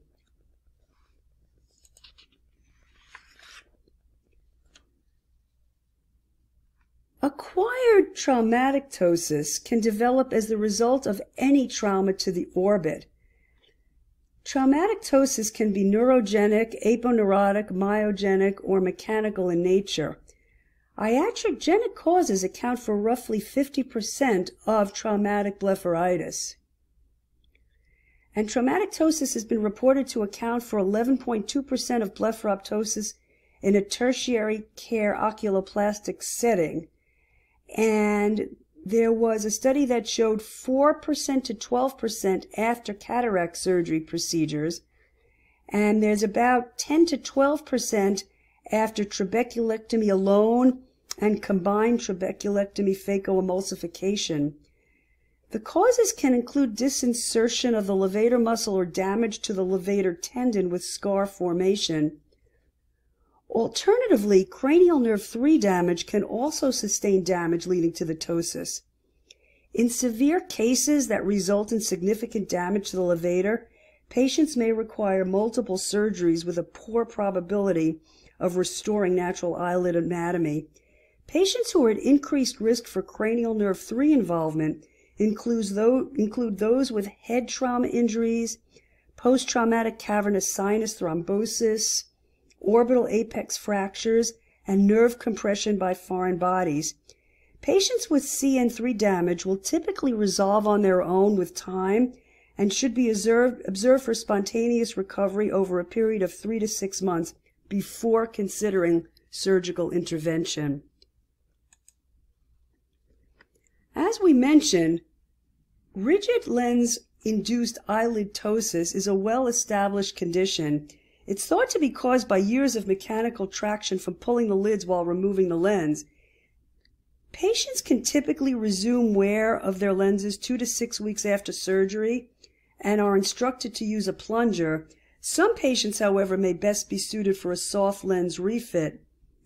An update in the contact lens parameters may be necessary after surgery due to the change in eyelid and lens dynamics, so you want to warn patients that their lenses may sit differently. They may have more problems wearing their lens even if the lens is in exactly the same positions, and patients may feel drier and have more trouble wearing their lenses after surgery. Investigators compared the rate of hard lens wearers, lens users in ptosis cases with that in a control group and then estimated the odds ratio. So the study you see here included all patients aged between 30 to 60 years who were seen with aponeurotic ptosis and it was ptosis was defined as a margin reflex distance of both eyes that was less than or equal to 1.5 millimeters. And the controls were subjects with an MRD of both eyes that was more than or equal to 3 millimeters. And the, the control subjects were selected from an age-matched group of female hospital employees. And they concluded that the pathogenesis what induced ptosis is aponeurogenic and is similar to the involutional changes that are associated with attenuation or disinsertion of the aponeurosis from its distal insertion in the eyelid. As we discussed earlier, before treating blepharoptosis, it's important to conduct a differential diagnosis to identify any potentially serious underlying cause. Because in some cases, ptosis can be a sign of more serious cause, a focused neurological exam should be carried out on patients. And serious conditions masquerading as blepharoptosis can include Horner's and myasthenia gravis. If Horner syndrome is suspected, pharmacological testing with eye drops such as hydroxyamphetamine um, and iopidine and imaging may be an important part of detecting the underlying cause. Myasthenia gravis is a unilateral or bilateral ptosis with upper eyelid position variability that is often accompanied by diplopia and or strabismus. And those with myasthenia gravis could also have respiratory compromise or a concurrent thymoma. A history of intermittent diplopia and worsening symptoms throughout the day suggesting fatigability should increase our suspicion for myasthenia gravis. And in 85% of patients with myasthenia, the initial symptoms were either ptosis or diplopia. The gold standard for diagnosis is serologic confirmation of autoantibodies to the acetylcholine receptors, as well as electrophysiologic studies. Um, so there are bedside tests such as edrophonium and prostigmine that result in temporary elevation of the ptotic eyelid. Also, cooling the affected eyelid with an ice pack for two minutes may also result in temporary reversal of the ptosis. The sensitivity of edrophonium testing and ice pack testing is roughly 80% for each test. Treatment with cholinesterase inhibitor medication often improves the ptosis, and surgery may be considered when medical therapy fails. Other non-isolated neurogenic conditions include chronic external ophthalmoplegia and ocular motor or third nerve palsy. Chronic progressive external ophthalmoplegia is characterized by symmetric bilateral ptosis and ophthalmoparesis, and the patients are usually in their 30s. A family history showing a maternal inheritance pattern, imaging studies to rule out other possible causes, and a muscle biopsy can aid in diagnosing this. It's a mitochondrial disease. Because, because CPEO may be associated with Kearns-Sayre syndrome, these patients often warrant additional workup for cardiac conduction defects and pigmentary retinopathy. Another cause of myogenic ptosis can be medication induced, typically steroid or tenofovir. These have been described in the literature and, stre- and stresses the importance of reviewing a patient's medication. Ocular motor nerve palsy is characterized by ptosis accompanied by ophthalmoplegia, diplopia, and poorly reactive dilated pupil, and can be a result of ischemic injury or aneurysm. CN3 palsy may necessitate imaging to rule out a compressive etiology. So let's just take a look at a couple of cases here. The upper image shows CN3 palsy. So just recall that the ocular motor nerve innervates the medial rectus, inferior rectus, superior rectus, and inferior oblique. It also innervates the levator palpebrae and carries sympathetic innervation from the Edinger-Westphal nucleus. So dysfunction can result from ischemia, infection, compression, trauma, and demyelinating disease such as multiple sclerosis. Some patients may present with any combination of ptosis, ophthalmoplegia, diplopia, and a poorly reactive dilated pupil. The ptosis may actually be profound. So when seeing a patient with um, CN3 palsies, you have to differentiate between complete and incomplete. Um, in other words, pupil sparing and pupil involved. Pupil sparing CN3 palsy is commonly due to ischemic injury in patients with vascular risk factors such as hypertension or diabetes. In older patients, typically older than age 55, giant cell arteritis needs to be considered. Pupil involving third nerve palsy often indicates a, a compressive etiology because the parasympathetic fibers supplying the pupil travel on the outer, more easily compressed portion of the nerve. And these should be attributed to compression from a posterior communicating artery aneurysm until proven otherwise. So therefore, they warrant urgent investigation. You want to send these patients out right away for computed tomography angiography or magnetic resonance angiography. The lower image shows Horner's syndrome with a classic triad including unilateral ptosis, ipsilateral miosis, and anhidrosis. And since Mueller's muscle only contributes to 1 to 2 millimeters of lid retraction, the associated ptosis is mild. The syndrome results from damage anywhere along the sympathetic pathway, which can be divided by first order neurons. That would be hypothalamus to spinal cord, second order neurons, which is the spinal cord to the superior cervical ganglion, and the third order neuron, which is the superior cervical ganglion to the orbit. So it's important to determine which order neuron is involved because Horner syndrome secondary to involvement of the first or second order neurons may be caused by underlying malignancy. The diagnosis of Horner syndrome is confirmed if a apraclonidine drop testing results in reversal of anisocoria. And then you use hydroxyamphetamine drop testing to localize the level of dysfunction.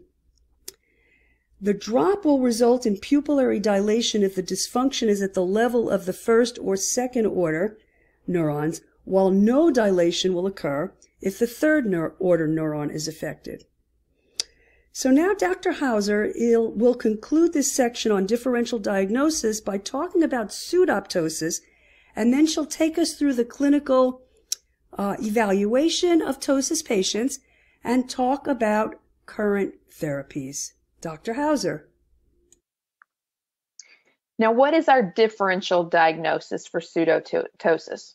Pseudoptosis, again, you're having that upper lid droop and the absence of pathology of the upper eyelids. So what are our options here? Our causes can be dermatochalasis, brow ptosis, superior sulcus deformity, microphthalmos, and hemifacial spasm.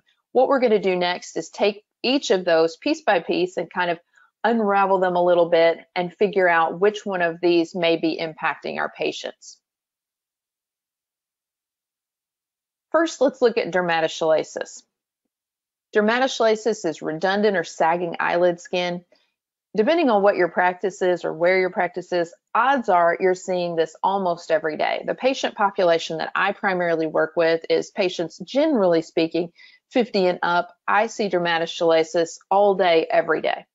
So it's an important thing to identify in our examination. Manual lifting allows for assessment of that positioning of the under eyelid skin. And the reason that's important is, and we'll find out later as we look at brow ptosis, it can really be a differentiating factor between true dermatochalasis and more of a brow ptosis. Now, the prevalence of this in individuals over the age of 45 is about 16%, and it affects males more than females. Now, why are we seeing these changes? We're seeing this because we're living longer. And the longer we live, the more chronic problems that we have and more involutional eye problems that are identified. Now with dermatochalasis, there can be a couple causes to that. It can be the traction due to the contraction of the orbicularis muscle over time, but there's also a second part, and it's the second part that really is, is not a friend to any of us, and that's gravity. So gravity can also play a role in it. So we're looking at traction and gravity uh, to play a role in dermatochalasis. And eventually we're going to see a change or a loss of that quality and quantity of elastic tissue in the skin that causes those lids to kind of droop. All these factors ultimately are going to result in a lowering, particularly of the lateral one third of the eyebrow and that excess skin kind of weighting it down on that lateral corner of the upper eyelid. So the thing about dermatochalasis, not unlike what I said about ptosis in the beginning, is dermatochalasis has a cosmetic concern to the patients. The patients have those droopy eyelids and that, that dull appearance. However, they also can be subject to ocular irritation, and sometimes this goes unnoticed uh, clinically. So why do they have ocular irritation? It can be secondary to chronic blepharitis. They can also have dry eye issues and sometimes misdirected lashes can also cause problems for the patient. Additionally, dermatochalasis can cause a reduction in both superior and temporal field of vision and quality of vision changes as well. So there can be definite visual impacts both from how the patient sees and how the patient feels. Now, it's fairly predictable that you're going to see as the margin reflex distance measured in millimeters decreases, you're going to see an increase in the percentage of superior visual field loss. But this study proves that uh, point for us. So as you can see here, as the lid goes lower and lower, you see an increase in the percentage visual field loss. Now, what this study doesn't say, but other studies have found, is that you can also have a decrease in contrast sensitivity with some of these patients who have dermatochalasis. And there have actually been reports of significant improvement in contrast sensitivity of patients undergoing blepharoplasty surgery for dermatochalasis. So it actually can improve the quality of that patient's vision. Now, why does that happen? The proposed explanation is that that redundant or heavy skin that overlays the eye actually blocks some of the light entering the eye and can cause some level of diffraction. So having a surgical opportunity to go in and resolve that, it's not just an aesthetics component. It's not even just a visual field potential improvement, but the patient may actually have better quality of vision as well.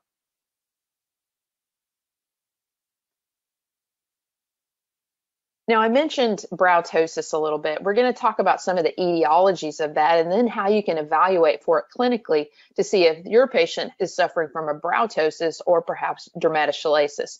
So as you see here, there's several different etiologies. Number one, involutional changes. Number two, secondary to weakness of paralysis of frontalis. Now, what does that mean for us? You know, this could be patients who have Bell's palsy, maybe an acoustic neuroma, surgical trauma, it could be a birth trauma, or it can even be congenital. Now, I've had a couple patients that have fallen in this particular category. I've had a patient with an acoustic neuroma and one with surgical trauma who's ultimately had a brow ptosis due to those uh, two factors. The other possibilities there under the secondary uh, weakness of paralysis is uh, myotonic dystrophy. You can also have uh, myasthenia gravis, a lot of different options. You also may have patients who have brow ptosis associated with neoplasm, as you can see here, basal cell carcinoma, squamous cell, uh, and so forth.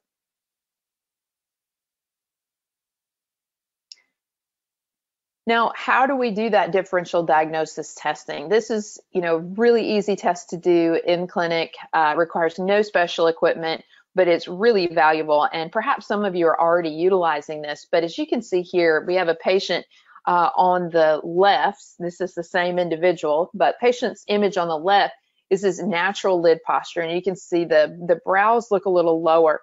Normal brow uh, is gonna sit above the superior orbital rim. So we do see that little bit of lowering of the brow. Again, male brows tend to be lower than female brows typically. Uh, but what we see in the, the second image, the image to the right, you have to kind of take a peek right up at the edge of the top of that image where you can see some fingertips that are in there. What we have here is the, is the patient's brow is manually being lifted. You're seeing it elevated. So maybe that frontalis isn't fully engaged. And when we manually lift it and stabilize, you can see that there's a resolution of what appears to be an acquired ptosis. So we don't even have a frank uh, in this patient. If you look at it at just face value in that image on the right, one may interpret that as a dermatochalasis. However, with elevation of that brow, you can definitely see that it's not exactly so much about those heavy sagging lids as it is the brows not really fully engaged and lifting the brows as they should.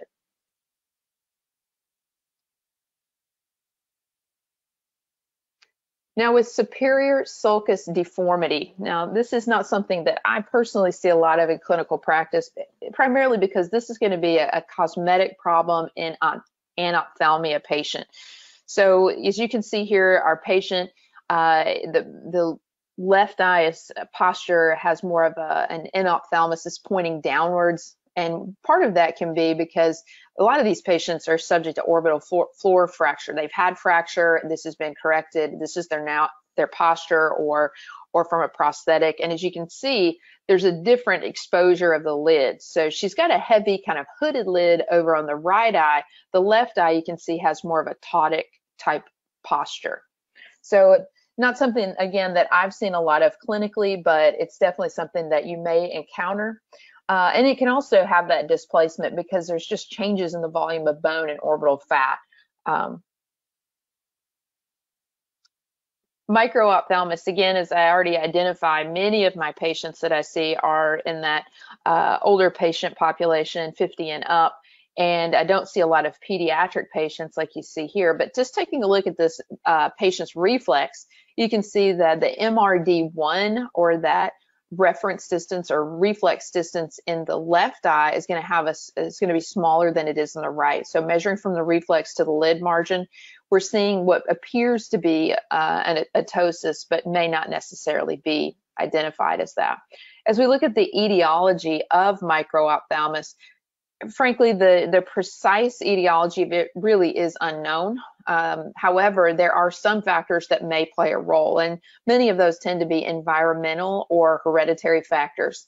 So, what would those be? It could be the maternal age, if the mom is over 40 at the time of birth, multiple births, low birth weight, and gestational age and could be gestational acquired infections, which I'll go through here in just a moment, some of those specifics or exposures and deficiencies. So if you have a patient with microphthalmos, uh, you definitely want to get a good birth history and pregnancy history from the mom to see kind of what might have been risk factors for this particular child and you know what some of the gestational and acquired infections are there's several of them uh, most commonly you're going to see uh, risk factors like rubella toxoplasmosis and varicella you may also see cytomegalovirus as a risk factor parvo b19 even influenza virus, which is definitely of all those that I've listed so far, probably the most common that we would expect someone to be exposed to, and Coxsackie A9.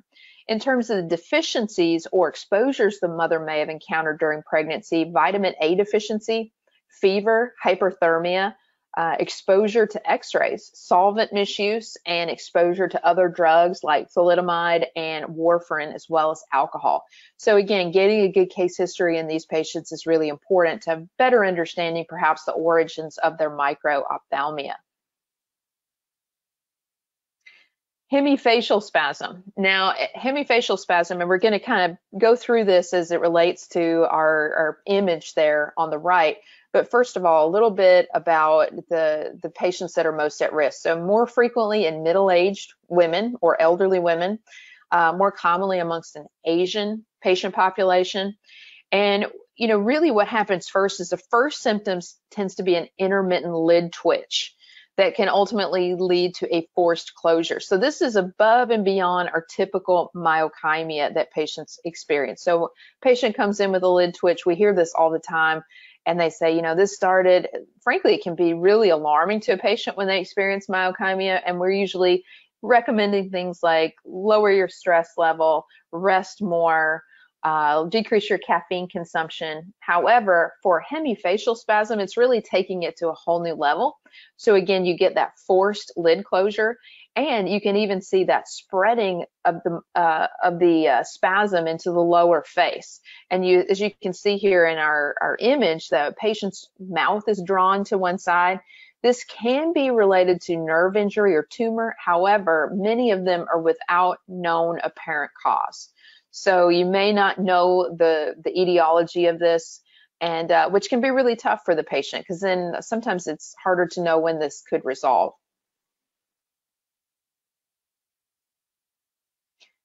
Now, as we look at assessing acquired blepharoptosis, so from a clinical perspective, how do we not only identify our acquired blepharoptosis, but how do we make quantitative and qualitative assessments of this? Now, one of my favorite tests for this is the marginal reflex distance or MRD1. And we've talked a little bit about that already, but just to kind of circle back and, and hit on that one more time, as you can see here in the illustration, MRD1 measures from the corneal reflex to the upper lid margin. Now, MRD2 measures from the corneal reflex down to the lower lid margin. But in assessing acquired blepharoptosis, we're going to be focusing on MRD1. Now, that marginal reflex distance, again, is really important because it's giving greater precision than measuring strict total fissure height. I know a lot of clinicians like to measure just fissure height, but you're really getting a, again, more clear assessment by measuring that MRD1. Additionally, in my own clinical practice, I'll use visual field testing, and we're going to go through those various types here in just a minute. Uh, I have not leaned as much on levator function and the eyelid crease height, which is used in superior sulcus deformity evaluation. With the levator function, what you're doing is assessing by firmly pressing on the brow and measuring the distance moved by the upper lid margin when the patient shifts from downward gaze to upward gaze. So just food for thought about how you might want to incorporate this differently into your practice as you're evaluating a patient uh, with acquired blepharoptosis. As I mentioned, some different visual field types. We're pretty familiar with all of these, Goldmann visual field, Humphrey visual field, and LPFT. However, you know, many of us in clinic are using the, the Humphrey visual field type of, of analyzer. It's, it's sort of a, a mainstay, if you will, of clinical care one of the things that I would say in terms of a ptosis patient, I might potentially rely on a Goldmann visual field in a few cases. If a patient has some mobility issues, if they have trouble concentrating, Uh, you know, some of my elderly patients, and, and these folks are ones that are going to be more subject to that acquired blepharoptosis, they may need that little bit of extra time to get the precise measurements that we want. So, you know, I might kind of go towards a, a Goldmann visual field for that subset. So all of these work for, for measuring what we need to do in terms of superior field, but they do it a little bit differently. Again, Goldman being our kinetic perimetry versus our static perimetry with our HVF and LPFT. Now, what about severity? You know, as you look at these illustrations here, the first one you might look at and say, no big deal. Okay, and we're going to end that video right now, and I'm going to see if uh, Paul and Steve are back. Paul, Steve, are you back? I'm I'm back. Excellent. Alexa Alexa woke me up. I don't know that one. Alexa, there you go. Stop. that's that's my company for the day. That's pretty sad. well, you know, Um, you got to get to someone that likes you wherever you can get it. Oh, there you go. So Steve should be back momentarily, I assume, and then we are going to have another guest. Let me uh, pull this on up. Yep. Looks like I'm here. Hi, Oh, Melissa, Melissa. you're, you're here. Thank you for Hi. you got here. You got here right on time. Awesome. Oh, good. Excellent. Excellent. So how's it going, Melissa? Going. Yeah, it's going just fine. so Uh, You're all set for your class. You have a class today, right? Oh, it just ended. Yep. Oh, how Oh, did it it, ended. how, Okay. how did it go? Yeah, it was good. You know, I like the positivity um, from all these lectures. Like the audience, they always they're very nice. So Did you, ha- Kudos did you have an audience? Does anyone show uh, up? yes, I, I had you know? positive. No, no. I mean, I, I was just communicating with the people, and they said nice things. So it's always it's nice to receive a little feedback Well, you know, from these online lectures. Yeah, and it's amazing too that we're still getting people showing up, right? Because we've only done this like how many times now? Um, 18 or something. this yeah, I mean it's been crazy, but people are still showing up. So I But guess Melissa, I, Yep. I was in Melissa's room and she had quite a few. She had over 200 people. Oh my gosh, really? Really? Um, yeah. Well, this is the you know last gasp for credits. So uh, and, then when you get somebody like Dr. Barnett, you, you, you don't want to miss it. Wow, well that's awesome. so it's it's nice and I, I was saying i really like all the positivity and you know i think it's it's really nice to at least have some interaction with the participants so well done And and people do ask questions, Oh yeah. right? You- yes yes So that that, that, that anonymity is a wonderful thing. People are not afraid of in a classroom. No one was going to get up there and ask questions. Right. So here it's okay. right and there's even been then- people from all over the world that have attended these lectures so that's pretty cool too Nice. Yeah, they they do it in the middle of the night. It's it's remarkable. So you know, Melissa, you or you gave a talk, and I guess you gave it multiple times now, all about the nutritional approach to dry eye.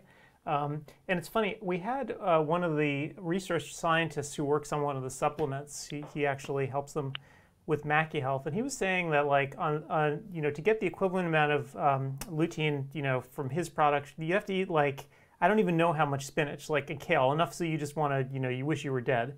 Um, and I'm kind of curious, you know, when we're talking about nutrition and dry eye, how, you know, there's this perception, at least in supplementation, that, you know, you, you get mega amounts in small amounts. But can you actually get a lot of what you need just from food as well? Well, yes, you know, there are a variety of food items that you can do. Of course, the supplement will give you all of that.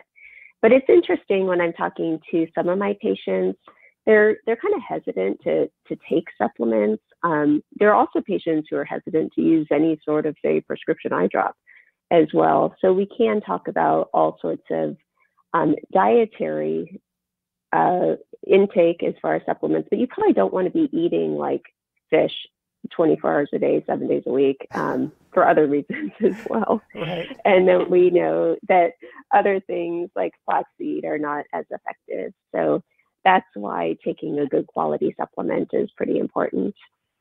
Right, because I would imagine that, that most people, even if they think they're eating pretty well, if you really looked at what they're eating, they probably aren't getting enough of what they need, right? Because not everyone, you know, has exactly like fish all the time, right? I mean, most people, it's probably very rare. As a matter of fact, if any of you are watching the uh, TV series called The Crown, uh, there was complaint uh, by some of the royalty that all they can get at Buckingham Palace is salmon. that seems to be the food that they, they seem to eat there. So, yeah. so maybe Queen Elizabeth knows something. well, I've heard good things about that show, but I haven't seen it myself. See, see, well, you gotta. You know, what happens? You Paul, want to really start it from the beginning, so it's a commitment. So Paul missed the point of that, though, that they, they were complaining about the fish, but then the one who didn't complain was one of her favorite kids, right? They were trying to show you the contrast, how about the favorites won't complain about the fact that she always makes them eat salmon, right? So that that was the. That's that's. yep, absolutely. So even though it looks like they're having wonderful meals there, it's always salmon. Yep. So. I told my wife I have salmon every night. Because I did, because you you you're off of everything, right? You don't eat red meat. Were you still are eating chicken? Uh, limited. So it's like the Mediterranean, yeah, Mediterranean diet with mostly fish and because my wife doesn't eat fish and I don't eat red meat, we meet at chicken once a week. Um, mm, so I, I can still so, stay married. So there you go. the, the, problem is, Melissa, that um, at least fish oil has gotten a bad rap because the old formulations or even some of the stuff out there now, people burp and whatever. But I know what you're um, offering the patients are, are far better without any side effects. Am I correct? Yes, that's correct. And do you know what was funny in this uh, presentation, I have a picture of all the options of fish oil that you can get when you look at a store. And I was actually at a, a different store last week with even a greater number of options. And so I took a picture. And so when I give this lecture next time, I'm going to put that in there. But there are so many different options. And so that's why I think that doctors should recommend something specific uh, to their patients so they're not overwhelmed sometimes patients have no idea. You know, they look and they might be taking something that they might think is good and or they might have omegas say in their multiple vitamins. And so of course we don't want to overdo it, but having an omega that has something like GLA in it is really beneficial. Uh, some patients who can't swallow pills, having a liquid version is another option. Uh, of course, there are options for those who are vegan as well. So having, I think, a, the doctor should recommend, just like we recommend anything else, uh, say eye drops or contact lenses or solutions, it should really come from the doctor, the specific recommendation. And then, of course, you know, those patients who are prescribed an omega from, say, their cardiologist or someone else, we want to make sure that we're not uh, overdoing it for our patients, that they're not having to take too many omegas. So, so coordinating with other specialists, whether it's primary care, cardiology, et cetera. All of those things are helpful. Yep. I think one of the big challenges that people have, if you're not an expert in this field, it's almost impossible to know what's legit and what's not when you're looking at it in the supermarket. I mean, I know that I haven't studied this that extensively, so when I go to the supermarket and I see all the fish oils, I just I I just shake my head. I'm like, I really have no idea where this fish was from, what this company is, and how it works. So I'm sure if I'm having this much trouble, someone who has no training at all must be having real trouble. Exactly, definitely. So I'll I'll show you all that picture later, but it's it was I mean it really blew my mind too, you know, because I I was looking for something different, but I saw this whole entire wall thinking, you know, patients are just so overwhelmed. Right. And the same thing if we talk about artificial tears. You know, if a patient right. goes to a store, there's so many different versions. They don't know about the preservatives, they don't know about BAK and the artificial tears. And so educating our patients, I think, is really important. Absolutely. And you know, one other problem I think that you probably run into a lot is that people, you know, they don't necessarily want to change what they're doing um, and how do you actually get around that? Because it's changing people's behavior, I think, is one of the, the very hardest things you can do, particularly because when you're encountering someone, you, you see them so infrequently, right? You might see them once every few months. So, how do you actually go about doing it, trying to make these suggestions and having it stick? Yes, that's a good point. Um, I, I kind of like to tie in the science uh, behind everything. And of course, different patients are different, but if I can state some studies specifically for their condition, say Sjogren's syndrome, uh, for example, uh, that's one uh, where I find that omegas are really helpful for my patients. I also have that clinical experience that I'll share with my patients that this is this has worked for so many of my patients. And then I'll put a timeline for some patients. They they feel more comfortable that okay, I think I could try this for, you know, 3 months or 6 months something like that that I don't have to do it for my whole entire life. They get a little bit scared like you're wanting to make a change for my life for my whole entire life. But if I put a specified time point, and then I do see the patient back um, now with COVID, it could be uh, by video visit or an in-person appointment, but I see them back and we and we talk about it. And it's kind of amazing. Even this week, I had three different patients this week who said, I can't believe it. After just a few days, my eyes felt incredibly better, so much better. And then after a month or so, they felt even better. So I think that's one thing as far as, as supplements. When it comes to a patient's diet, um, that's tough. You know, that that is continually um, talking to my patients. I think that my dry eye and probably my specialty contact lens patients uh, like to communicate with me uh, quite a bit, and I do. We have messaging where we can message back and forth. So if they have a question about something, they're going to ask. They're going to, you know, ask me a question, or if if something's not working, they're going to let me know that as well. So we actually have more frequent communication, which is probably better for the patient. Um, but when it comes to diet, I have one patient recently where she has severe dry eyes. They're so incredibly severe, but she also has this soda drinking habit, mm. which she at one point I got her to kind of cut it down, maybe not discontinue altogether, but she cut it down. She increased her water. Uh, herbal tea is a great uh, alternative as well. But then when I saw her last time, it came back, stress of COVID, etc. Mm. And so now she's drinking far more soda, which has not helped her systemic health either. Yeah, her eyes yeah, that, are worse the Diet Coke people. You know, I was just looking. I ran out into the, my bathroom while we were talking, and I I'm addicted to krill oil, not fish oil. You know, the, from I guess it's fish oil that I get from uh, from Costco from Kirkland, and I, I think I'm, I'm not sure if it helps dry eyes because there's nothing on the bottle. So my question is, do some of these supplements help you by saying good for? Here it says help support a healthy heart and superior absorption. But it says nothing about dry eyes. So do any of these yeah. specifically say dry eyes on them?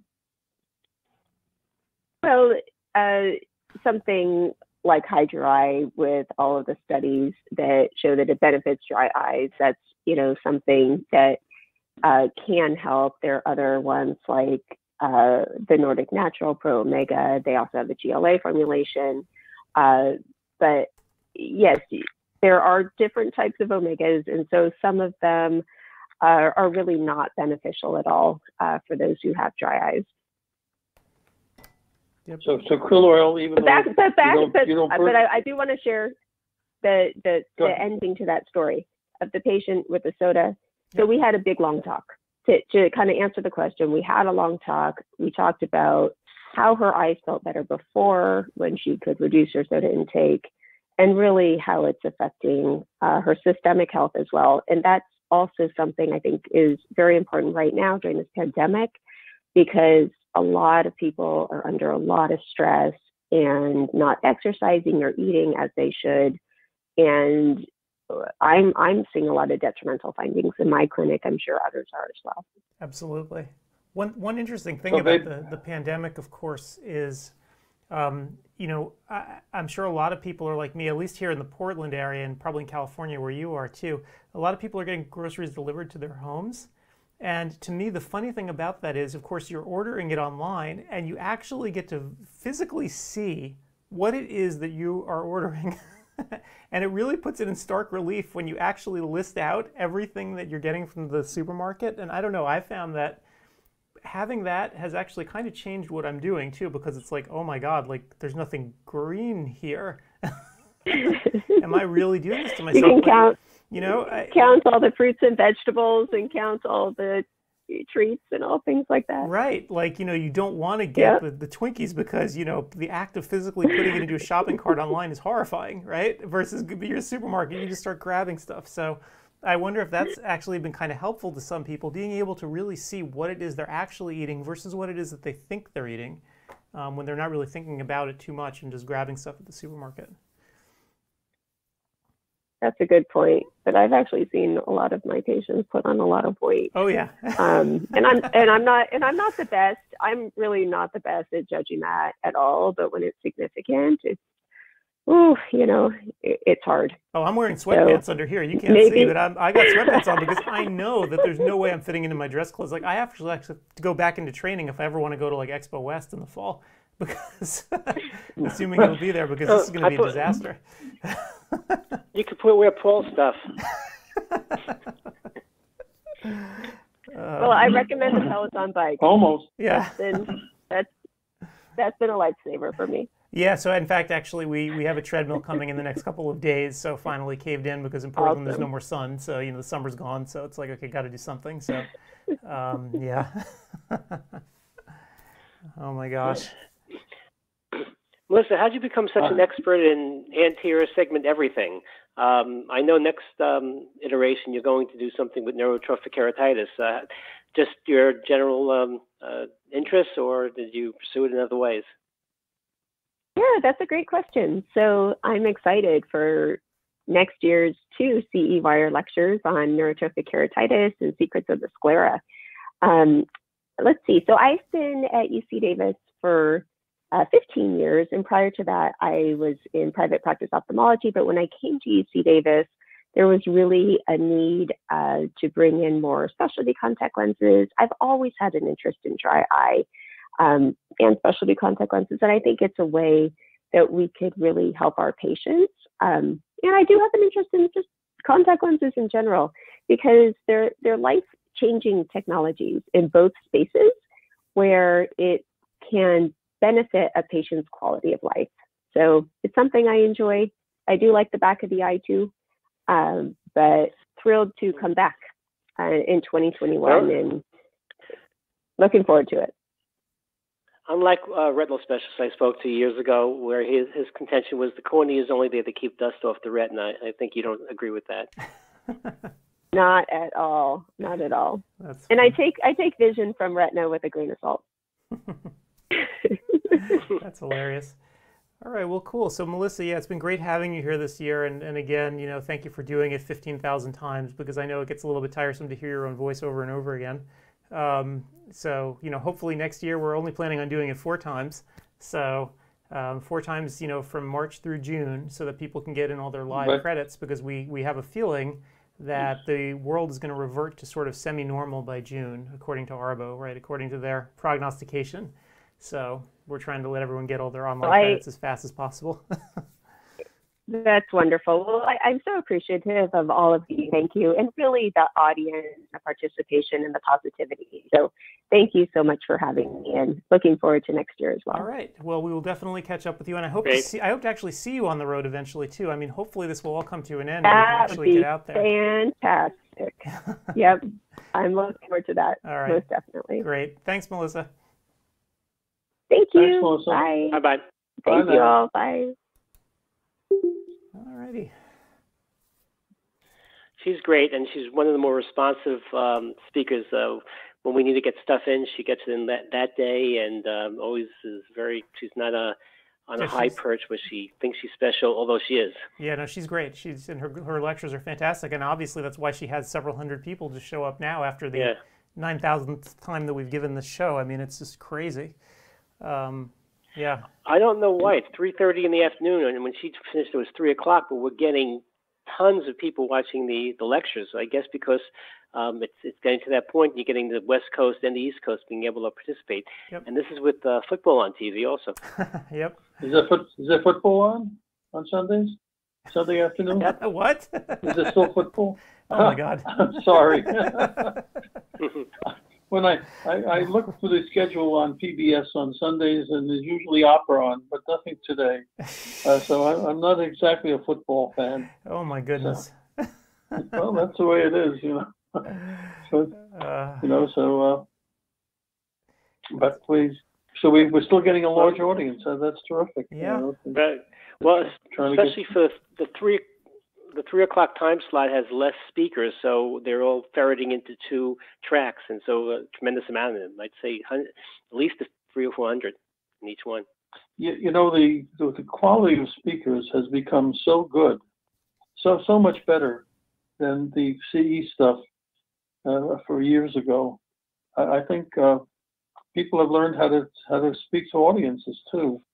I don't know if it's just because it's not live and they they have can take their time taping it, or uh, they're just everyone's a, a better speaker now. So it's great. People don't fall asleep. we hope. We're picking people who are in their wheelhouse, and they're going to do a good job no matter what. And like you said, when they have time to prepare it, and then if they don't like the way a slide came out, they can redo it. it it's going to be just like a edited book rather than a stream of consciousness uh, composition.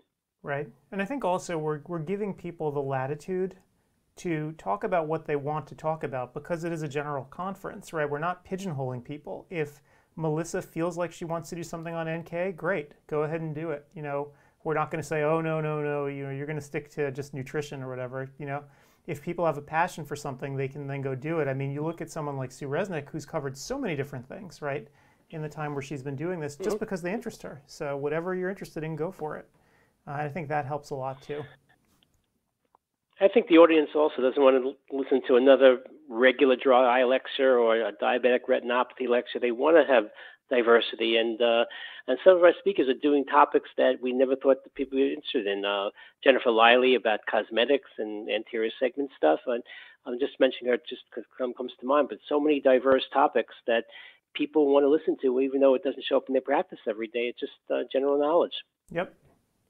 Yeah, I mean, there's some, and of course, then we have like we're gonna have Ben Chudner coming on here momentarily, um, you know, talking about private equity, right? And again, you know, these are the kinds of topics that are timely and that we just love to create. And in fact, we're going to be creating a special one. I know he and um, uh, Craig Steinberg are going to team up and create a special one for the next CEwire, which is going to be killer. Um, where they sort of because as as may as you, people may or may not know, they're on sort of opposite sides of this world. Um, Yeah. with with Ben working for a, a private equity firm, and then Craig representing a lot of people whose practices get bought out by private equity. So that should be cool. Yep. They prom, and by the way, he's actually traveling to Hawaii, um, uh, Dr. Chudner, to meet with uh, Craig to do it together. Uh, it's a terrible task he has to do, but I think somebody's got to do it. in fact, maybe Craig should just open up like a recording center out in Hawaii, and people would just you know randomly show up there because that's the easiest way to get a recording done. Clearly. you know, we, we, we try to get Craig on to, to speak with us, but, you know, he's on uh, California time and he doesn't want to miss golf. So Yeah, I don't- I we don't have to blame him. compete With his golf, and I, I can never get him to come on here for I don't blame I don't blame him hour. one bit. And you know, if we had any sunlight here, I would be outside too. So um, this is the you know it's funny we sure. never we never broadcast right. This is we never broadcast this time of year. Usually we're we're kind of out of it, but like so when when we usually do this, you know, it's early early spring maybe, but now this is like the really the gloomiest time here in Portland. Um, the sun just does not come out. You know, it's out for a couple hours a day maybe, and it's just total darkness. It's like living in a submarine. So, yeah, it- I, I should help them with that Sounds recording. like Barrow, Alaska. Yeah, no, I mean it's it's really bad here. I can see why people get depressed, um, and why a lot of people bug out of here during the winter. They'll go, you know, they'll have a second place in Arizona or something. Uh, It's not too far. yep.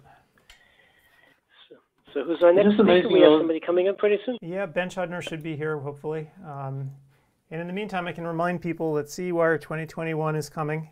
Uh, as this one slowly winds down, although I guess not so slowly. If you're telling me we had you know a few hundred people in each room, this is more people than I thought would be here this afternoon. I thought for sure the, the place would be totally dead. Um, wow, We just can't what a finish! go into. And of course one's Craig Thomas, so um, makes it easy. right.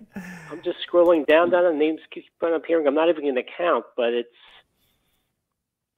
let's see, about three or four hundred in his room, and the same in Dr. Malaity's room. Wow. Um, so that's tremendous for um, the end of a conference. But people need the credits, and these are two great lectures also. It's- Yep.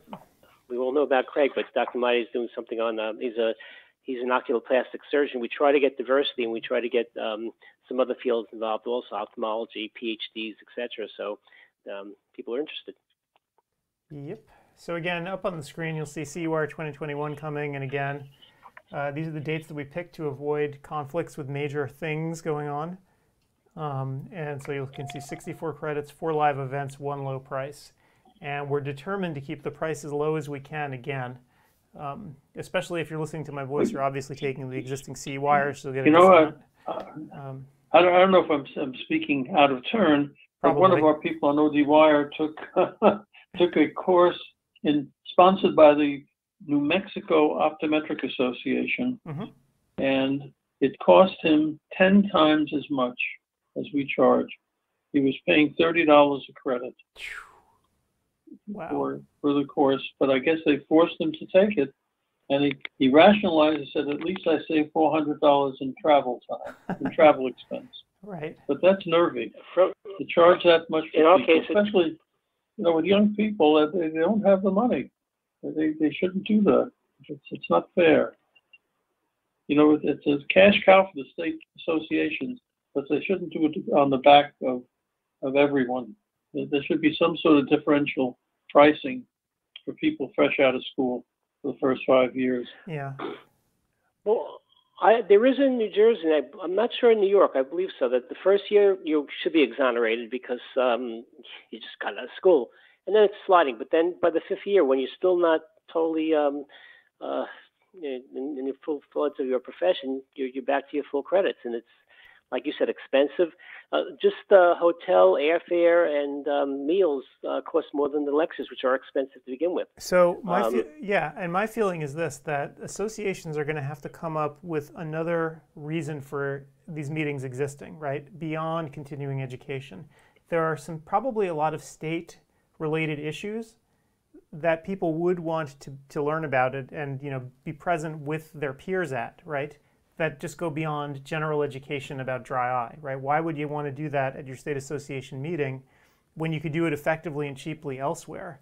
Whereas at, at those kinds of Sure. meetings, wouldn't you want to discuss things that are germane to your state and really focus on that and networking with people in your state? I mean, that's just my opinion.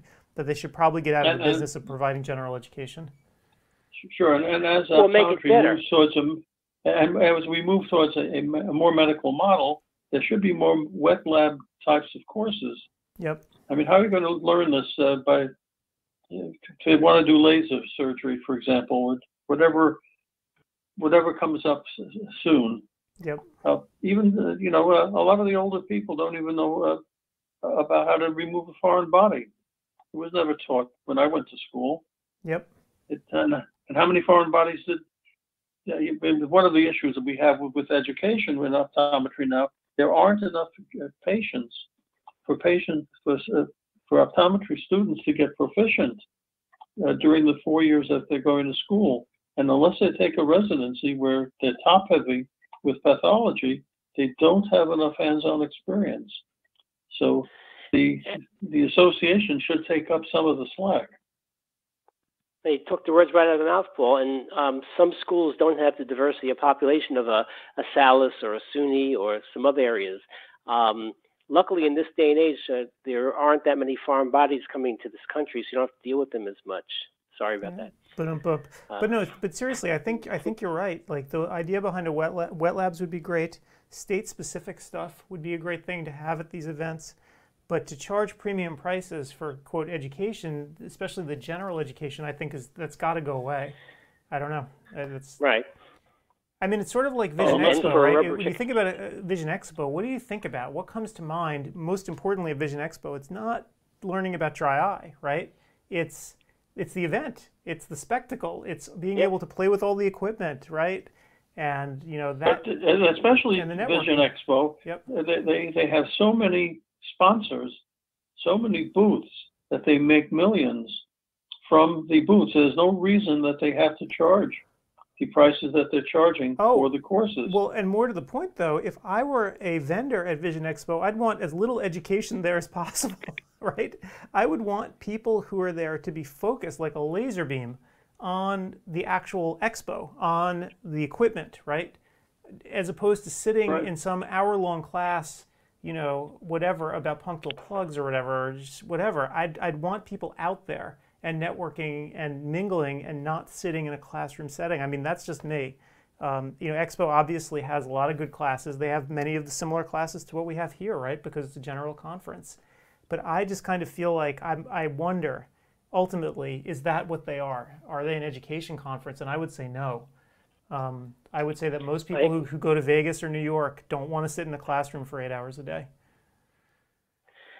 Also, on the vendor side, if they're subsidizing everything for ridiculous cost, some of these um, booths, which aren't booths but they're small cities, cost millions of dollars with plush carpeting and um, wine under the table or whatever. Um, they're not. If, if they've had the experience, they could do almost the same thing online without the expense of moving staff and equipment all over the world.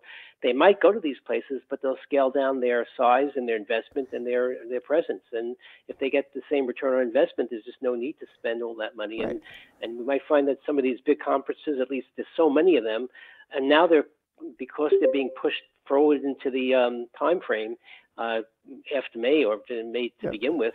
If it does happen, it's going to be conference after conference after conference. People just aren't want to go, don't want to go to But, that. but that's what I'm saying. vendors. That's what I'm saying. I think conferences like Expo should focus on the vendors to the exclusion of all other things, on vendors and networking, and not having people tied up in class for eight hours a day, right? Make it about the spectacle of actually going and, and playing with all of Zeiss's equipment, right? Of going to the booths, of actually meeting people and going face to face, not sitting in a classroom listening to, to boring nonsense for eight hours. Um, Yeah. But that's that's just me. And I, I think Ben, are you here listening to our boring nonsense?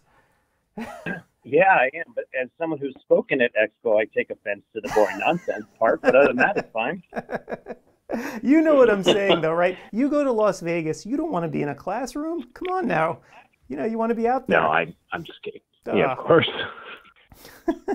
We- We've had too many glasses of wine together, Ben, to for you to Yeah. say otherwise. I get. it. But first of all, happy Hanukkah to both Ah, yes, of you. happy, happy Hanukkah. It's uh, Thank you. Thank All you. three of us. Yep. You know, before before Vision Expo, uh, Irv Bennett set up OptiFair, and uh, they they they didn't even know that was part of uh, Optometric Management's uh, job to, to publicize it. And it started out at the Hilton Hotel for many years, uh, and there and there, was- there was not enough room at the Hilton uh, after a while. And that's why they had to move it to the uh, to the Javits Center. Uh, by the way, uh, do you have your uh, Ben? Is your speaker off? Your your computer? Yep. Uh, No, no one. There's no feedback. Okay. Uh, and once he sold out to the op to, to Vision Expo, that's when it became a big, big deal. Uh, you know, the, this it became a real profit, a real profit maker.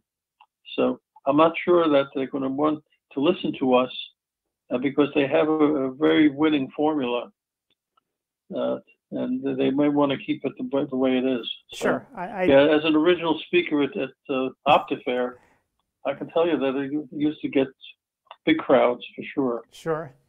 Yep. I just think that going forward, the way things are looking, the conferences are going to have to decide what they really are, right? And having an association meeting charge literally an order of magnitude more money to take the same classes as what's being offered elsewhere online. I just I have a hard time seeing that working in, in the long run. They need to come up with a new gimmick, right? A new formula to get people physically to want to go to the association meetings. So, but that's just me. No, I think that's fair. I, I think another issue is we're hearing from vendors uh, that 2020 was actually a pretty good year for them uh, in general.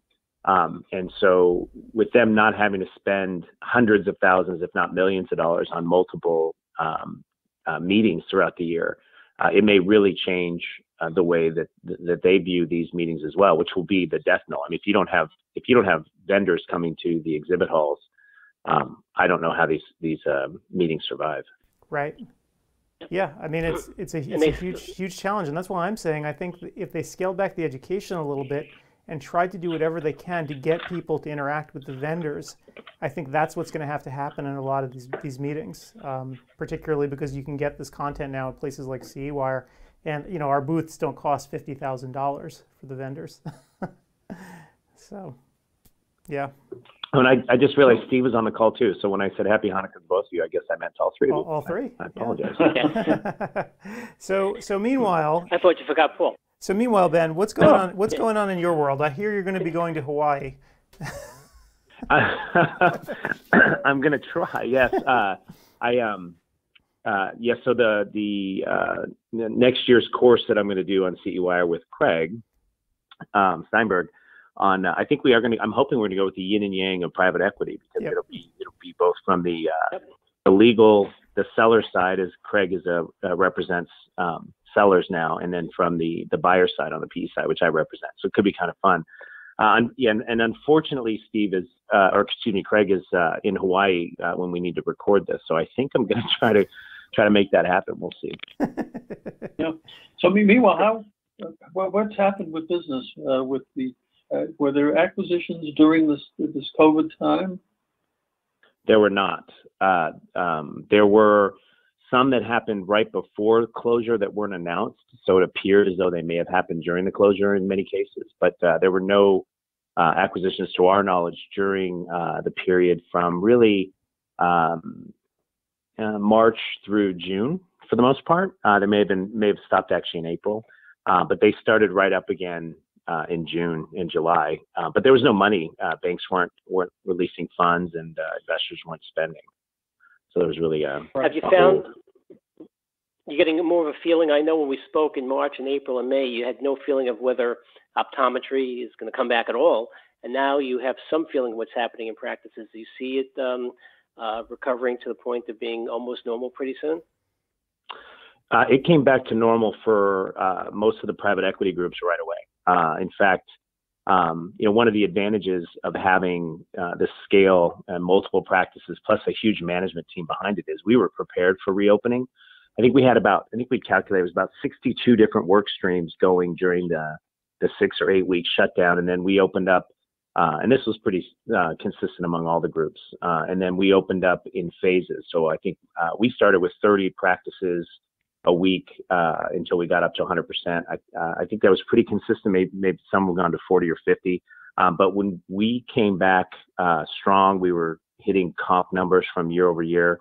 And uh, originally, we all assumed that to be um, due to a backup. You know, we had canceled all these appointments and we had this backup. But honestly, we've we've uh, exceeded what we did last year and actually hit our 2020 original plan every month since reopening and I think that's pretty pretty uh, similar across the board on the private equity groups. So at least for us, the larger groups, uh, we're back, uh, and uh, and we have a couple dozen practices that actually have hit plan for that hit plan for 2020 pre-COVID plan that we you know we come up with 2019 several weeks if not months ago. So um, yeah, I think optometry is back. You know, it's tough to say what the independents are doing. The, you know, the smaller, uh, you know, one location, smaller practices are doing, but the larger place locations seem to have come back pretty strong. Right, and we. So, uh, so what happened? The small. Okay. I had one question. Uh, most optometrists try to keep their staff on because they have emotional attachments to their people. I would assume that the private equity groups, being hard-nosed businessmen, would say, hey, we closed our doors, take off, you know, collect unemployment. How, how did the private equity groups handle the, those, the closure months? Uh, most of us were able to keep uh, a large majority of our doctors and associates uh, still employed. Uh, maybe not at full salary. Uh, I heard as, as many, you know, some went to 80% salary and they laid off uh, associates. Uh, we actually went significantly deeper cuts than that and kept uh, 80% of our employees employed uh, with benefits. Um, and, and then we had to furlough about 20% of our employees, and we were able to bring them back pretty quickly. Um, so, you know, again, it's maybe it's uh, the the belief that how bad private equity is, but we looked at it as a long term play. We wanted to be able to come back and we certainly wanted to protect our our employees uh, and and have them back when we were ready to reopen. So we did everything we could to uh, to keep our employees. The ones that were furloughed, uh, the situation was actually better for them to go on unemployment and take advantage of the federal um, aid that was available in the in the beginning of COVID. Uh, so for the most part, um, we took care of pretty much everyone we could. Great, and you know, I heard. Uh, now we've spoken to several doctors, including uh, Craig Thomas. Right, we spoke to Ben Casella this morning, yep. and one of the fascinating things that we've heard is that their volume is down, but the average ticket size is up. And so what's ended up happening is that the doctors are spending more time with patients, um, and actually, you know, on balance, the revenue is kind of getting close or, or the same but they're getting to spend more time with patients and just the average order size is going up. Have you seen some something like that in some of your practices? We have, uh, not to the same extent. Um, we have, uh, we do have one practice uh, in our fleet that sees patients every 10 minutes. Mm-hmm. they have an amazing support staff. They have uh, refracting techs using uh, Marco Epic units. They have two in each of their offices. we could we could not go back to 10 minute ex- exam slots uh, because of uh, social distancing requirements, uh, specifically uh, j- not only our policies but also the state policies that, that they operate in. So that practice is one where uh, we definitely have seen a, a, significant decrease in transactions relative to last year. But to your point, the ticket sales, the the average ticket has gone up. But for the most part, we're down just a little bit, very low single digits in terms of number of transactions, and that is due to um, our COVID policies where we're uh, making sure we have social distancing in place and stuff. So uh, it certainly isn't for a lack of patients wanting to come in. Uh, but yes, we've seen uh, the average ticket go up significantly um, compared to last year. And, it's tough to explain why that might be. Uh, could be the doctors are getting to spend a little bit more time have, and having the right conversations with patients, but that is consistent with what we're seeing. Right, and it may also be because everyone's trapped at home in general, right? You're not going out to restaurants, so you have a little more disposable income that way.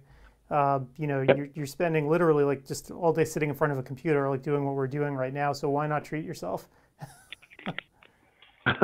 yeah, to be certainly, um, and it's been a trend since we came back. So we haven't seen it um, uh, really trail off at all. Yep. So that that's interesting, you know, and, and I know it's funny because we had Millie Knight on from Essilor as well, and I think she said she's seen the same thing on their side, right, on the material side. Um, so I wonder, is this going to continue? You know, will people be able to continue to sort of upsell um, for these products? And you know, I, I, guess I guess we'll find out soon enough, right? I mean, hopefully this pandemic is going to come to an end, and by June, I would hope.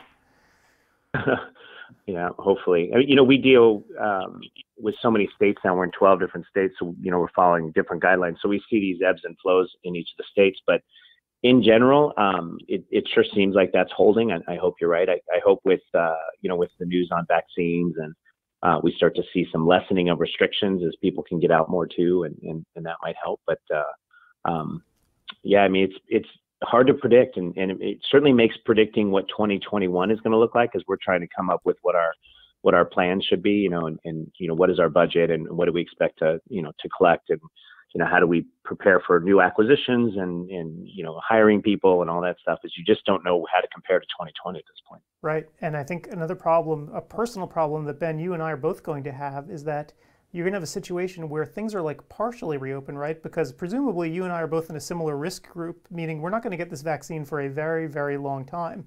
So we're going to be you know, sort of down on the totem pole where we're not going to be covered by this, yet a lot of other people are, and they're going to start going back out and doing things. So you're, you're going to have this, yep. this strange system over the next several months where, you know, I, I'm personally not going to travel very much, right? Because that would be the, you know, the, the, the icing on the cake if I got COVID right at the very end. I'm not going to let that happen to myself. but I, I kind of right. wondering, like, is what's it going to be like then for a lot of these businesses where you have people who are maybe in sort of the heart of their working years, right, in their 30s and 40s, who still can't really do as much as they want to because they don't have access to a vaccine? Yeah, it's interesting. We're in, you know, we're looking with, we employ, you know, well over 2,000 people and, and our question is, what are we going to do when a vaccine is readily available? And, and you know, do we? We're certainly not going to force people to take a vaccine, but you know, do we have them not wear PPE if they do have had the vaccine? We we've made the decision that we aren't going to do that. Everyone will continue to wear PPE until the CDC says Sure. says differently, whether or not they've had a vaccine. We're certainly not going to ask people to show us their vaccine card. But more interestingly, which is going to get more challenging for us as business owners, not just us, but you know, independent practices as well, uh, especially in some states like Texas, where we tend to have um, people who are uh, very against mask, uh, masking um, in general, um, is that what happens when patients have taken the vaccine and they no longer want to wear a mask when they go into a public place? And, and are they going to, you know, is that going to be an issue where businesses are going to start demanding to see people's vaccination cards to prove whether or not they can be in without a mask? It's going to be an interesting time as a business owner um, that manages, you know, deals with a, a business specifically that is public facing and, and, how we react to this over the next six or 12 months. Yep. Um, should be fun time. How are your, how are your practices dealing with, uh, with, with associates and or uh, assistants that come in with uh, the COVID, that are infected? Uh, we what have, do you do with the practice? Yep. So we have a we have what's called a COVID committee that that really meets pretty much every day now, just because we have so many instances where we either get a notification from the Department of Health that a patient had been in the office, or we get an associate or a doctor that has symptoms. Uh, we have a whole uh, policy in place. So, um, knock on wood, uh, we've yet to have a single uh, episode where we can trace, uh, and we try to trace, um, that people uh, caught COVID within our practices. So, most of the time, even if there's been more than one associate in a practice, uh, that test positive for COVID, we've been able to to trace it back to outside um, exposure. So it depends. Uh, uh, you know, in some cases, we will close the practice down for a day for a deep cleaning, uh, depending on the situation. Uh, we certainly will require any associate to isolate. Healthcare workers, the CDC separates us in terms of their policies. So if you have a healthcare worker with a positive exposure to COVID, a known exposure, they actually don't have to quarantine according to the CDC. They can they can continue to work and monitor symptoms. So we fall under that. Um, so we watch that very closely and have our associates monitor symptoms. But we've certainly had to close practices down uh, and had them cleaned. We've had uh, you know, or we have a, a smaller practice with one doctor and four associates, and two of the associates are out. We just can't open the office because we don't have a staff. We've had to close offices for that. Uh, each case is unique, um, unfortunately, and it's uh, it certainly is challenging. Yep. And I think I, I, I assume I assume you have staff lounges in many of your, your practices. Well, what's the policy there? The staff you I know we had one in my practice, and the lunch was they had their lunches there. Uh, yep, not anymore. What, so what what happens now? What's the policy? Everyone has where they go to eat. The restaurants uh, are closed. Yep. Where, so they'll eat in their car. Yep, they'll eat in their car, or if they work close enough to home, they'll go home. But we do not allow, unless the staff lounge is large enough where you can be socially distant from everybody, um, we don't allow people to eat together in the staff room. So in a smaller practice, we may stagger lunches so that it's only one person at a time. Uh, but for the most part, most people are eating outside of the office, whether they're bringing their lunch in and, and eating in their car. Some people, like I said, can go home. Um, but we've, we've taken a pretty hard line on that. Yep. And my suspicion, actually, I think you know you were mentioning the situation where some have masks, some don't. What, what's going to happen? I suspect, you know, and I don't know, but I suspect that the federal government, come January, is going to have a mandate for 100 days or whatever it is, where universal precautions will be it, and that's going to be the policy. And obviously, enforcing it at the local level is going to be difficult in certain places. But I think that's yep. that's going to be it because uh, assuming anything other than universal precautions, I don't know how that would work. I can't imagine. Could the federal Agreed. government mandate that or suggest it? I think they're going to mandate it. I, I, I, think I think that the federal government's going to try to mandate it. I think it's going to fail in many places, but they have to try. I think it just makes it easier for employers, right? The federal government should use their authority to say this is how it should be. Um, why should individual employers have to decide about this, right?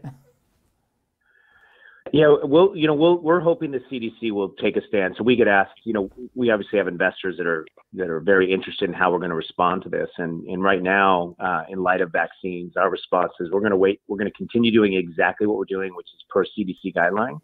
And until the CDC changes their guidelines that to incorporate vaccinations into those uh, recommended uh, policies, we won't make any changes. So we'll follow the CDC. I, I don't know that the what the government will do in terms of a mandate. I, certainly possible, um, but we imagine the CDC is going to have to start weighing in on once vaccines become more widespread, uh, and we'll we'll continue to follow that closely. At least that gives us something to fall back on when we when we have to justify either to a patient, to an associate or doctor, or to our investors why we do what we do. We can you know we we can point to the CDC as as you know pretty much who we are following uh, with respect to uh, our policies.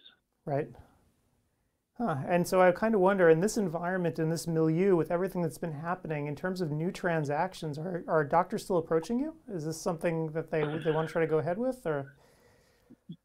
More so than ever. Um, we actually had uh, we had one doctor who was about to sell right before COVID, and there was an issue with a landlord that delayed the deal, uh, and so that deal got totally put off. Um, and now we're re-engaging with him. Um, and uh, we've had we've had more and more people reach out to us. Interestingly enough, people that said they didn't want to sell are now coming back to us and reaching out and saying, you know, I might be interested. I think people are scared if there's a second wave. Uh, you know, if if there's a second wave and the government can't intervene in a way with PPP and and whatever other uh, small business help that they had, uh, it's it's dangerous. Most optometrists, you know, live month to month in their practices, and so it's very difficult for them to um, uh, to survive another shutdown, and especially uh, if the second wave is bigger than the first wave. Uh, so I, we're getting a lot of uh, a lot of interest now. I, I hate to hate so to ask the question. then I hate to interrupt, Ben. Yeah. Um, but there's a limo waiting outside for him because his lecture has started. He can. I'm actually I'm, I'm watching it right now. Oh, okay. I'm so watching it right okay. now. He's, he's I'm, on, on Then you're fine. You, multitasking. You, you, can multitask. Because I, I, was going to ask you the multi-million dollar question. So knowing this imbalance of supply and demand, are prices going down? they really, you know, they really aren't. Um, and uh, you know, the practice is worth what the practice is worth, uh, and it never has been. Um, uh, something where we we look at it and said we're going to pay more because uh, there's less practices to purchase, or now we'll pay less because there's more practices to purchase. There's still quite a bit of competition, though. That does drive prices up. Some of the bigger guys uh, will pay a little bit more in general, um, but in, uh, we have not.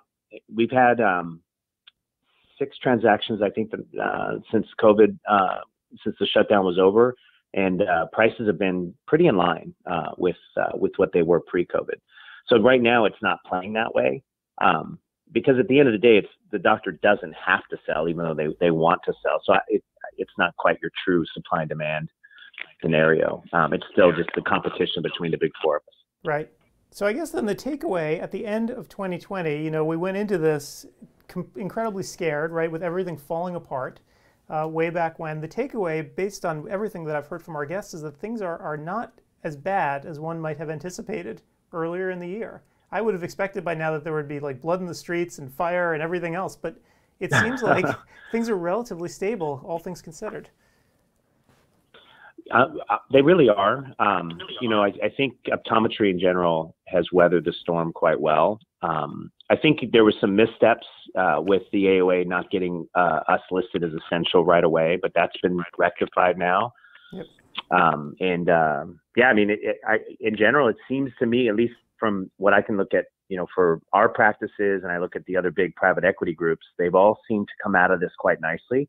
Now, there have been some, there certainly have been um, some casualties. I mean, you look at some of the bigger um, optical based chains, especially the ones that are mall based, mm. and they have not done very, very well. Uh, in fact, uh, you know, one in particular that's a very large one in malls is is really struggling because mall traffic is down so much and that's what they relied heavily on. So um, private independent practices, which which you know say what you want about private equity, but in general, we're buying private practices and for the most part keeping them private. They're they're in standalone buildings or in strip malls, not necessarily in in actual malls, your traditional mall setting. And um, uh, they we seem to be doing just fine. Patients are willing to come out. I think, you know, I think what we had was this weird curve where first you had uh, this backup of exams that we didn't do. So you had a lot of people coming in that, that were trying to get an exam before. And then as that started to go through, you had people that were were tired of just sitting at home, and so they were going out and going and doing things where they could. And one of the things they could do was go to the eye doctor. So that sustained kind of a high level of of engagement in the practices.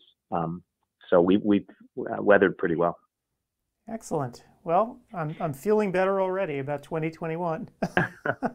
well, do you remember the last time we spoke? I was very bullish on optometry, and you and Gretchen laughed at me. So, yeah, uh, you were right. It's turning we, out so far so good. We were wrong. I, I, I, have to say, you know, you were right, and, and, in fact, you were in the the right place at the right time, right? So, who knew the malls would become absolutely toxic, and the strip mall would reign supreme? Who knew? Uh, yes, so getting out of my my last job uh, was probably at, it probably you know probably did it right at the right time. So I feel pretty good about that. Awesome. Well, Ben, thank you for doing this, and uh, I'm sure we'll catch up. Uh, you know, we'll catch up with you in Hawaii, and then at CEwire 2021. uh, we're we're gonna need a sound engineer to do it for us. So why don't you come out with us and we'll You, you send me the work it ticket. all I'll, together. send me the ticket. I'll be there. You could swim from there. enough. It's Portland. right. No, Uh, yours is. neat. I have to come from upstate New York. It's going to take me all day to get there. but it's worth it. All right. Totally worth it. Thanks, guys. All right. Good catch talking later, to you. Ben. Bye.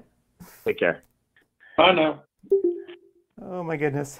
Let's think about that. The upstate New York in beginning of March or Hawaii. Let's think about what you want to do. Oh my gosh, it's always fun That, speaking that with is a long trip, though. I, I took, I went uh, on a New York to Hawaii trip, and boy, the, uh, the jet lag when you come home, it takes a week. Yeah, It's about, it's about nine hour, nine hour time difference. yeah, So it's like going to Europe. yeah. Not not fun for A lot sure. of people will stop off in California and they'll do a little one two day vacation at Disneyland and then go to Hawaii. That, that's one way of Yeah. uh, minimizing it. Yep. Anyway, he's he's interesting. I, he was very at the beginning. He was really negative in March because he didn't know what was happening. What if practices that they were negotiating with just went down the tubes? But um, I have a feeling even that practitioner who was 60, 58 years old and was on the fence was Yeah. saying, "Look, this COVID almost did me in. I don't want this hassle. I, I think I'm going to go that route." And I think he's going to a lot more going forward than uh, he even anticipates. Yep. And but it's interesting though, right? How malls have become like the last place that you want to be, and so strip sure. malls, which have you know fallen into disrepute among serious shoppers, right? Have you know are, are resurgent in a lot of ways because people w- will go there, right? They're not afraid of them. Whereas the mall, I mean, I haven't been to a shopping mall now in close to a year, which is kind of shocking now that I actually say it out loud. Um, but yeah, I, I guess I'm not alone. I haven't. I don't know what our local malls are doing. They're probably not in great shape. you have to remember at the very beginning also when practices started to open up, like the end of May or so, malls were still closed, at least locally in New York, New Jersey, and I'm sure all over the country. So they didn't even have any traffic until um, after July 4th. And like you said, the traffic is, is nil. Um, and Christmas, uh, this Christmas holiday, um, they're not going to. People aren't going to be shopping for eye care. They're going to be shopping for Christmas presents. So um, we we have one speaker that you know really well who owns a, a couple of mall practices, and he's dying. And uh, there's, it, you just cut staff and doctors so much, and the trouble is it cascades up, as you know. The these, the mall people want their rent. They have to pay mortgages. They have to pay real estate taxes, and so unless we get some more um, aid from the government, uh, those type of practices Yep. might go under. So the only the only exception, I I guess, uh, would be certain kinds of businesses. So, for instance, I saw at our local mall, the movie theater. Uh, obviously, they stopped paying rent on their space, and the mall. I was reading the paper. The mall was threatening to sue and evict them, and the movie theater chain was like, "Fine, what are you going to do? What are you going to replace us with?" Um, and I'm sure the mall operators at that point were thinking, "Yeah, we probably should just forgive their rent for now, right? For when things finally normalize again, because what we're going to do is kill ourselves by kicking the movie theater out. We'll never replace that space." So, yeah, it's kind of funny. Yeah, I, I wonder what the small real estate operator is doing. You know, people that make a living just from renting small houses, and uh, they, they they don't want to evict the people living there, but Yep. many of these people have not paid rent now for nine months. Yep. So and they have to still pay their taxes. What what the heck do they do? And there's a mortgage and taxes to pay, and it's almost a year since they've had any income. And with the blessing of the government, saying you don't have to pay rent. You'll just have to pay back rent when things are over. But I can't imagine a poor person, even living in a very humble thousand dollar a month unit, can have ten thousand dollars or twelve thousand dollars Yeah. to uh, to pay their back rent. So what the that's- heck's going to happen? That's going to go. I mean, that that's a that, you know on a small scale that's a tragedy. But I think even more globally, think about what downtown Portland looks like right now, right? Where all the high tech businesses and all the ad agencies and all the you know young people who were there every day are now not, and probably will never be, Well- right? Many businesses, including Well, there was- Amazon, which has offices downtown, they're not going to piece in- reopen. in the, in the real estate section of the Times that the uh, many of the uh, commercial places where all- used to be office buildings they're thinking of converting them into apartments Makes sense. because because they can't they can't fill it up with uh, offices anymore. Yep. So that's what's going to be happening. So it's it's I think I heard a statistic a few years ago that if um, somebody had an unusual or un, um, uh, a payment they had to make for five hundred dollars, seventy percent of the United States could not make that payment. yep. They could put it on a credit card, so people just don't have the disposable cash, and that's why we need the government help right now. Yeah, and so hopefully help will, will be coming. But even when it does, like there are just the the downtown areas um, of a lot of cities where they were you know purely commercial. I just don't know how they're going to re- rebound anytime soon, especially because so many businesses, especially modern businesses, right, high tech businesses, the kind that we have here in Portland. You know, development firms, people you know who do software for a living, people who do marketing for a living, right? they don't necessarily Yeah. need to be in the office all the time, especially not with that expensive space. And I just I don't know. It's it's going to be really interesting. Whereas what's what's happening, of course, here is that the suburbs are now, of course, the place to be. Right? It's where everyone is staying, and you know the pr- real estate prices here have actually gone up. You know we're six miles outside of downtown Portland in a suburb, and it's actually gotten more expensive out here rather than less. So who knows? I mean, it's it's Wow. hard to tell. Yeah. I heard a bong, a beep. I heard nothing. It's- it's Wait, is there a beep? I think Richard is I didn't, I didn't us. hear anything. He didn't. Richard, Maybe you I'm with us? hearing things. Hey guys, I'm here. Oh. I don't Oh, think I. Yes. hey Richard. I see my. You see, my hearing aids are much better than your your hearing. I got to go get an exam then because that's crazy that you heard that and I didn't. Now, now I'm now. Oh I'm yeah, paranoid. yeah. Well, but once you have hearing aids and it goes through your phone, super hearing, you become Superman. Before we start, But we have off to the let phone. Richard know. Richard, yes, Richard, you um, are our one millionth interview for CEwire 2020. I don't, don't know if you know that. And there's a free Lamborghini waiting outside your apartment, your house. Man. I'll be back in a few minutes, guys. Let me go check on that real quick. oh man. So Richard, are, are you still with the? Uh, you still with the veterans? Last time I. I think. Am I imagining it? What, what did? Didn't you work with the VA for a while? Uh, that's correct. I'm still with them now, uh, going on a little over 11 years. How is it there? What, what, what is it like to be a, a VA optometrist? You know, it's definitely been very interesting the past year, to say the least. Um, obviously, with all the politicalization of COVID and so forth, and there's been a lot of issues from a bureaucratic side as well. Um, you know, one thing I can definitely say in the past year itself, I've been extremely fortunate to have the job that I have. Um, you know, we didn't have to worry about any kind of furloughs or any issues like that being a federal employee. Uh, you know, with without this year standing and you just even in a general purpose, it's been it's been very nice working for the VA, working with the clientele and the patients that we have. Uh, it's been a great experience so far in my career. What happens when they close? uh, Are, some of the centers, uh, if it's not part of a hospital, closed during the epidemic? Were, were optometrists laid off, or they kept working? How, how did it work uh, for optometry? Yeah, yeah. So VA optometrists uh, as a whole, uh, my understanding is that a lot of the clinics were shut down, uh, but nobody was actually laid off, to my understanding. Um, I, I'm not poli- I'm not privy to a lot of inside information or anything, but from talking to a bunch of other colleagues and so forth, I can tell you that uh, the majority of us still got a paycheck every single day. Um, we did go into the hospital. And we were seeing emergency patients that came in still for obviously, you know, emergency ocular events. Um, there were a lot of optometrists throughout the country in the VA that also filled secondary roles to help the uh, everybody else with COVID, where they would do screenings at the front uh, for employees and so forth as they came in. Um, so they really kind of found other ways to utilize the personnel that they had to, you know, kind of employ us in a different fashion, even when we couldn't see our normal day-to-day patient load. right. Right, right. And I am curious because you know you have that hospital setting. How are vets dealing with COVID? You know, in that population, which might be different from the general population in terms of their demographics. Is it better or worse? It's I can't really speak to the general population, but I can tell you that a lot of our veterans have been incredibly understanding about this. Um, the hard part that we've had at our facility, And I'll take a step back by saying our facility did an amazing job with the way they kind of handled the entire process. Um, the one thing that we had a lot, a lot of trouble with was rescheduling patients. Um, so at our facility alone, there were a few patients that had to be rescheduled on multiple occasions, and that's where people kind of had some some difficulties with that. Uh, but for the most part, a lot of the veterans were very understanding.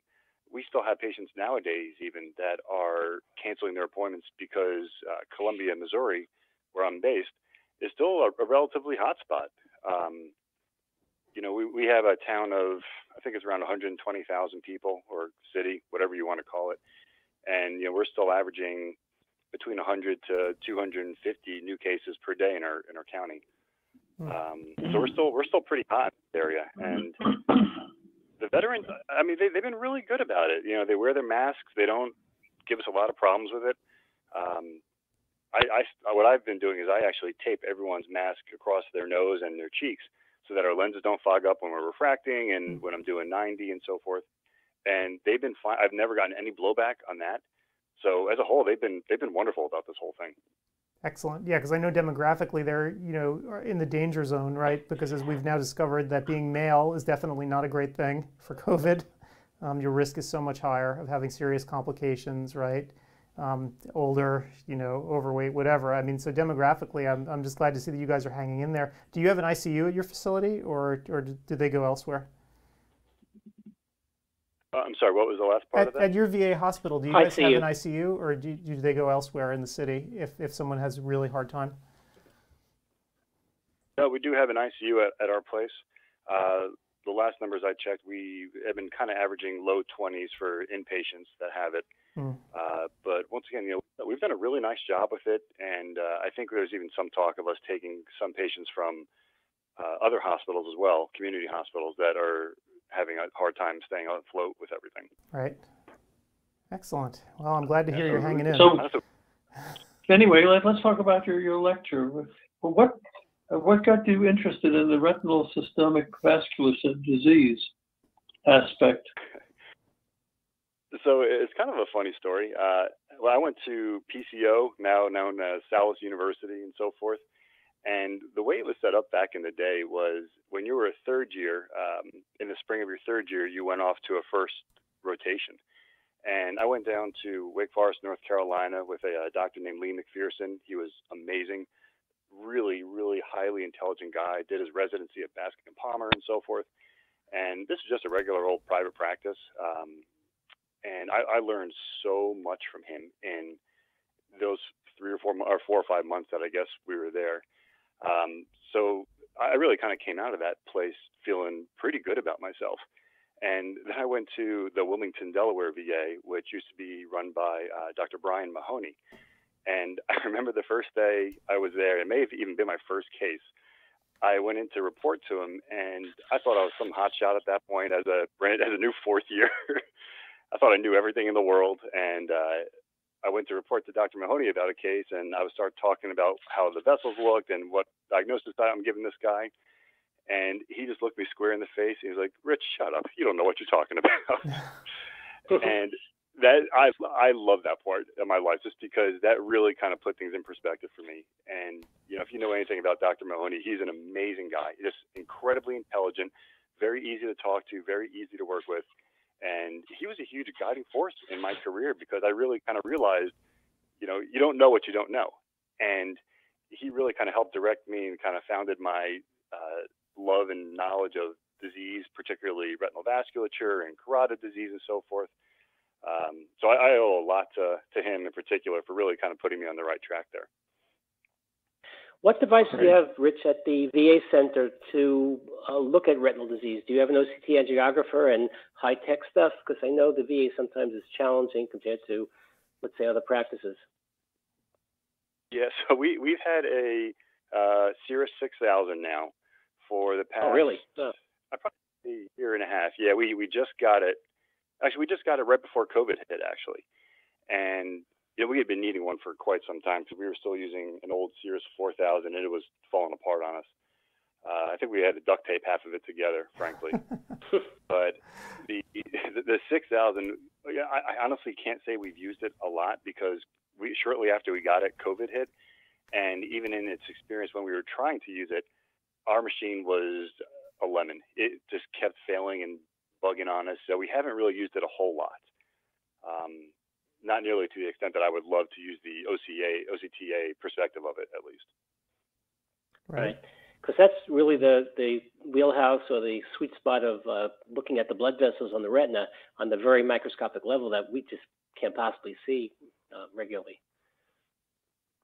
Yeah, it's it's incredible. Hopefully- Um, you know, one of the lectures I used to still do was on you know retinal vascular occlusions, and I don't have any of my own photos for it, unfortunately. But it's I, I can't wait to really start diving into it more and uh, doing more of these scans on these patients that are have suspect disease and so forth. Yeah, you know, it's funny. Meanwhile- when, when uh, well, So hang on a second. I, I had a question about this. So, you know, the last time, you know, when I actually, so I actually worked with a vascular surgeon back at the VA. This was about a thousand years ago, maybe 30 years ago. I mean, it's a long time now. Um, but they would do carotid endarterectomies all the time um, to, you know, treat this disease of, of stenosis. And I'm, I'm wondering, without having to, you know, without seeing your lecture, sitting through it, what's the sort of the definitive procedure these days. I remember back then it was always every single time we did it, it was a little bit hairy, right? Uh, because you'd worry about the person stroking out, even if you tried to, to use a shunt and tried to bypass while you're doing it. Has the state of the art improved in the past 30 years? I would hope. it, it has. Um, so a CEA or carotid endarterectomy still is done very often. Uh, I've got a lot of patients that I send to vascular surgery that are still having those done. I'd say there's probably more of a predilection to do carotid angioplasty and stenting nowadays, uh, particularly in the patients that aren't high risk for developing a stroke potentially. Because as you know, with the angioplasty, like squeezing all the, the plaque in the artery can cause a CVA to occur or you know stroke. Um, in in the lecture, there's one part that I actually tried to hook up with a YouTube video, but it wouldn't work for me properly when I was setting it up. But there's another one called a TCAR, and uh, I think it's like transcarotid arterial revascularization, if I'm not mistaken. Some big words. I, I can't remember half of them half the time. Um, but the whole premise of this is it's kind of like a combination between a carotid endarterectomy and an angioplasty, where they kind of go locally into the carotid artery and they help actually redirect the blood flow away from the brain in that area temporarily. That way, when they do an angioplasty, if something does break loose, then it's going downstream away from the brain instead of upstream towards it. Oh, wow. Um, so yeah, I mean, it's really cool. I mean, you should definitely check out those on YouTube when you have a moment. Um, there was a big study about it called the Roadster study, and my understanding from what I remember uh, reading about was that there wasn't a huge difference in the results between that and an endarterectomy or an angioplasty and stenting. But I think the uh, patient population in each of the portions of it, or in each of the arms rather, weren't quite even. So I feel like I, if if I remember correctly, the TCAR or the transcarotid revascularization portion of it actually had sicker people that had more comorbidities. Right. So I don't think it was quite level field. Well, you know, I wonder now that now that you have OCTA, you know, if you can do a pre and post, I'd wonder if you'd see any sort of embolic events that may not have been noticed clinically when you actually look at the scan, like see what kind of junk is actually floated downstream, um, and ended up in the retina. Yep. Yeah. You know, I would be surprised honestly if there was a lot, only because of the microscopic portions of it and Mm. the fact that the Hollenhorst plaques tend to be very malleable. So you still tend to have a lot of perfusion distal to where the blockage is. Right. Uh, what I would, I would really love to see would be the capillary changes in the retina pre and post. Mm. That way, because you know, a lot of research has shown that whenever you do an endarterectomy or an angioplasty, you can actually improve the retinopathy of the eye significantly within, I think it was like a day to or a few days to weeks. Oh. So I would love to see if there's any kind of revascularization going on in the capillary level on those. Cool. I sound like So such now- a nerd now, don't I? Talking about that. Not at all. You No. mentioned you mentioned that you have another a growing passion in the field of medical websites and search engine search engine optimization. Can tell us about it? Well, how did you get interested in, in web design? Yeah, that's that's kind of different. it's it's a little different, yeah. So I'll tell you the one thing that always, always never, never sat well with me working for the VA was that my salary could be capped. Um, as optometrists are on the general schedule pay scale, we can potentially get up to a grade 15, step 10, and that's really the most you're going to ever make in the VA. And so that, that never just sat well with me. And I always kind of thought about doing other kind of things to uh, increase my salary for my fa- for myself and for my family. And a lot of this actually started, gosh, I think it was probably about six or seven years ago now, where we had a student that was, came to our clinic to shadow us, and he was interested in optometry school. And he started looking into all these schools, and he got accepted to the University of actually, I'll say a, a, a optometry school in the southern part of the country. I don't want to name names. um, and being that he would be an out-of-state uh, attendee, we started looking at the information, and the amount of money that he was going to pay with tuition, and room, and board was astronomical. And I, I was talking to him at length, and I said, "Hey, you know, you should really consider taking a year off and reapplying to your in-state school." because you'll ultimately save over I think it's like $150,000 in loans. Hmm. And you know when it comes to the ROI of your education, you really should you know take a look at this. So that kind of spawned something in, in me, and I started looking um, at other schools and so forth. And I figured, you know, this information has to get get out there someplace so that future optometry students know what they're getting into.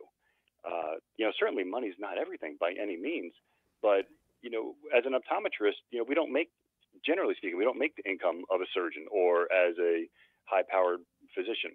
So, you know, I want to make sure that the ROI that people are earning is realistic for them and that they know what they're getting in, themselves into in terms of their educational debt.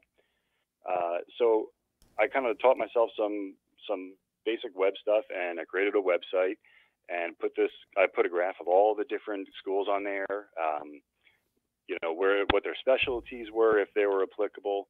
Uh, there's costs for in-state, out-of-state, you know, all these things, and it actually got picked up by I think it was Optometry Times uh, years ago, and that just kind of became a really popular article. And I'm like, this is this is cool. I can actually make something on my own, and it can be shared across the world. Um, so from there, I just kind of kept dabbling in website stuff. And a few years ago, I started my own company and just obviously with my niche in you know optometry, I've been working with a lot of optometrists across the country for creating websites for them.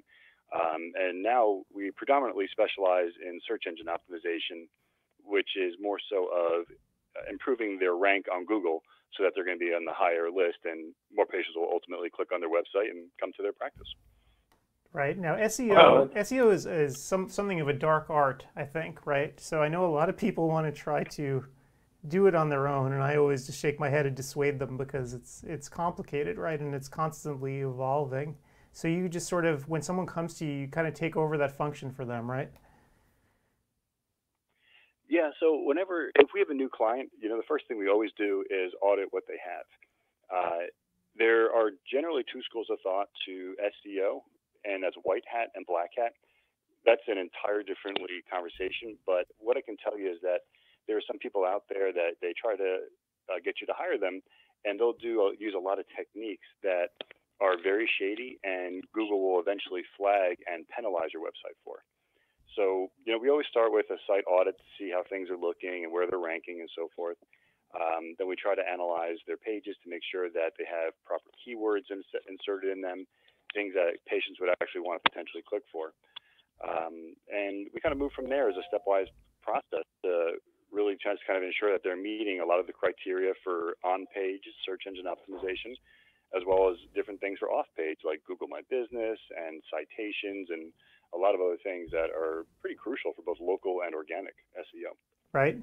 And I, I try to I try to dissuade people also from handling a lot of the social stuff themselves, or like for instance, the big thing now is like when you try to find your practice on a map, right? And you, you pull up your little cursor over it, and Google has a star rating for you right there.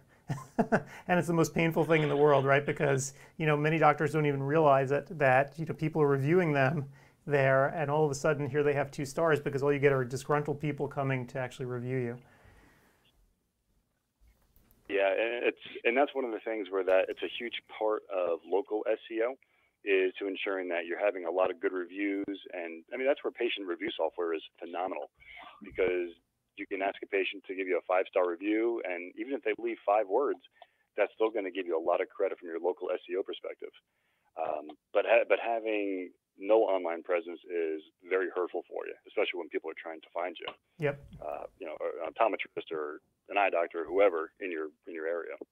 Yep. And actually, uh, on the screen right now, I pulled up your website so everyone can see it. So I'm not I'm not above giving you a plug. So here it is. So it's ignitemedicalco.com. Well, thank you. And right up on the screen so everyone can take a look. So pretty cool stuff. And I, I know, I mean, again, my big thrust with this is always to tell people do not try to do this on your own. Um, unless you really want to dedicate the time to it, it would, you know, uh, it's like if you want to do your own drywall, that's great. you can do it, but you know, you may not get the results that you want, or it may take you so much time it's not worth doing on your own. You really want to let a professional handle it. Yeah, absolutely. And there's so many idiosyncrasies to SEO, and it's a constantly evolving practice where you know we really stay on top of everything that's modern and the newer, not newer technology necessarily, but the new facets of SEO that are going to help you rank better. Um, there are certainly some things you can do on your own, but ultimately you want to have a professional organization or marketing department handle this for you Yep. um, to really kind of get the results that you're looking for. And the, the one thing I'll tell anybody listening and everybody listening is that when you do hire a company SEO, you have to give it time. Uh, the analogy I tell every single person that I talk to is that SEO is a marathon. You can't hire somebody and expect results within two or three months. It takes six months, nine months, bare minimum, to usually start seeing any kind of significant results. So just always keep that in mind, no matter who you're working with in the future as well. Yep. And I think one other thing that people sometimes they forget is that there's no, you know, one like quick secret that there you go, you're on. I think a lot of it's content too, right? You have to come up with compelling content because the search engines do look. It's funny if you search on your own name, uh, eventually, you know, CEwire comes up. Actually, CEwire 2020 comes up on you several, um, you know, slots down, but it's there because we posted a summary of your conference, right, of your material, and this is an you know actual content that we put up there. So I think that's an important thing too that people need to realize. You know, you need to have some sort of a presence with compelling content, and I think it definitely helps. That, that's exactly right. Uh, there's a phrase in the SEO world that content is king, and you you hit on the point exactly. You need to be producing content for your website, whether it be blogs or videos, something on a regular basis to tell the search engines and your patients that you're constantly updating your website. You know, websites that are stagnant and aren't changing at all generally lose their ranking in Google. So the more content you can produce that's high quality and manufactured in such a way that is both set up for your patients to read comfortably and as well as the search engines because there are different things you have to kind of structure your website blogs for and the information on there to tell the search engines what your page is about and the important topics in it. Yep. The more you can do that, the better off you're going to ultimately be. Yep. You know, I find something ironic too, especially with, with Google. You know, paid search, it seems to me, is getting worse and worse versus people finding stuff organically. And I find that funny, right? Because Google makes so much of their money based on paid search. But the reality is their organic search is so much better. Yeah, and I, you know, we do both paid search with Google Ads and SEO for every, for clients that want it, and we, you know, we've got really good results with our our PPC or Google Ads. But I, I tell everybody, the we talked about SEO being a marathon. PPC is a sprint. That's where you're paying money short term, so you can get uh, views to your website, you can get conversions into appointments and so forth. So it's one of those things where PPC or Google Ads is, is it's a great process, but it's not long lasting. If you want to start dropping your marketing dollars down, or if you want to start changing things, you'll see the change and the lower conversions in your Google Ads right away. That's why I really love SEO so much because you put in the hard work in the beginning and it's going to give you dividends for years. It works so well because you're going to start increasing your organic rank and hit that number one, number two spot. And it's going to last for a long, long time for you. Absolutely.